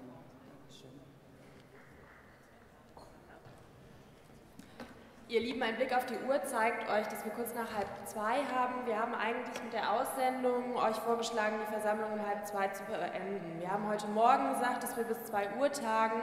Ihr seht, wir sind noch mitten in der äh, Beratung der Satzungsänderungsanträge und haben im Anschluss darauf noch V-Anträge. Wir möchten euch von hier vorne keinen Vorschlag machen, wie wir dazu verfahren. Ich würde jetzt aber abstimmen lassen, ob wir die Versammlung ähm, gegen 14 Uhr nach der Beratung, abschließenden Beratung des TOPs, der dann gerade beraten wird, schließen oder ob wir über die V-Anträge beraten sollen heute hier. Ich würde jetzt abstimmen lassen, wer dafür ist, die Versammlung um 14 Uhr zu beenden. Also die V-Anträge würden dann, Entschuldigung, das erläutere ich vielleicht noch mal kurz, die V-Anträge würden dann auf den nächsten Landesparteirat überwiesen und dort behandelt. Das wäre das Verfahren das dann üblich wäre. Okay, wer wäre dafür, um die Versammlung um 14 Uhr zu beenden? Dann bitte ich jetzt um das Kartenzeichen. Danke. Gegenstimmen? Danke. Enthaltung? Danke. Leider ist es wieder so, dass wir von hier oben nicht so einsehen können, was die Mehrheit hat. Ich würde euch bitten, einmal aufzustehen. Also wer dafür ist, um 14 Uhr zu beenden, steht jetzt einmal auf.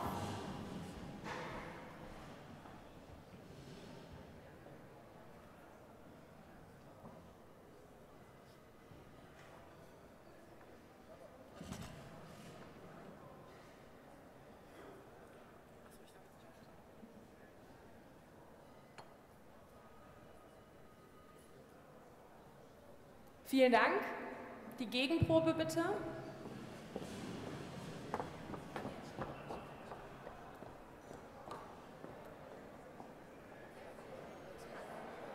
Vielen Dank. Der Ordnung halber einmal noch die Enthaltung, die können aber sitzen bleiben, das waren nicht so viele. Danke. Damit werden wir weiter beraten heute. Die V-Einträge werden beraten. Okay, dann kommen wir nun zu S2. Änderungen von Paragraph 8 Absatz 8 der Finanzordnung wird von Sven Lehmann eingebracht. Entschuldigung. Monika Düker, fünf Minuten, Dankeschön.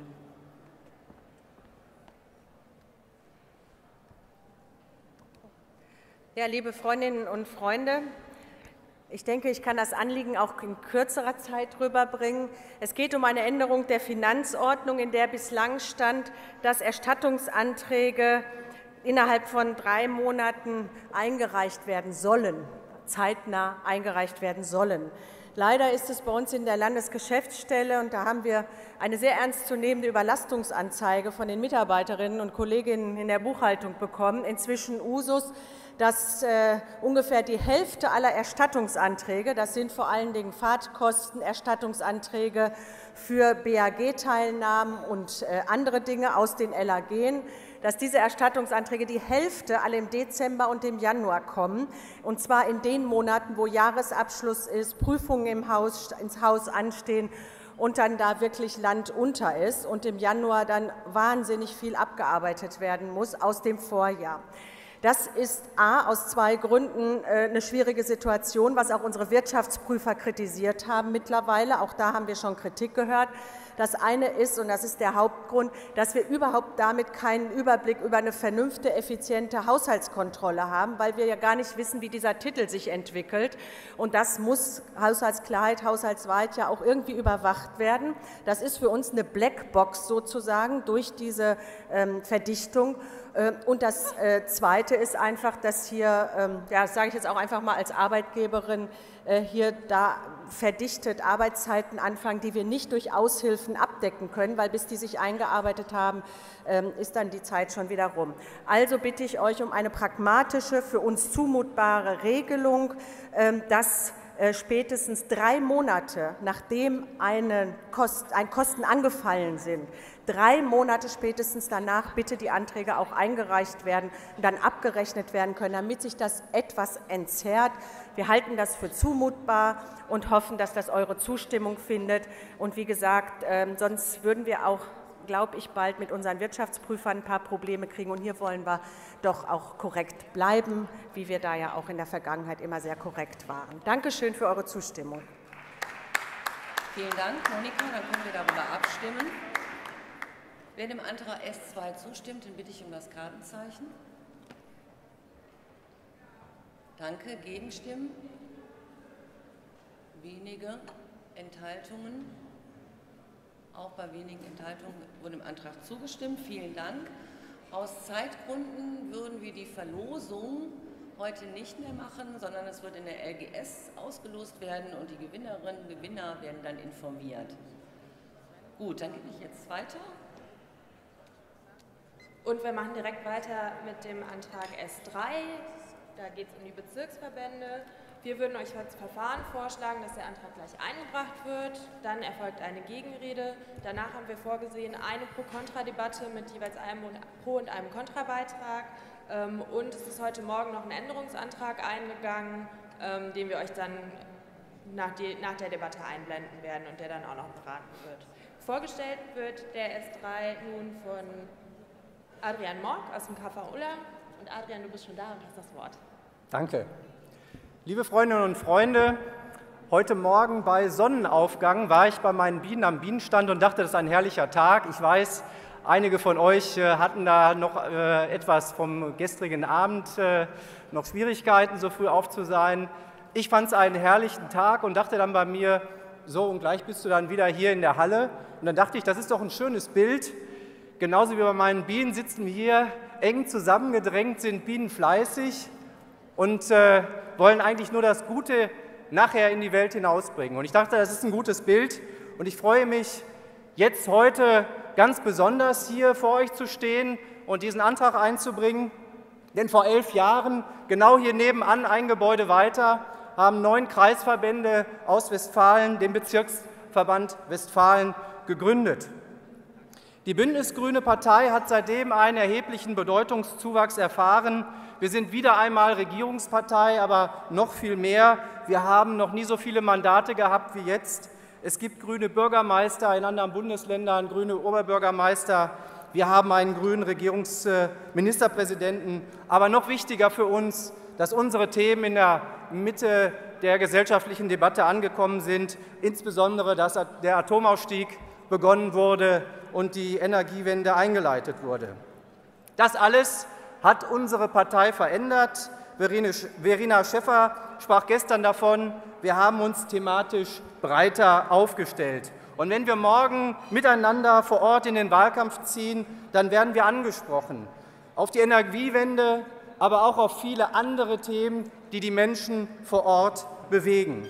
Und das ist dann ganz im Sinne des alten Leitmotivs der grünen Basis, global denken, aber lokal handeln. Wir Kommunalas und Kommunalos machen das jeden Tag.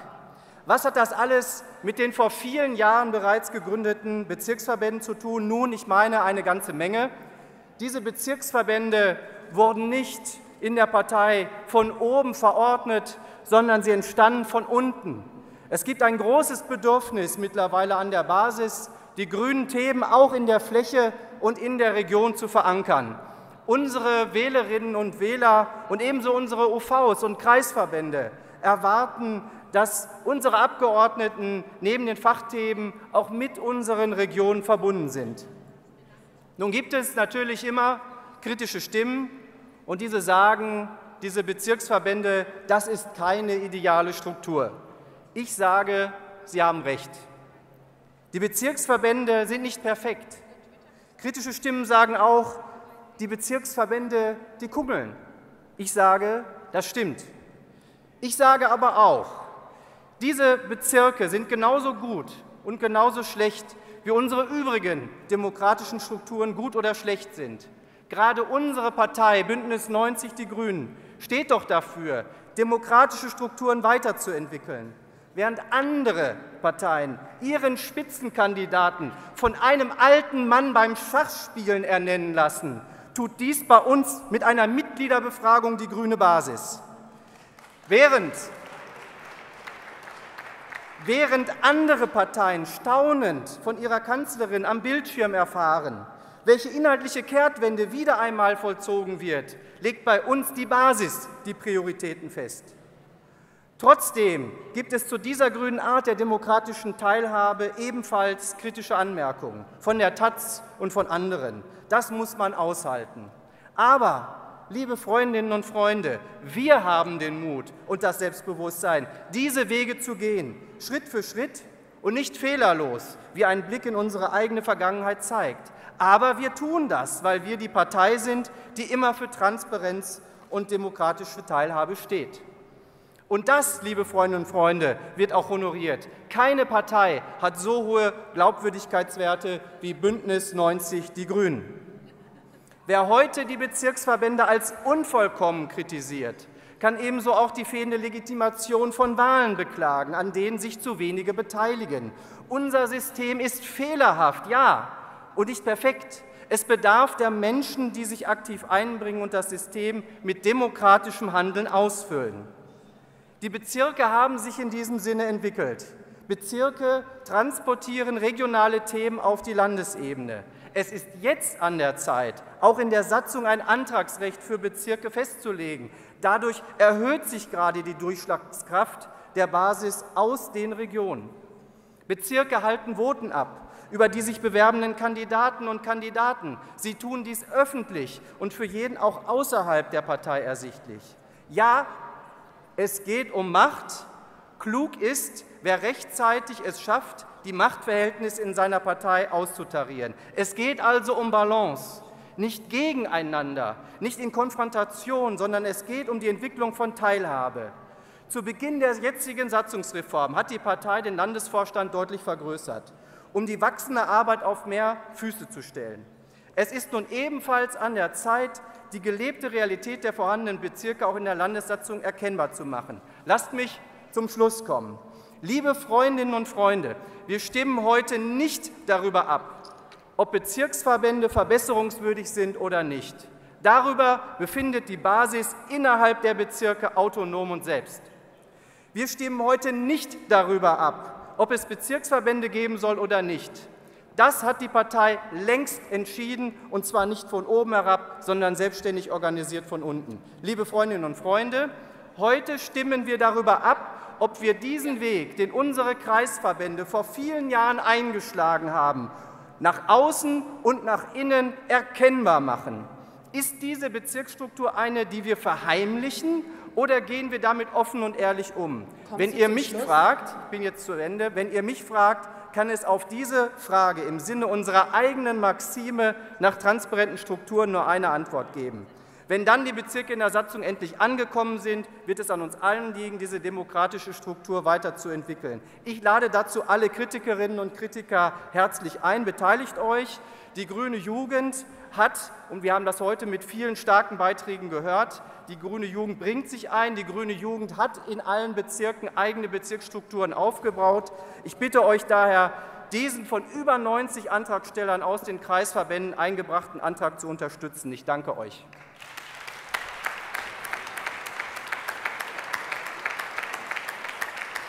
Gegenrede kommt von Moritz Jungeblut aus dem Rhein-Erft-Kreis. Ähm, ich möchte noch mal darauf hinweisen, dass für die Debatte noch keine ähm, Frauen sich eingeworfen haben oder ihre Redebeiträge. Deshalb würde ich euch ermuntern und ermutigen, das doch noch zu tun. Liebe Freundinnen und Freunde, ich hoffe, ihr seid noch wach. Es ist eine lange Veranstaltung und es ist schade, dass dieser wichtige Tagesordnungspunkt erst so spät kommt. Aber dieser Satzungsänderungsantrag geht an den Kern unseres Selbstverständnisses.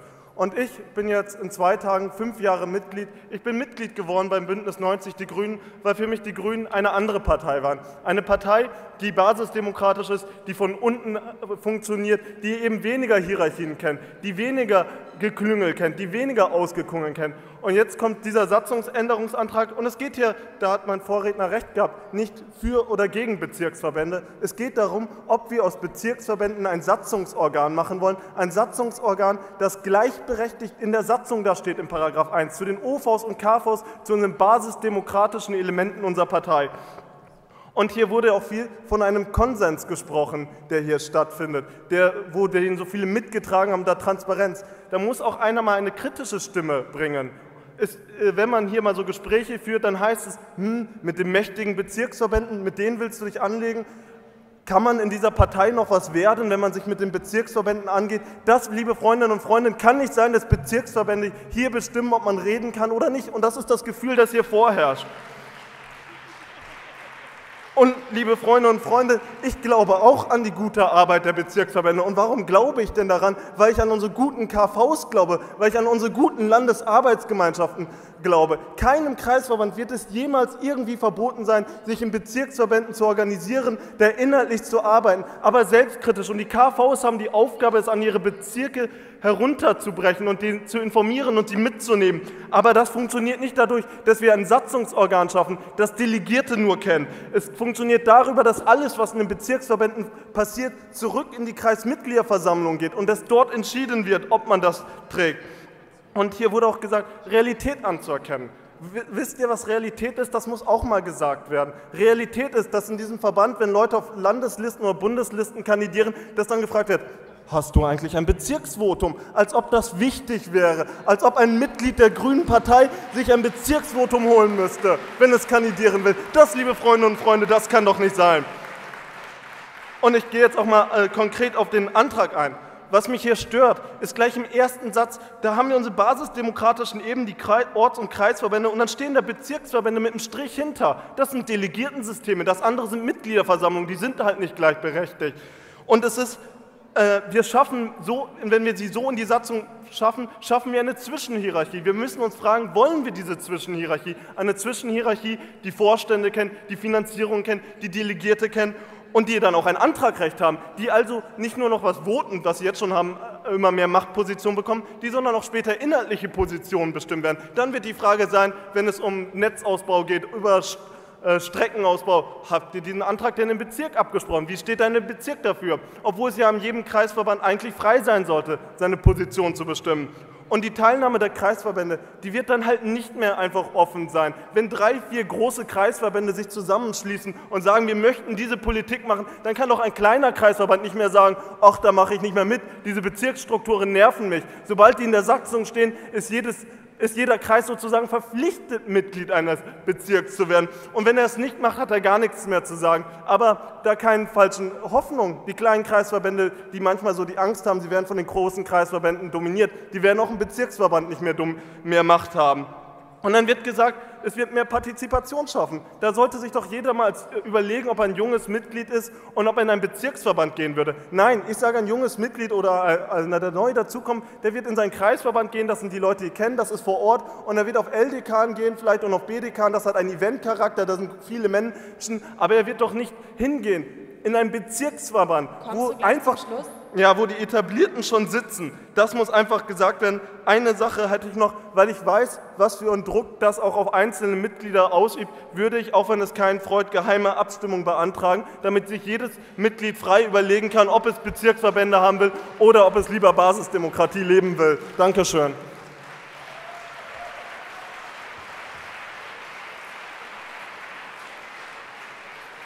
Vielen Dank, Moritz. War das am Ende war ein Geschäftsordnungsantrag auf geheime Abstimmung. Das habe ich richtig verstanden. Dann würden wir den jetzt laut Verfahren als erstes abstimmen lassen.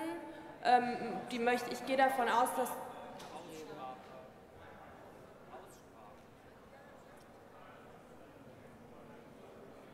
Ich gehe davon aus, dass du dadurch, dass du gerade geredet hast, den, Änderungsantrag, äh, den Satzungsänderung, äh, Satzungs, einen Moment, Geschäftsordnungsantrag, das tut mir leid, schon eingebracht hast.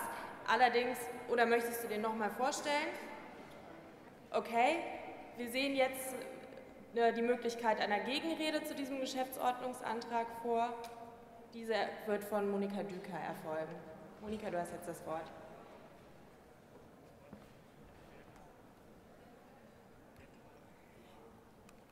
Ja, liebe Freundinnen und Freunde, es ist ein Antrag gestellt worden, ein Geschäftsordnungsantrag auf eine geheime Abstimmung.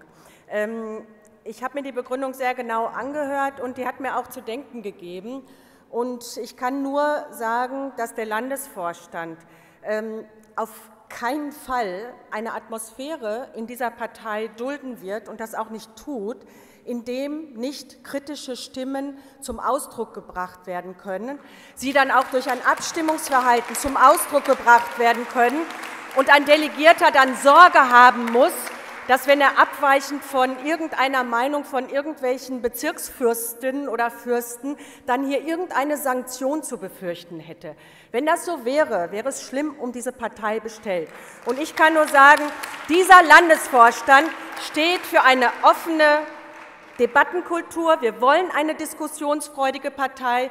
Kritik ist nicht nur zulässig, sie ist erwünscht. Lasst uns diese Debatten offen führen und niemand wird hier sanktioniert, der irgendwie eine wem auch immer abweichende Meinung vertritt. Und das bitte ich euch, den Geschäftsordnungsantrag abzulehnen.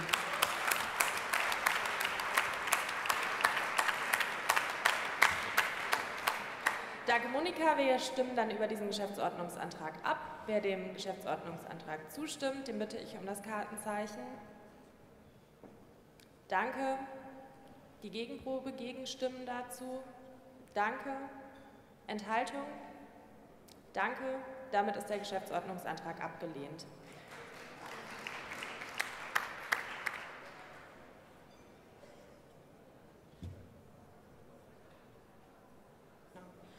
Ähm, mir ist gerade mitgeteilt worden, dass wir für die Debatte, die wir vorgesehen haben, keine weiblichen Sprecherinnen im Moment vorliegen haben. Das bedeutet, ich würde die Versammlung fragen oder die Frauen in der Versammlung fragen, ob ihr zustimmt, wenn wir, da wir zwei Männer haben, die sich eingeworfen haben, diese zwei Beiträge zulassen.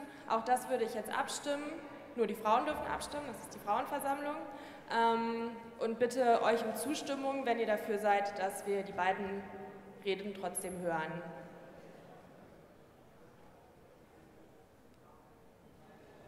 Ich habe den Mann gesehen, der aufgezeigt hat. Das geht so nicht. Ähm Danke, ich bitte jetzt um, ähm, um die Nein-Stimmen. Okay, Enthaltung? Prima, vielen Dank. Damit können wir die beiden Reden noch hören und ich bitte jetzt darum, mir die beiden Redner zu nennen.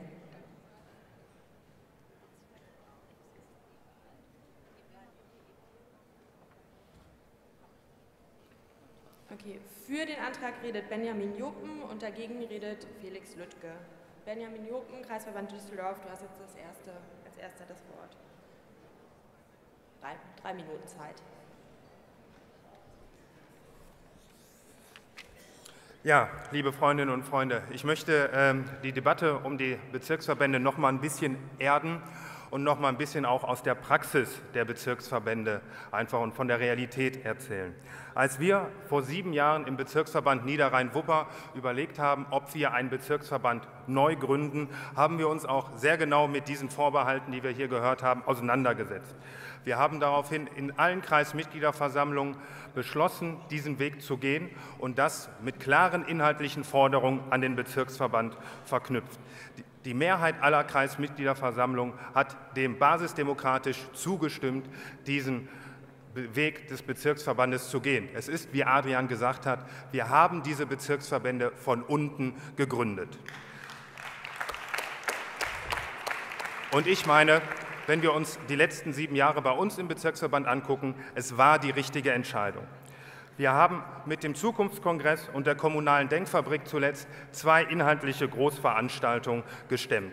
Wir haben über die Betüve-Linie, den Eisernen Rhein, Auskiesung, erneuerbare Energien gesprochen. Als Britta Hasselmann letztes Jahr bei uns zu Gast war, hallo Britta, haben wir über die Kommunalfinanzen debattiert mit 80 Aktiven aus den kommunalen Ratsfraktionen aus den Kreisverbänden. So ein volles Haus hatten wir noch nie.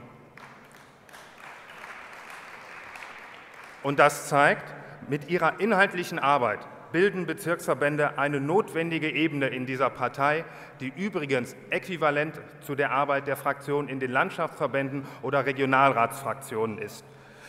Auch wir haben mit dem Landesverband zum Beispiel eine Ebene, eine Parteiebene, die äh, äquivalent zur Landtagsfraktion ist. Und so bilden eben Bezirksverbände das Äquivalent zu diesen.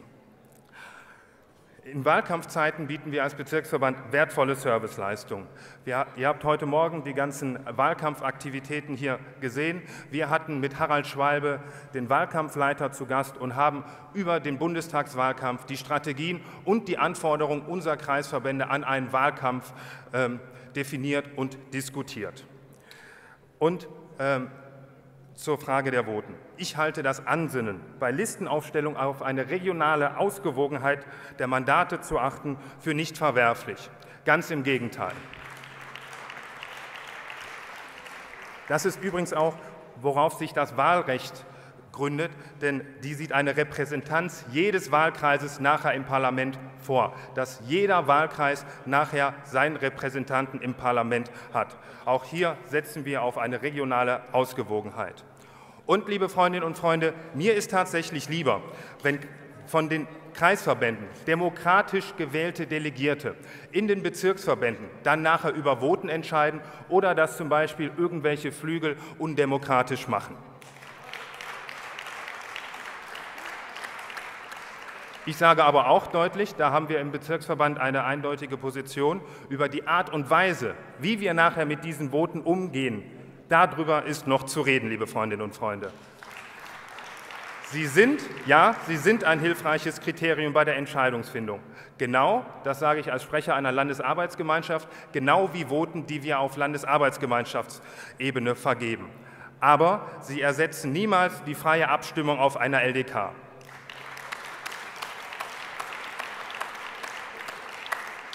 Und deshalb, liebe Freundinnen und Freunde, mit der Abstimmung heute über diesen Satzungsänderungsantrag stehen wir deshalb vor der Entscheidung, ob wir die inhaltliche Arbeit der Bezirksverbände weiter stärken, zum Beispiel durch ein Antragsrecht auf LDK. Ich meine, ja, das sollten wir tun.